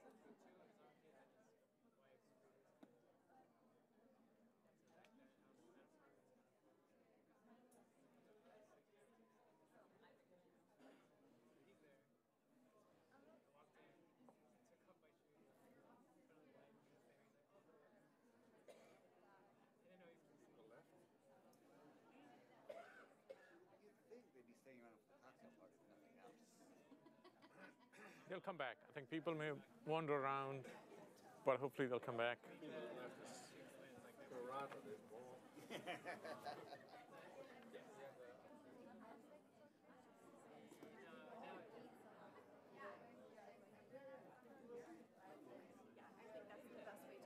Yep. So is my mic, mic live?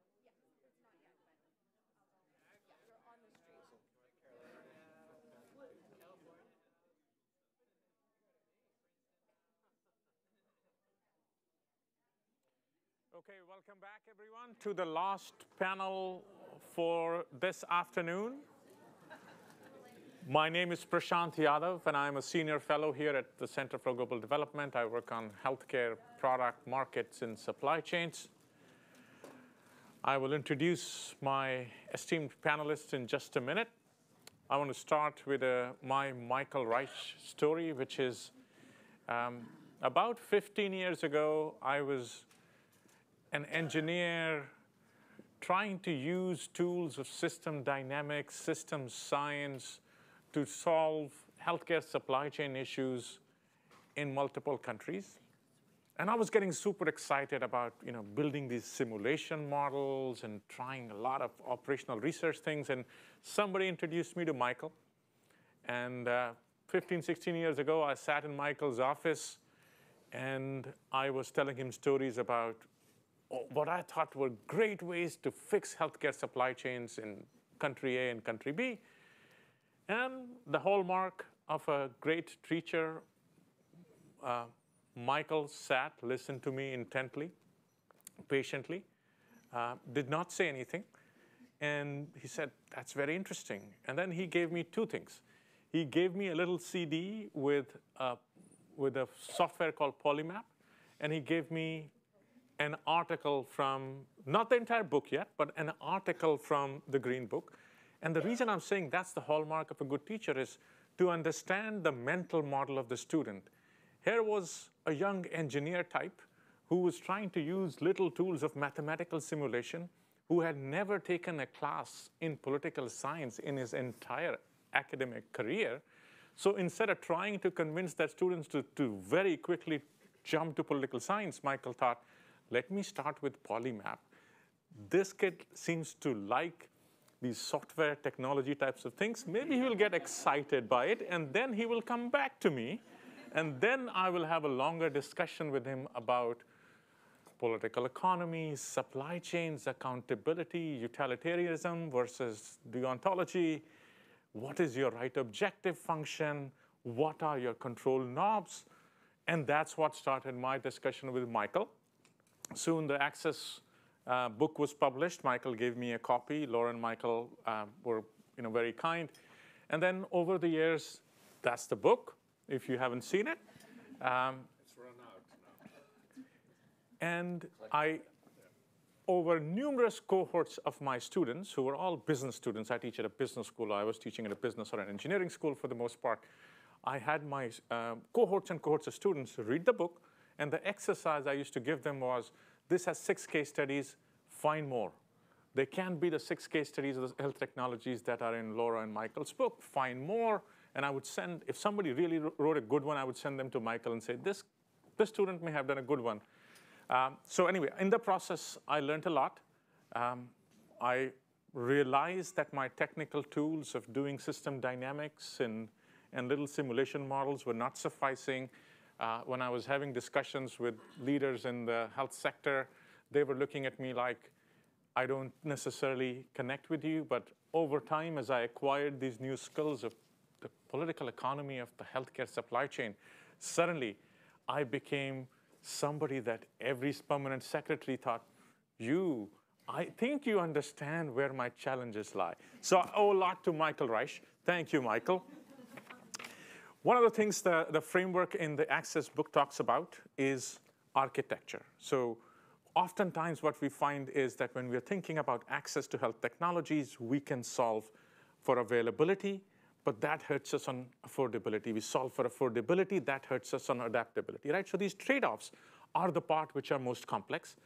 And the, the best part about the framework in the Access book is it very clearly and vividly describes the need for the architecture layer on top of these availability, affordability, adaptability uh, things.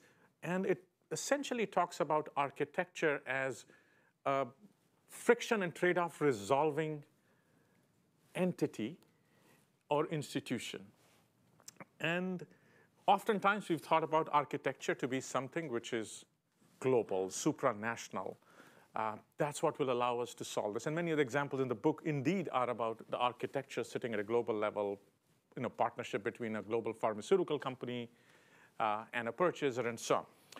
Uh, but we are going to go first to Amy Nunn. Amy is a professor in the School of Public Health at Brown University, and she's also a professor in the School of Medicine. She's a former doctoral student who's worked with Michael uh, and has worked on some of what we've discussed earlier today extensively. So the first question I want to pose to you, Amy, is architecture at a national level, not at the supranational level, not in Geneva, Washington, but can a country truly develop a better architecture for access? You've done work in Brazil in the early days of HIV and ARV access. What does it mean when a country thinks about access, defining an architecture for access at the national level? And a second follow-on question I want to pose to you is, we often talk about low and middle income countries, but the access to health technologies problem is as vivid and clear in high income countries. You also do work domestically here in the US where we see this very clearly. So also tell us, are they similar? Are they very different when you think about the two? And I know you have to go soon to catch a flight, so therefore I'm posing both my questions to you, and then we'll have ample time afterwards. So, Amy Nunn. Great, and I think I have some slides uh, and while they pull up my slides, I just want to read. Of course, I'm very disorganized. I submitted my contribution late, but I'm going to squeeze it in. My contribution about how Michael touched my career, and it's, I'm going to get to your question, it's related to that. So I'm just going to read it while they pull up my slides. Michael Reich's contributions to global health have been remarkable by any measure. Perhaps most noteworthy are his impacts on training countless numbers of global health scholars and helping them become the best version of themselves through his unparalleled commitments to mentoring. I'm fortunate to count myself as one of the many people Michael has mentored over the years. When I was a doctoral student at the Harvard School of Public Health, I always felt a little bit like a fish out of water, a girl from Arkansas lost in Boston. I never really fit in and was overwhelmed with how difficult all of the academic assignments were. I literally couldn't do any of the epidemiology or biostatistics assignments. I didn't understand what was happening all around me in the quantitative classes. One professor even told me that I should not be at Harvard. My father called that preparation H. Uh, but Michael saw something in me and cultivated my talents when others gave up on me. He knew I understood public policy and ethnography. He leaned into mentoring me. This started when I was a master's degree student, and he thought I had a good idea about looking at decentralization of reproductive health services in Brazil. When I was doing my master's thesis, he supported my work with, the, with a fellowship. When I discovered how much Brazil was spending on HIV medications, I was shocked and immediately shared it with him. He encouraged me to keep poking around. Then, when I came back to Boston, I shared with him all I'd learned, and he helped me apply for three more fellowships. He must have written me 50 letters of recommendation over the years, and that's not an exaggeration. He began pushing opportunities my way whenever possible. When I presented a really ambitious doctoral thesis idea, others were really skeptical. Michael, on the other hand, was intrigued and encouraged me to take on the larger project. I plodded along, learning Portuguese and doing a lot of historical archival research and over 100 qualitative interviews. Others told me I was taking too long and that the scope of my project was too ambitious. Somehow, Michael was always in my corner, gently nudging me along with encouragement and fending off all of the skeptics. He knew I was onto something. When I got back from my field work, he told me that I had enough material for a book and that I needed to publish it quickly. He introduced me to a publishing house that took a lot of interest in my book, and he kept telling me, Amy, you need to keep going. This is an important story, and you have to tell it. Again, others were skeptical, and he told me, and told me, academics say this kind of thing all the time, books don't count towards your scholarly contributions. He knew that was silly and that the story needed to be told, and he told me to write the book. At the end of the day, I ended up publishing all of my work, including a book about the politics and history of AIDS treatment in Brazil. He line edited the entire thesis, which later became the book, and without him, it never would have been possible, and the Brazil HIV story might not have ever been told. Eventually, the book was very favorably reviewed in The Lancet, even though they said it was ploddingly written. Michael took a gamble on me when others wouldn't and spent countless hours line editing my dissertation drafts, even when I was rather defensive about all of his really constructive feedback. I was too young to know not to be defensive. Now I know time is love. What greater commitment to someone than to spend so much time with them? All of that was lost on me then. In my late 20s, I didn't realize he was making me. He also helped me become a good interdisciplinary scientist and a good writer. Indeed, He's always with me, with me when I write, and with me during my fieldwork, even after all these years. I think perhaps most noteworthy was how he always modeled important leadership behaviors.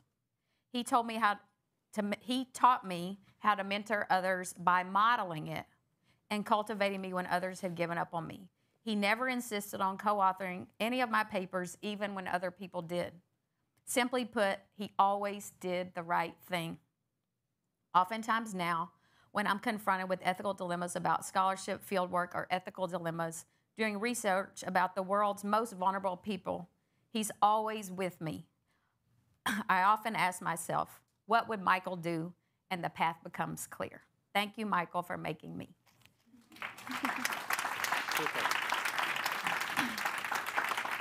Thank you, Amy. Your so, slides and I'm going to be, um, I am going to talk about science.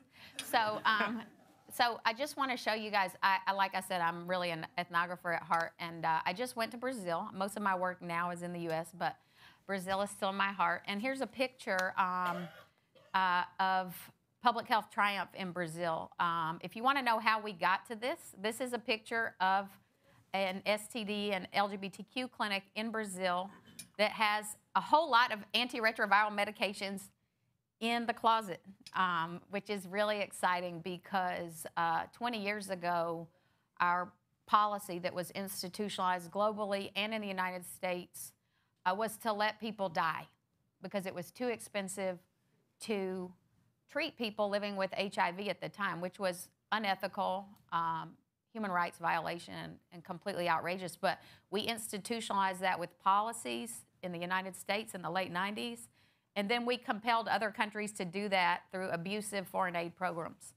Brazil changed the dialogue by challenging multinational pharmaceutical companies about outrageous drug prices and then threatening to produce generic medications and then inducing big pharma to reduce their prices. So this is a big architecture. This is I'm answering your question finally. Um, um, story.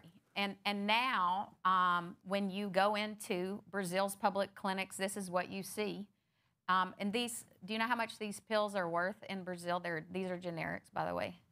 They're like $3 a bottle. Um, and in the United States, we still have huge access. Um, and so I'm going to show you like pictures from Brazil. This was March uh, when I was there recently. These are my colleagues that run a big PrEP program um, in Salvador.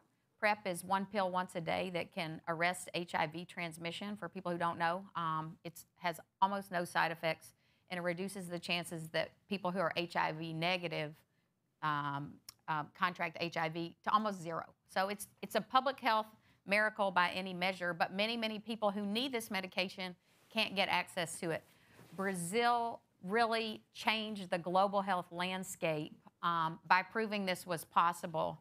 Um, and also, that induced major reductions around the world in, um, in pharmaceutical policy. Now, fast forward to 2022, next slide. I do a lot of work about PrEP and access to pre exposure prophylaxis here in the United States. We've got a huge problem with access to medications here. Um, I don't want to paint a, a uh, an idealistic view of what the health system is like in Brazil. There are a lot of challenges, but they've done a lot of things right.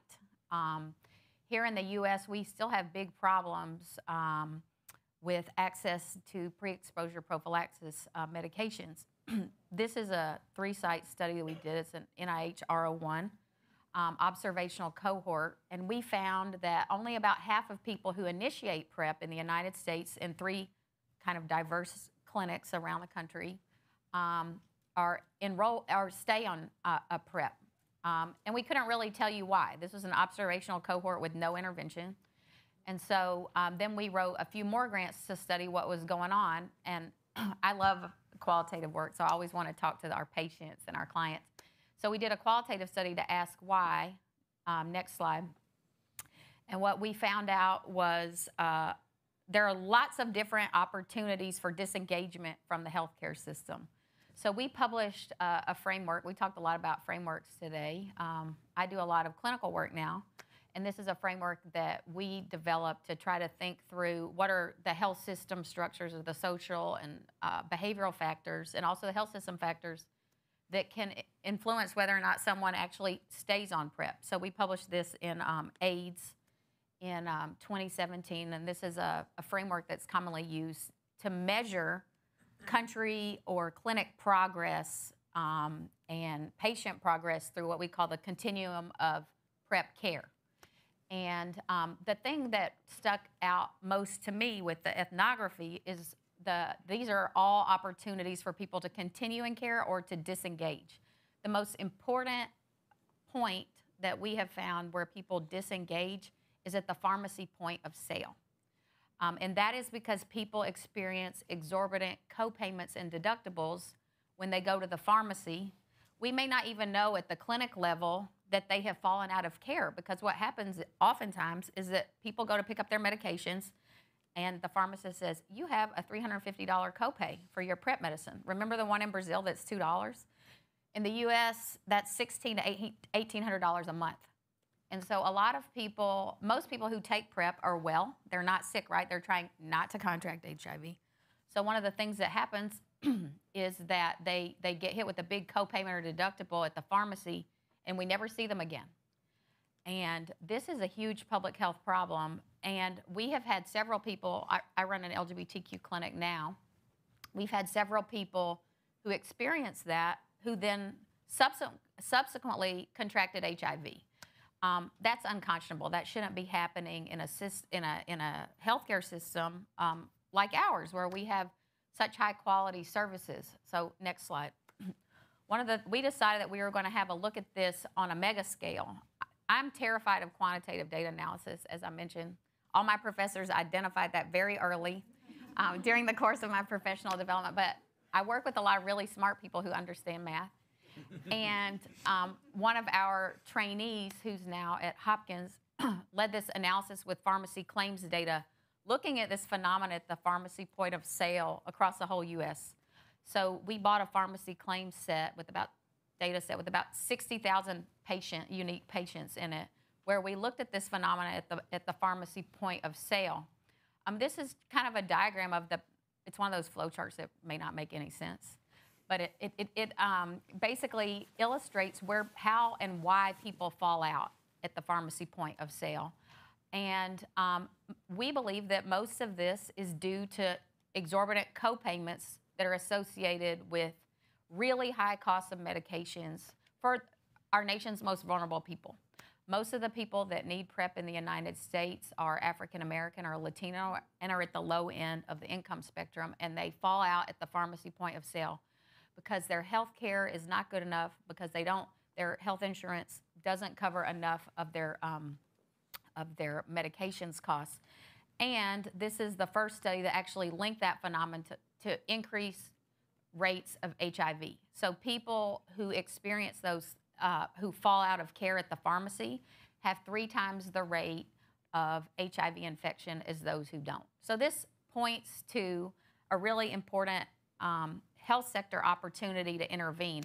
I personally believe that we should be doing a whole lot more with the private sector and a whole lot more with patients and pharmacists and insurance companies and pharmaceutical companies actually at the pharmacy point of sale. Um, huge public health opportunity to intervene and address those things. Um, and um, this is an example of small tweaks in our healthcare system that could conceivably um, have a really big impact. Um, in Brazil, a lot of times, um, you don't even have to go to the pharmacy. You just get your medications right there when you go, um, excuse me, to your clinic or to your doctor. there have been a lot of other really innovative um, movements around the world to intervene at pharmacies, and I think um, we could do a lot better with that here in the United States. And this is an example of, of um, how we, of, I think, true team science. You know, we had a claims analyst, we had an epidemiologist, we had me, an ethnographer, or whatever I am, and um, and also a geospatial epidemiologist who then took this and mapped this. There are a lot of um, geographic disparities uh, associated with these phenomena as well, but um, certainly an interesting finding and I think an interesting opportunity um, to improve patient care outside of uh, the clinical care system, but within um, the private sector or the health, um, the health system in the U.S. Thank you, Amy. I know you have to go and catch a plane to Thank go you. home to your family, so we'll excuse you. Thanks for your Thank you. Thank you so comments and remarks.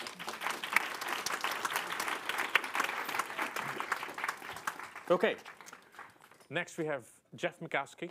Jeff is the secretary of the HBI Institute. He is formerly the vice president of the International Trachoma Initiative. He was the ch- uh, chair of the steering committee of the META of uh, the Medicine Transparency Alliance has worked across both public and private sector uh, with pharmaceutical companies, public-private partnerships in the area of access to health technologies. Jeff, first of all, welcome. Thank you. Traveling here from Berlin. Um, public-private partnerships, pharmaceutical companies, and the, the nature of um, partnerships for access they have created. It's an area that many people in this room have studied. Michael has studied them, written about them, analyzed them. Are we making progress Are there areas which are understudied in how those partnerships can be more meaningful and successful? Are there areas where we are sluggish in not moving forward from the Trachoma Initiative till more recent partnerships, including for COVID vaccines and COVID health technologies? Where do you think the field stands? Where should young scholars focus their energy, ingenuity, and creativity? Great. Um, thank you very much. Um, first off, I'd like to say I'm delighted to be here. This reminds me a little bit of the Global Symposium for Health System Research, but with a more select group, but it's like a big reunion. On that front, um, I remember when Michael was awarded the Sam Adjei Medal in Vancouver, and he noted in his Russian kind of way that it's for service, Jeff, not for results. On this occasion, however, I think the results, the influence Michael's had, has become abundantly clear to all of us. And so it's a great pleasure to be here, and I'm glad I could make it. Um, so I've got a couple different comments to make in response to my charge. Um, one is we're living in circumstances where there's now distributed authority and distributed legitimacy across different actors. It's interesting that the kinds of standard approaches we once had about legitimacy and authority are gone, for better for worse. And that's reflected in sort of the post-critical critical analysis and in a range of things, the efforts to decolonize public health and so forth. So it's just to note that that is part of the backdrop of where we're working. Um, are we making progress? I think in a number of ways we are making progress. If I look at the trachoma program, they recently celebrated their billionth treatment delivered, which is pretty impressive in the course of 20 years. Um, and with trachoma in particular, you're reaching a population that by definition is poorer, uh, has challenges in social, commercial, and other determinants of health. And so you see the burden of trachoma in the most vulnerable communities. It's worth noting as well, for those who don't know, that in the early part of the 20th century, trachoma was a leading exclusion criteria for European immigrants coming to the United States. They'd avert the eyelid. If the kid had, or the person had trachoma, they wouldn't let them in. Uh, in the UK, Moorfields Eye Hospital, which is a premier ophthalmic institution, was developed uh, on the basis of trachoma in the soldiers coming back from the Napoleonic Wars. So part of the reason I mention that is it's something that was resonant with a number of different stakeholders in North America and Western Europe. Certain other tropical diseases or neglected tropical diseases aren't so resonant. So it's finding ways to get into people with that humility and that proposition of what works. Um, my next comment is around this question of return on investment. We talk about neglected tropical diseases as having a great social return on investment. But who captures that return? And how does that affect their behavior going forward? That's less apparent. And we're still working in a space where, frankly, the donation programs are charitable undertakings that maybe are done with personal commitment of the people involved with them in the organizations. But at the end of the day, it is, whether you call it corporate social responsibility or social license to operate, it's part of what's happening there. Um, the companies are clear that they're not charitable undertakings. They're businesses, and they're driven by the tyranny of a quarterly reporting cycle and those kinds of things like that. Um, in my sense of things, we have made progress. The norms have changed within the companies, so many of them understand, individuals, that they need to do more. Um, again, picking on Pfizer, they pretty freely donated a fair bit of intellectual property to the patent pool uh, system and have tried to engage in other kinds of things as well. With respect to their donation of azithromycin, while the initial target was on trachoma and the elimination of blinding trachoma within a WHO uh, normative framework, uh, it's become apparent that azithromycin, as a broad spectrum anti infective, has other beneficial effects for the health of children in particular, especially in high burden environments in low income countries like in Niger or in the Horn of Africa, West Africa. places affected by conflict and instability. Um, so, what to pull this together in the limited time I have, what I've seen is the programs that focus on specific conditions that represent a discernible change in practice seem to have more traction both with the companies and with the countries. Um, and that's fine as far as it goes. So if you look across the neglected tropical diseases, whether it's trachoma, whether it's uh, schistosomiasis, whether it's lymphatic filariasis, there are product donation programs where there's otherwise not functioning markets. And as far as they go, that's okay. Um, but the other problem we face here is how do we shift the understanding of the epidemiological transition that many low-income countries are facing and look at a different array of products that aren't a single dose of medicine once a year, but maybe daily administration or more. And, and that's a harder sell. And I think there's a lot more work to be done on what are the incentives for the companies as well as for the countries. I mean, I've just completed work on supporting the UK's pandemic prevention work in sub Saharan Africa.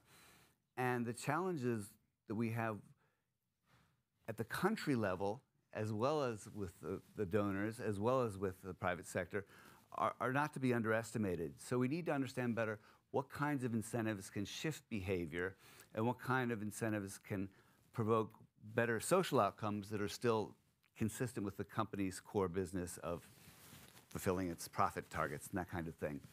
Um, so I think there's been progress. I think there's a lot more to be done. And as we look to the future, we need to look at what kinds of things are on the horizon. How do we anticipate them? And what are the ways we can look at finding either medications or programs that can get these things into the markets and hopefully into the supply chains that deliver them to the people who need them. So there's some promise there, but there's a big unfulfilled agenda. So let me stop there so that Wilbert can counterpoint. Thank you, Jeff. So on NTDs, on acute infectious diseases where a single pill can, can uh, be used, we are making progress. Where, where we come to NCDs, where we come to chronic care, we still haven't truly made as much progress. You know, models of tiered pricing, voluntary licensing, many tools that we all at CGD also have researched and written about. That's where we haven't necessarily gone as far as, as we ought to, and new models need to be looked at and, and perhaps evaluated there. Okay, that's wonderful. Uh, with that, I want to go to Wilbert. So Wilbert Bannenberg is, uh, we all know him from HERA, so he's a public health consultant at HERA, but he's also uh, the chair of the Pharmaceutical Accountability Foundation, something that he has created. Um, a long time um, long-time expert in the area of pharmaceutical procurement, transparency, health systems, many, many uh, different areas that I have come across, Wilbert, in my, my own work. So first of all, welcome. Thank you for making the trip. I want to start by asking, we, we titled this session as Politics, Market, and Institutions, and that is in a way very representative of the kind of work that Michael has done, not just on access to health technologies, but his broader work on politics and public health. We've seen a challenging last three years. Some would say commendable progress in both developing new health technologies so quickly, and also I think my colleagues Amanda and, others did a paper which showed that this was still the fastest that we could get health technologies to people in LMICs from the time they were first authorized at a stringent regulatory authority in a high-income country. So yes, we did not meet equity goals, but still we were, as compared to a counterfactual of any time in the, in the history, we did very well. Now, counterfactual of some time in the history isn't the best counterfactual. We ought to do better, and we can't compare it to just some, you know, hypothetical counterfactual in that sense. So, uh, your views on politics, markets, and institutions, and access to health technologies, what we've lived through during the pandemic, um, good and the bad and the ugly that we saw. Um, and then that'll open us up for a discussion from everyone as to where we think we need to advance more with research, thinking, new frameworks, and so on. So, Wilbert. Thank you, Prashant. Yeah, first uh, one one session about Michael. Huh? Sure. So, okay, he wrote this book. Yeah, and uh, by chance, I had also done this already for many years, and so I thought this is interesting. And when I had the opportunity to attend the flagship course, I learned all these models, uh, including the framework that's in here. And I thought, well, that looks like what we had been doing more or less, but yeah, it could do better. And always when we had to ask, when he asked, what, what, what, what should we do? He said, why, why, why? So you have to ask everything, every time, why I've been doing this, and then again, why again, and then why again. And um, that is uh, together with Marc Roberts. Unfortunately, he's late, but uh, we together we had then three, uh, two flagship courses specifically on the pharmaceutical uh, uh, reform in Jordan and in in Cape Town. So I'm not sure which one you like more. Anyway, um, I took a lesson also there because in the framework of the regulation, I took the regulation as the one that I think I should work on. So last five years after I stopped doing uh, consulting uh, as HERA, uh, I actually now in the Pharmaceutical Accountability Foundation, and we want to actually regulate the system better so that we actually have pharmaceutical companies more adhere to their human rights uh, responsibilities. So, um, a quick back one on, on Brazil. Uh, Amy was in Brazil. We, I was in South Africa. We had five, 1,500 people getting infected every day and 1,000 people die every day of HIV AIDS. We had court cases with the industry. They wanted to stop us uh, tamper with the intellectual property rights. Uh, I worked for the WHO. I had to reduce the price. Uh, the price was $7,000 per person, and uh, I calculated quickly that 7,000 times 3 million people infected is 21 billion. And Thabo Mbeki said, no way. He's an economist. Um, the, the thing is that after we won actually the court cases, industry gave up its court case to stop. We still didn't make progress because uh, we had a health minister who was actually unwilling to actually treat she was believing in garlic and African potato and so on. And it took three years, which means three times 200,000 unnecessary deaths before we could start treatment. And the way we achieved the treatment was by convincing Thabo Mbeki, who is an economist, that it was cheaper to treat people and let them live than to let them die and pay funeral benefits to the widows. Think about it, mm. yeah? Uh, we had to wait until the minister was not in the cabinet session that week, so uh, otherwise she would have a created problem. But then we started treating. Now we have uh, 6.2 million people on treatment in South Africa. So, um, yeah, what is the the, the COVID uh, experience? Um, yeah, it was really politics was yeah it was very bad actually from the rich countries. The rich countries actually paid a lot of money, I think in total 93 billion for uh, the industry to actually make this all happen fast. They bought up all the production. They, they, they, they bought all the drugs already. We bought six times too much uh, in Europe to be sure that we got all the, all the vaccines. But they did not actually sell the drug companies, while we're buying this drug from you, but you also have to give a fair share to the LMICs. So, in fact, by the hoarding that uh, the rich countries did, uh, the, the, the, low middle income countries actually went uh, late. And uh, there is a slide in the thing. Uh, what we did during Corona, we monitored uh, all the people, all the companies developing a, a, Corona vaccine or therapeutic. how was their, how good was their human rights practice. So we had 19 criteria, we scored them all. And yeah, you see there's a few green ones, then a few yellow, that is 50 to 60%, but Pfizer only just scored 50% with Moderna. And then there's a whole lot of red ones, even worse. And the problem was definitely that uh, the rich countries could have actually done something better by telling the companies to actually do better in this. Uh, because uh, we worked very hard to actually we knew we had a production problem in the first year. Big Pharma could not produce enough. There was much more capacity in low and middle income countries, but we didn't actually, the drug companies didn't win, want to give the transfer of technology to those where the production capacities were bigger. Anyway, so both the governments and the industry were actually uh, failing us, I think, a little bit. Now we're lucky that uh, uh, Africa protected itself a little bit and the epidemic wasn't so bad there, and then we had variants that weren't so effect so so so lethal. But anyway, the markets also failed. I mean, the markets didn't really solve this problem uh, of the capacity because, uh, and there was no willingness to share. That was the World Health Organization. Dr. Tedros asked, please share all your technologies in the interest of the saving the planet. But uh, the, the, drug companies didn't do. They did do uh, some patent um, sharing later with the patent pool, and, the, and that actually is also the reason that uh, for the therapeutics, the pills that they made, they get a better score in the card than uh, for the vaccines.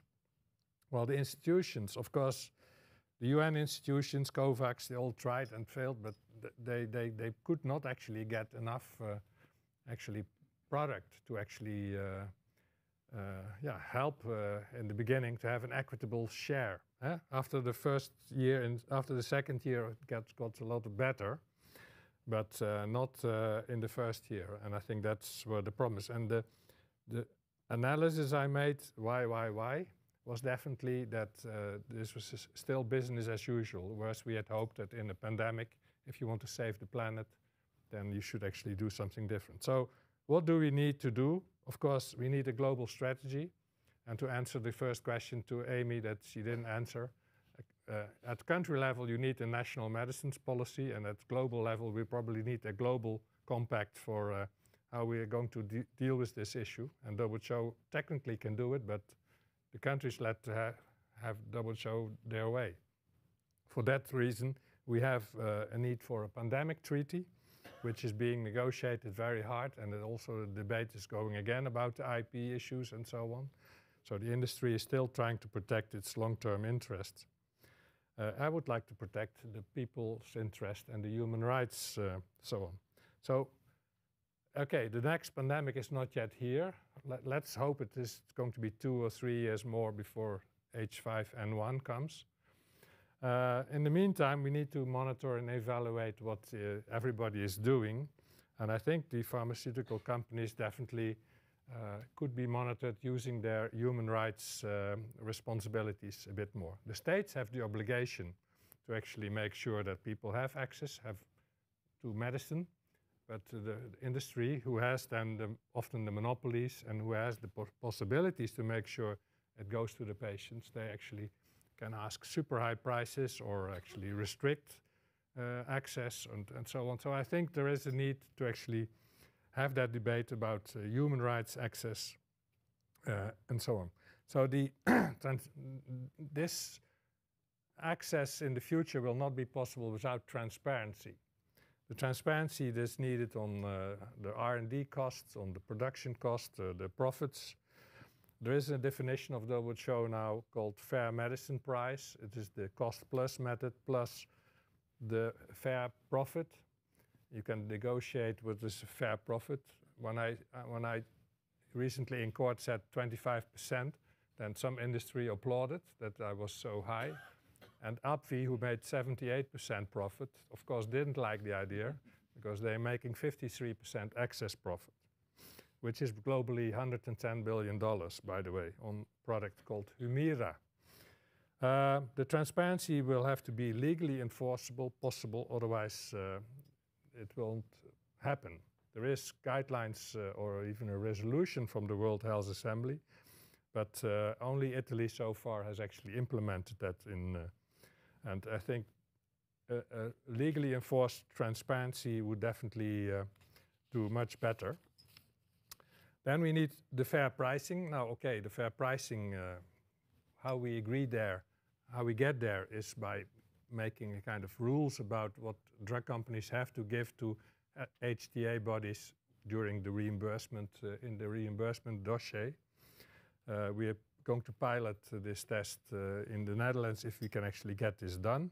And the final one is that this uh, human rights, the duty of care for for drug companies, which they accept that they have to adhere to the principles and according to World Health Organization, they have to uh, also have responsibilities. But we want it to be a legally enforceable uh, action, which actually is supported by the OECD guidelines for multinational enterprises already for 10 years. And that's what we're now trying to put into law in se several European countries, including the Netherlands. So, so well, uh, you can invite me again when the next epidemic uh, or next pandemic is coming, but hopefully we can actually avoid uh, the issue. And so to, I'm speaking now to the next generation. We've worked a long time to get all this access to medicines. I mean, when I started, there were 2 billion people on the planet without access. There's still 2 billion people without access. Yeah? So we can actually do better. Uh, okay, on the other side, the glass is half full. Uh, those, when I started, 2 billion with access, and now it is 5 billion with access. So that has improved. Yeah, so, but I mean, still the 2 billion without access is still enough to actually keep studying the book and the, and the framework that uh, Marc, uh, Michael has written. Super, Wilbert. So before getting into the content of what you said, which I have lots of viewpoints on as a moderator, I won't necessarily bring out my viewpoints. I don't necessarily agree with all of the points made here, but I think the, the, the thing that you said about the three, three whys um, reminds us that Michael is a very interdisciplinary researcher. He pulls things from various disciplines. So think of it as in the 60s, 70s, when the Toyota Motor Company was systematically using the three whys and building the Ishikawa diagrams, Michael uses the Ishikawa from that Toyota tradition and applies it to studying health systems and, and so on. So uh, very interesting that you imbibe the three whys and have used it. Um, on this topic of why didn't we do so well, what could have done, what could have been better, is it about companies sharing their intellectual property? Is it more about tech transfer? Is it about know-how? Were there sites that could make biologics because we did have very good tech transfer happen for the small molecule uh, therapeutics and so on. I mean, we can have a longer debate uh, as to whether it was firms in the market that weren't playing the role, was it purchasers in the market who weren't playing the role, what nexus of actors in the market and institutions were not coming together in the right way that led to what we experienced. So that's a topic of longer debate. I think I'm sure people here have different viewpoints, and uh, but that's not where I want to focus the rest of our discussion because that's a debate that can happen for hours and hours together. Uh, what I want to, to do is invite people here in the room, questions, comments, things that you want to highlight about access to health technologies and where you think we need to focus our attention more as a scholarly communi community, as a practice community, as people who care deeply about public health, which depends very intricately on access to health technologies. Uh, where is it that our efforts are not converging sufficiently? What should we do more? Uh, that's what I think I would love to hear your thoughts, comments, viewpoints, perspectives on. So, so Thank you for the discussion. So I'm speaking from uh, my wearing my health financing hat now, and so just to say the discussion going on right now within uh, the health financing community is out-of-pocket spending, catastrophic spending. So the UHC indicator around this is not improving, right? If anything, we're seeing it it worsening. And we know that the, a large, large driver of this relates to out-of-pocket spending on, on medicines. And we know that, and this is a big topic for research in terms of which types of medicines, et cetera. You can unpack that question. But I thought I'd take this opportunity while I have this group here because um, we're, so I sit in WHO, and we're having the discussions with our medicines colleagues about what's the entry point. So is it really, as Amy is saying, is it the co-payment deductible? So is the entry point through the health financing system, um, or is it how is it related to the pharmaceutical industry and the market and and the profit related incentives? And of course, I understand it, it's both. Um, but where would you place your your emphasis in terms of entry points to to really get at this very quite intractable um, issue? Thanks. Thanks, Susan. We'll take two more, and then we'll we'll address all three in a batch. So, any other comments, questions? Yes. Um, I, I, would like to um, invite us to, to also question what are the technologies and the medicines that we want people um, to have access to instead of um, sometimes falling into um, the influence of the promoters of these new technologies and drugs and then using us to improve the access to something that maybe is not that useful and is very expensive. Thank you. Here at CGD, we love that question. I'm saying here at the Center for Global Development, we love that question that you posed. Yes.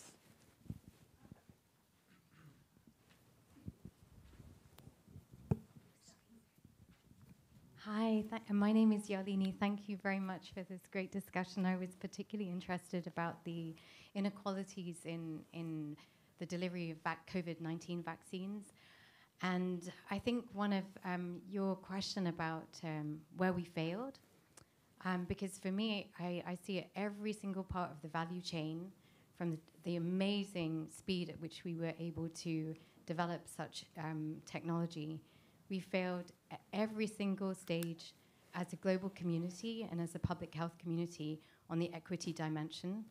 Um, and for me, at that last step of in country delivery, really, really highlighted the, the pro profound inequalities in delivery at country level, at local level, the failure to institutionalize community health workers, and the real cornerstone of, of primary health care and I, I feel that this, uh, the lessons learned from the pandemic, um, we really need to, as a community of, of scholars here, need to dissect that and understand that so that we don't, um, we, we learn from this and we don't make the same mistakes again. Okay, wonderful. So we'll take those three questions. Um, let me just say one word about what Susan said, and then I'll come to you with, with those questions. So I think in an, in an environment with either flat or decreasing health sector budget and a very constrained fiscal space for health sector spending, the first area that is unlikely in most cases to get any expanded allocation would be medicines. I mean, no one wants to cut doctors' salaries because Michael has taught me this, that from a political economy standpoint will be a very poor decision for a health minister to make because doctors not getting paid salaries would show up on newspapers. Medicines, we've anyways had stockouts. We've anyways have been relying on out of pocket. So people will say, sure, yeah, we are not doing better, but we are at least not doing worse than before. So the likelihood that we will have more spending to reduce out of pocket in medicines looks a little bit grim. Um, but we should, we should still figure out what's the entry point. And I think I like your question in the sense that, yes, it's not that we can fix the out-of-pocket problem completely, but what is our entry point? Where could we make some meaningful difference, even in a constrained uh, fiscal environment? So with that, let's first start with the question that Susan has posed, which is entry point in reducing out-of-pocket or managing out-of-pocket, however you want to think about it. I'll go to Jeff and then to Wilbert. For out-of-pocket, clear it's in the financing space in how health services are funded. And as you say, there's constraints there, especially in low and middle income countries already. I mean, doctors' salaries in Egypt and Tanzania and Ghana are, are terrible. And most people take second jobs and other ways to augment their lifestyles. So I think the financing point is one, but it needs a really sober reflection under the circumstances. Wilbert. Well, we have to look at the architecture first. So what are we, what, what do we want? We want a system that is solidarity. Uh, all people have the same chances, yeah, whether you're poor or rich. But then also, if, uh, if you are uh, an, uh, a person that has uh, sex with other men, men having sex with men, how do you say this, LBTQA or, um, sorry, uh, when you need, when you're more at, exposed at, at, risk of infection with uh, HIV and you need PrEP, then it's very important to also know how much does that drug cost. Yeah, so in if it's in the US, $1,800 per month, what I hear. In Holland, it's 50 euros. Yeah, and it's the same product we're getting. And there's generics as well. So the question is definitely uh, that also, uh, yeah, co-payments should actually, in, in, my point of view, not be there. I mean, if you need a chronic disease drug, you need to actually be exempted from co-payments. And the system, I, I find it totally incomprehensible how the US works in its system. But in the Netherlands, you just go to your GP or to the health offices and you get registered in this program and you get the drugs for free. I mean, that is how it should be, I think. But even within Europe, we have countries that, that do it differently. It has to do with the way how we use the patents. After the patent expires, you can get a supplementary protection certificate. So in some countries, uh, like in Belgium, the price is much higher. It's about 400 because they actually did have the patent still on the on the drug. And in Germany, uh, that was for some time as well, but then there was a constitutional challenge that this was unconstitutional to have this uh, extension, so the price dropped again. So there, there, are ways to turn the regulatory jobs, the, the, the knob, to actually make sure that uh, you can guarantee as a kind of uh, organizer of the system that uh, people have access. But yeah. Um, and then I think in principle, you have, as a patient, you have the right to health and the right to a medicine. So I'm surprised that there is no revolution in the US yet about people having to mortgage their houses uh, because they can't afford cancer treatment. I mean, sounds crazy. Yeah, sorry. Yeah, yeah, yeah. Michael again. so, um, at the same time, there is some meaningful progress in the U.S. We have, we can negotiate. I mean, some of our government purchasers have first time gotten the ability to negotiate prices now. We have some privately run initiatives happening which are looking at retail prices out of pocket. So there's also some glimmer of hope um, in, in our health system here in the US. Okay, so the second question was about access not just to any health technology, but access to health technologies which are truly cost effective, improve um, health outcomes, and that's essentially a question about are we in the architecture, whether at the global, supranational level, national level, in some cases sub-national level, embedding cost effectiveness analyses, health technology assessment effectively. Uh, we like to think that yes, we are making progress, you know, both at the supranational, national, in some cases subnational level, but if you have ideas on what more can be done so that it's not just access to anything, it is access to things, technologies which really are going to have health outcome improvement. So any quick reactions and comments? We are uh, running out of time. Jeff, I'll go to you. Yeah, um, there, there is some positive movement at the Pan-African Regula Medicines Regulatory Agency. It's early days. Its full scope of work will be negotiated politically, and we'll see where that takes us. But there's some promising hope there, but it's, it's so distance yeah. to go.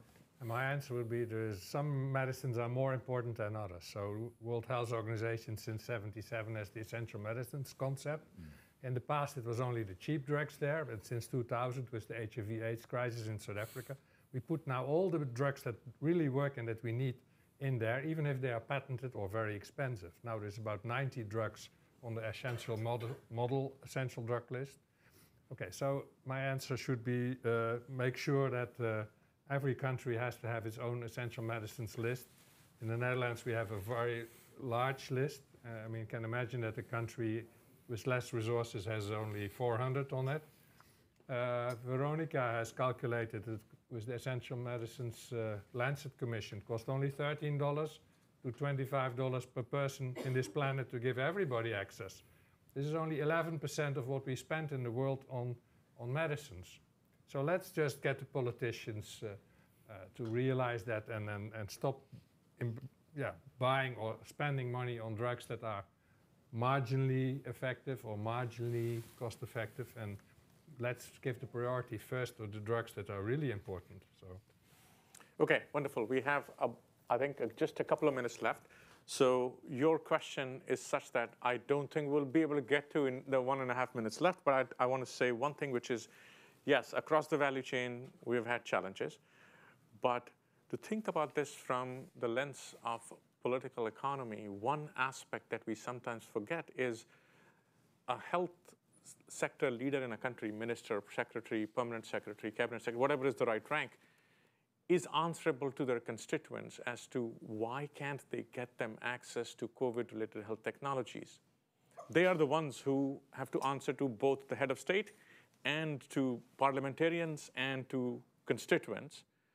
But their agency to change something from a supranational architecture is almost non-existent.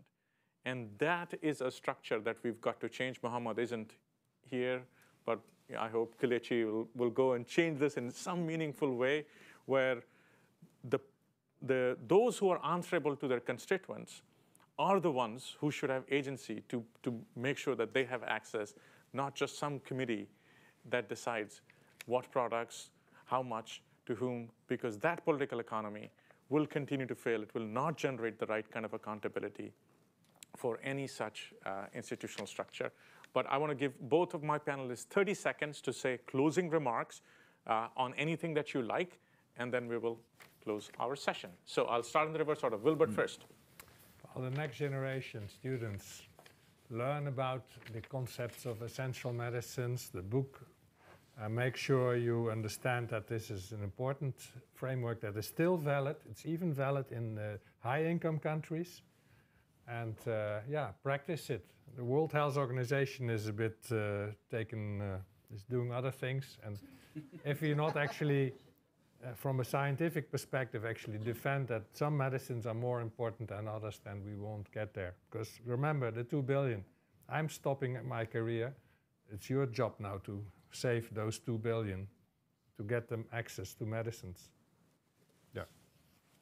And my closing salvo is there are risks, but there's an opportunity with the increased attention on health security related pandemic preparedness issues. And if we're really moving towards integrating those functions within the health system, much as, say, emergency obstetric care was integrated in the health system 25 years ago ish, um, there's an opportunity there. And we, it's at our own peril that we don't take advantage of it. My 10 seconds is Michael has taught us that political economy is extremely important for access to health technologies. We can't solve it with technical solutions. We can't solve it with my little models from before. Uh, we need political economy lenses to it. And second, uh, he's also shown us the path of pragmatism and, and shown us that in order to do this, we, we have to think about this with a pragmatic lens.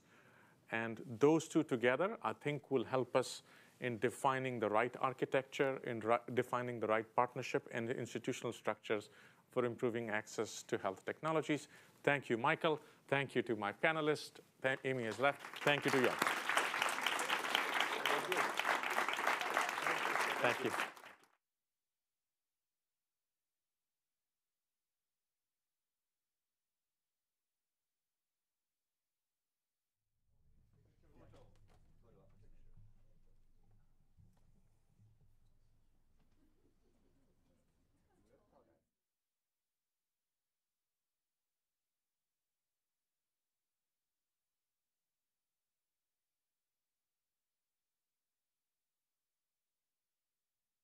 Okay, so next we are going to have um, Veronika and Jonathan who are going to us a video tribute that many of you have contributed to. So Jonathan.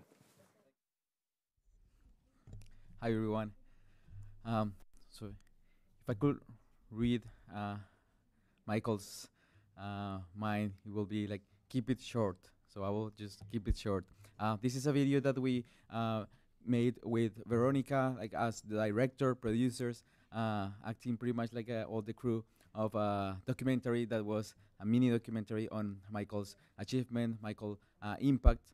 Uh, so we had the opportunity to talk with uh, more than 30 people with 25 videos that we had a really difficult time to making sure to have the best and the most impactful uh, mentions uh, about Michael's life and Michael's career. So I'll just want to introduce the, the video to you.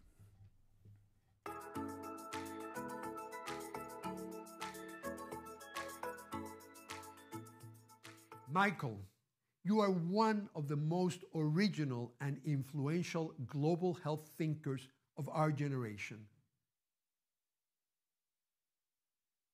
I first met Michael when I was a student at the Harvard School of Public Health in the late 1980s. Back then, Michael was an associate professor of international health in the Department of Health Policy and Management. And he was already the executive director of the school's famous Takemi program in international health, which he had helped establish in 1983 and would soon take over as the director. His contributions to the field have improved people's lives in many ways. Michael, when we met 40 years ago in New Delhi, it was clear you had the vision, the energy, and the passion to transform the field of health policy, research, training, and teaching. Michael was so knowledgeable. Michael was about transcending boundaries and specialties. Dr. Reich has dedicated decades to investigating the inequities in health services around the globe, to understanding the intersection between healthcare and policy, and advocating to improve healthcare outcomes for underserved communities all around the world. It's wonderful to get to be part of this celebration of his work, which has made such remarkable, path breaking um, impact on our understanding of health systems, how they work, why they often don't work, and how to make them stronger and to sustain them and to make them work on behalf of health equity. I remember your early contributions to the political mapping of health policies, which, as you know, I applied explicitly to the health reforms I had the honor to lead in Mexico. One of the most important contributions I think that Michael made in the ethics uh, section in that course, which he worked on with uh, with Marc, Marc Roberts. Um, that I think is an important and unusual contribution to how to think about health reform. One that emphasized thinking about the complex and different ways people systematize their values and how to use that in an understanding of how to make good arguments for the kind of policies that we think we should do. You develop the access plan for patients affected by Chagas disease. That's what we are using to help them today. He's one of the few people I've met in my academic life who is such a intellectual of wide breadth, unbelievable reading. Whenever I speak with Michael, it always seems that he's read just about everything. I've always had trouble suggesting new readings to him. I think Michael corrupted me by showing me the political economy of healthcare and um, introducing me to different ways of thinking about health reform. It gave me a framework to shape and think through, you know, public health in, in general, and was probably one of the most useful tools I had um, when I began my public health um, journey. One of the first classes that I took on global health and research design, and it fundamentally changed the way that I critically think about research concepts within a global context. I learned that although his questions can be uh, very direct, they're usually very uh, on point and they're also incredibly helpful.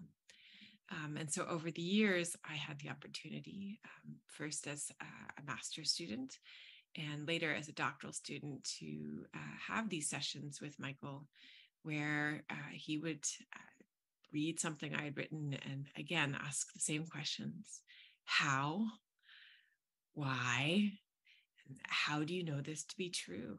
Um, and those those questions have always stuck with me and, and have I think really helped me to become a better researcher.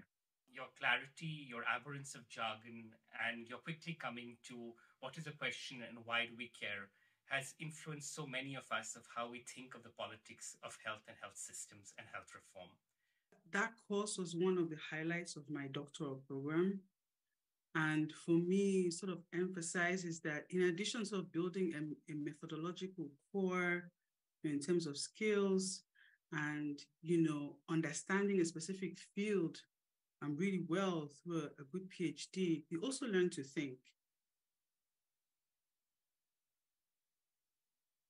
As we all know, Michael has a gift not only for thinking critically about complex policy problems, but also an unparalleled talent for guiding those of us who are committed to finding solutions. What has set you apart from all other visionaries has been your generosity in supporting others and your dedication to mentoring. This dedication has been the hallmark of your leadership of the Takemi program and all our collaboration. When I talk about him, I always mention that Dr. Michael Reich is like my academic dad. What's funny is that even now, working together two decades later, at a time when by many metrics, I'm a bona fide grown up, still, when I send to you some pre read material in advance of our meetings, it feels to me like I'm preparing homework to turn in. And then I wait with bated breath your reaction to it, which is basically the equivalent of my grade. I feel really lucky and really privileged um, to be able to call um, Professor Reich, you know, a mentor, um, a senior colleague um, who I look up to um, in in my professional career. Thank you very much for all these years of teaching, of inspiring, thank you for all that you did to help me get here, um, not just intellectually, but also just to believe in myself and know that I could go and do big things. Helped me gain trust in my own voice, in my own ideas. And for that, I'm eternally grateful. నామసగ్నాలను Michael మననా Udango Michael. Pasa, Michael. Oui, ouais, madame, Michael. Muchas gracias por su corazón generoso. Tusen tack, Michael. Namnsäcken är det. Michael has been a constant presence in the careers of generations of public health practitioners, an encouraging and supporting presence, I would say, always convening, always welcoming at Harvard, in conference venues all over the world. His attitude, his generous attitude, has generated a profound sense of community. Something I really like and admire from you is your passion for public health, for research, and your discipline and the, the way you work. You work so hard uh, to really make an impact and a contribution to our fields. We all know you are a rock star. You're brilliant, but you're also a warm and caring person who treats people with respect. And those two things don't always go together in our world. So, super grateful for this as a model to colleagues and to students alike. It's it's hard to to serve as both a mentor and a friend, but he has the unique personality that allows him to be just that, um, with inspirational intelligence and an incredible warmth and sense of humor. There is one thing, a, a great memory I have in my mind, and is that when we were receiving the diploma of the of the Takemi Fellowship ceremony, my mom was there. She traveled all the way from Colombia.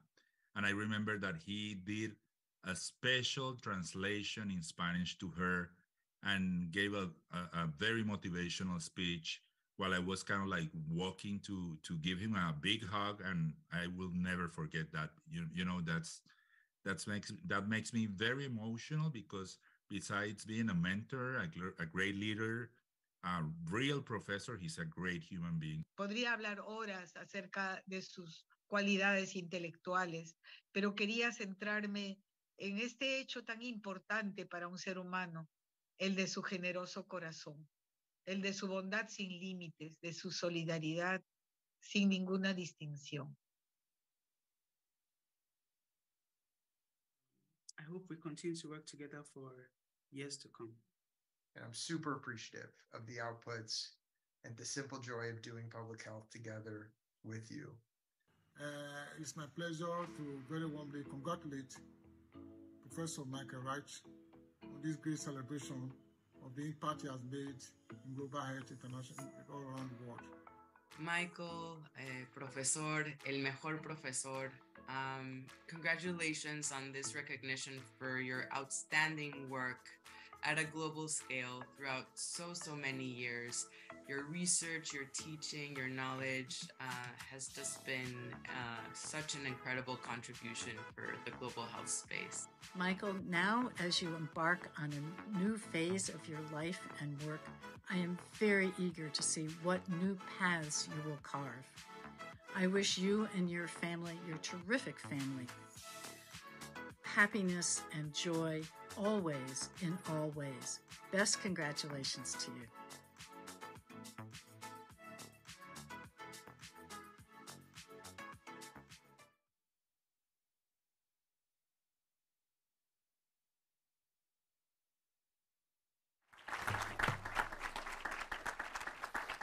We have not only received uh, a, a videos from so many of you, we have also received a lot of notes and photos, and we would like to uh, give this to Michael as a memory book. So together with the video, lots of photos and notes, and thank everybody who contributed. I think we had over 50 people, so 25 videos, which we incorporated, and 23 notes. Thank you very much, everybody, and Michael, this is for you.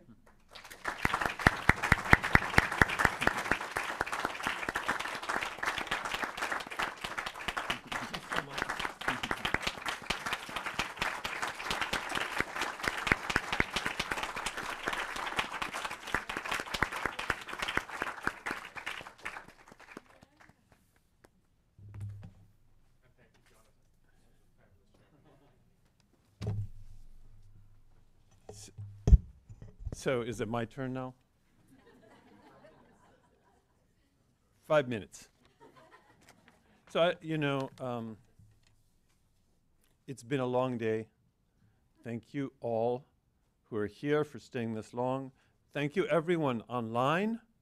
Um, I wanted to send out, if, if she is still watching, my 101 year old mother is watching from her home. Uh,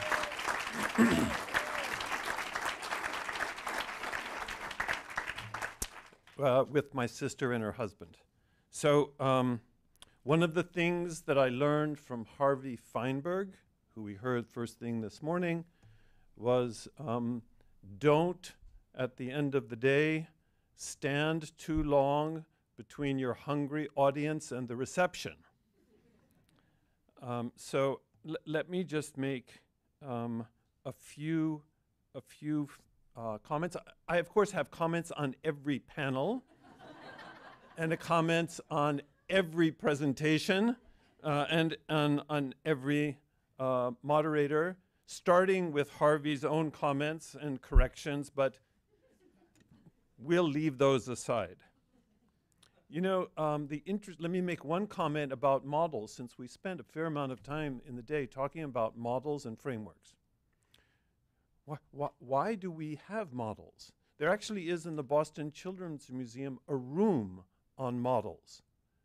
Models of uh, trucks and cars, models of how waves occur, okay? Models are human creations that simplify reality so that we can think about them systematically. And, uh, as Andrea pointed out to me,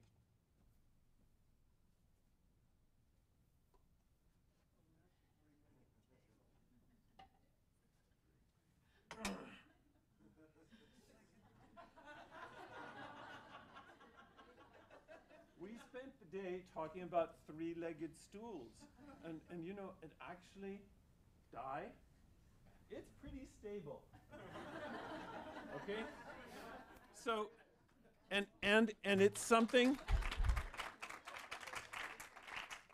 and it's something we've returned to a lot um, in a lot of discussions. You know what is a good model?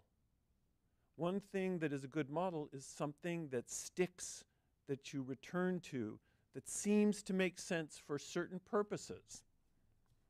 Um, even if Dai would like to have a fourth leg or 135 legs.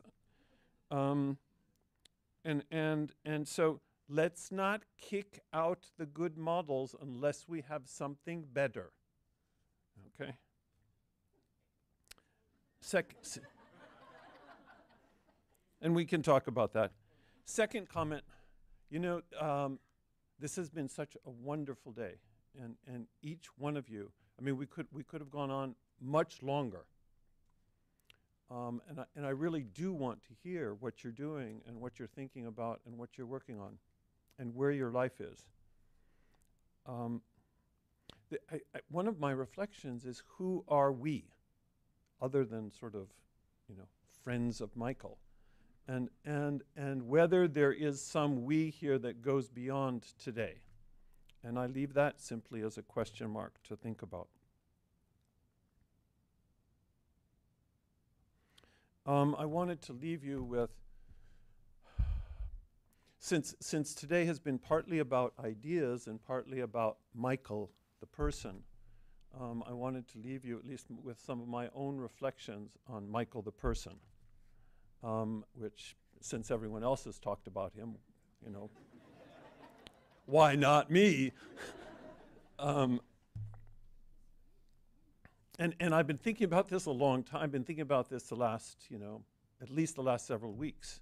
You know, the, the sort of drivers of Michael, of me, and, and sort of important threads. And, um, uh, and, and, and I never started out with this intention. So each one of you, where I had a relationship on some project or uh, some thesis like Amy, um, it, was, uh, it was focused on that connection, the ideas and the person together as a package.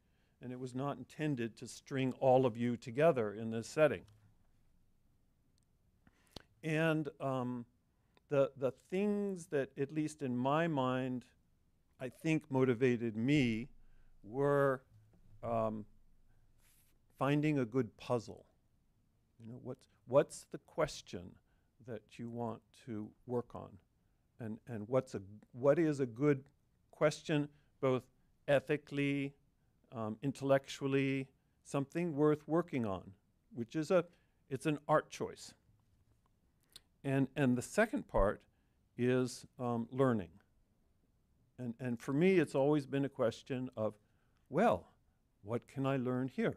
I mean, not consciously, but it's the finding the learning opportunity that is helpful for the pe person I'm working with and for me. That each, each encounter is really an opportunity for learning.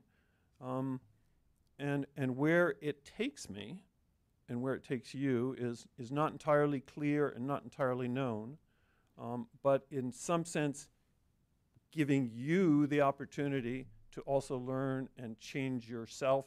And my role is partly, as, um, as Karen said, you know, asking the questions to get someone to self-reflect and learn. So um, I'm not going to give any substantive comments on all of the things that have been discussed. I do want to thank all of you here for uh, spending the time here again. Thank Amanda CGD for being the host. Um, thank uh, Veronika, where are you? Veronika, who has been the, she has had her hand on the rudder of this ship uh, from the beginning and keeping us all on track and uh, everyone involved um, Prashant and Jesse for your uh, wonderful management of the panels and the people. Um, let, let me just let me just conclude by saying that um, just just so that you don't get the um, wrong impression um, that that I am still working. And, and if you ask my wife, she says I'm working more than ever before. Uh, anyone who, who, who wonders what has changed is my contractual relationship with that institution in Boston has changed, but what I'm doing substantively has not significantly changed. Um, and I look forward uh, to continue working with and learning from all of you as well. Um, uh, it's, it's, it's been a remarkable trip so far, and I look forward to more opportunities of working with you as we move into the future.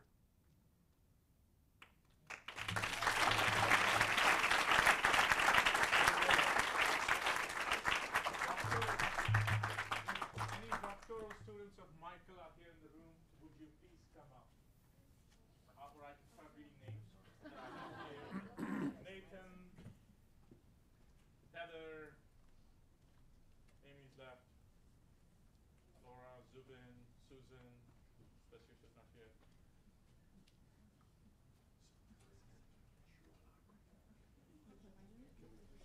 Oh, I'm, I'm sorry, was you like passing it on? Okay. Oh, I see, I'm just going down the list to figure out who's here. Rafat. Um.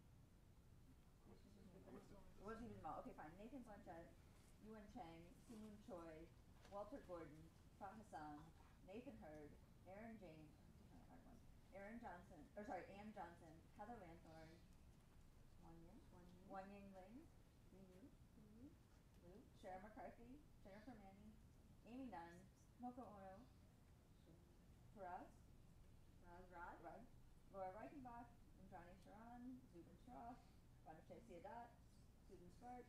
SCO-SO10 and David Washburn.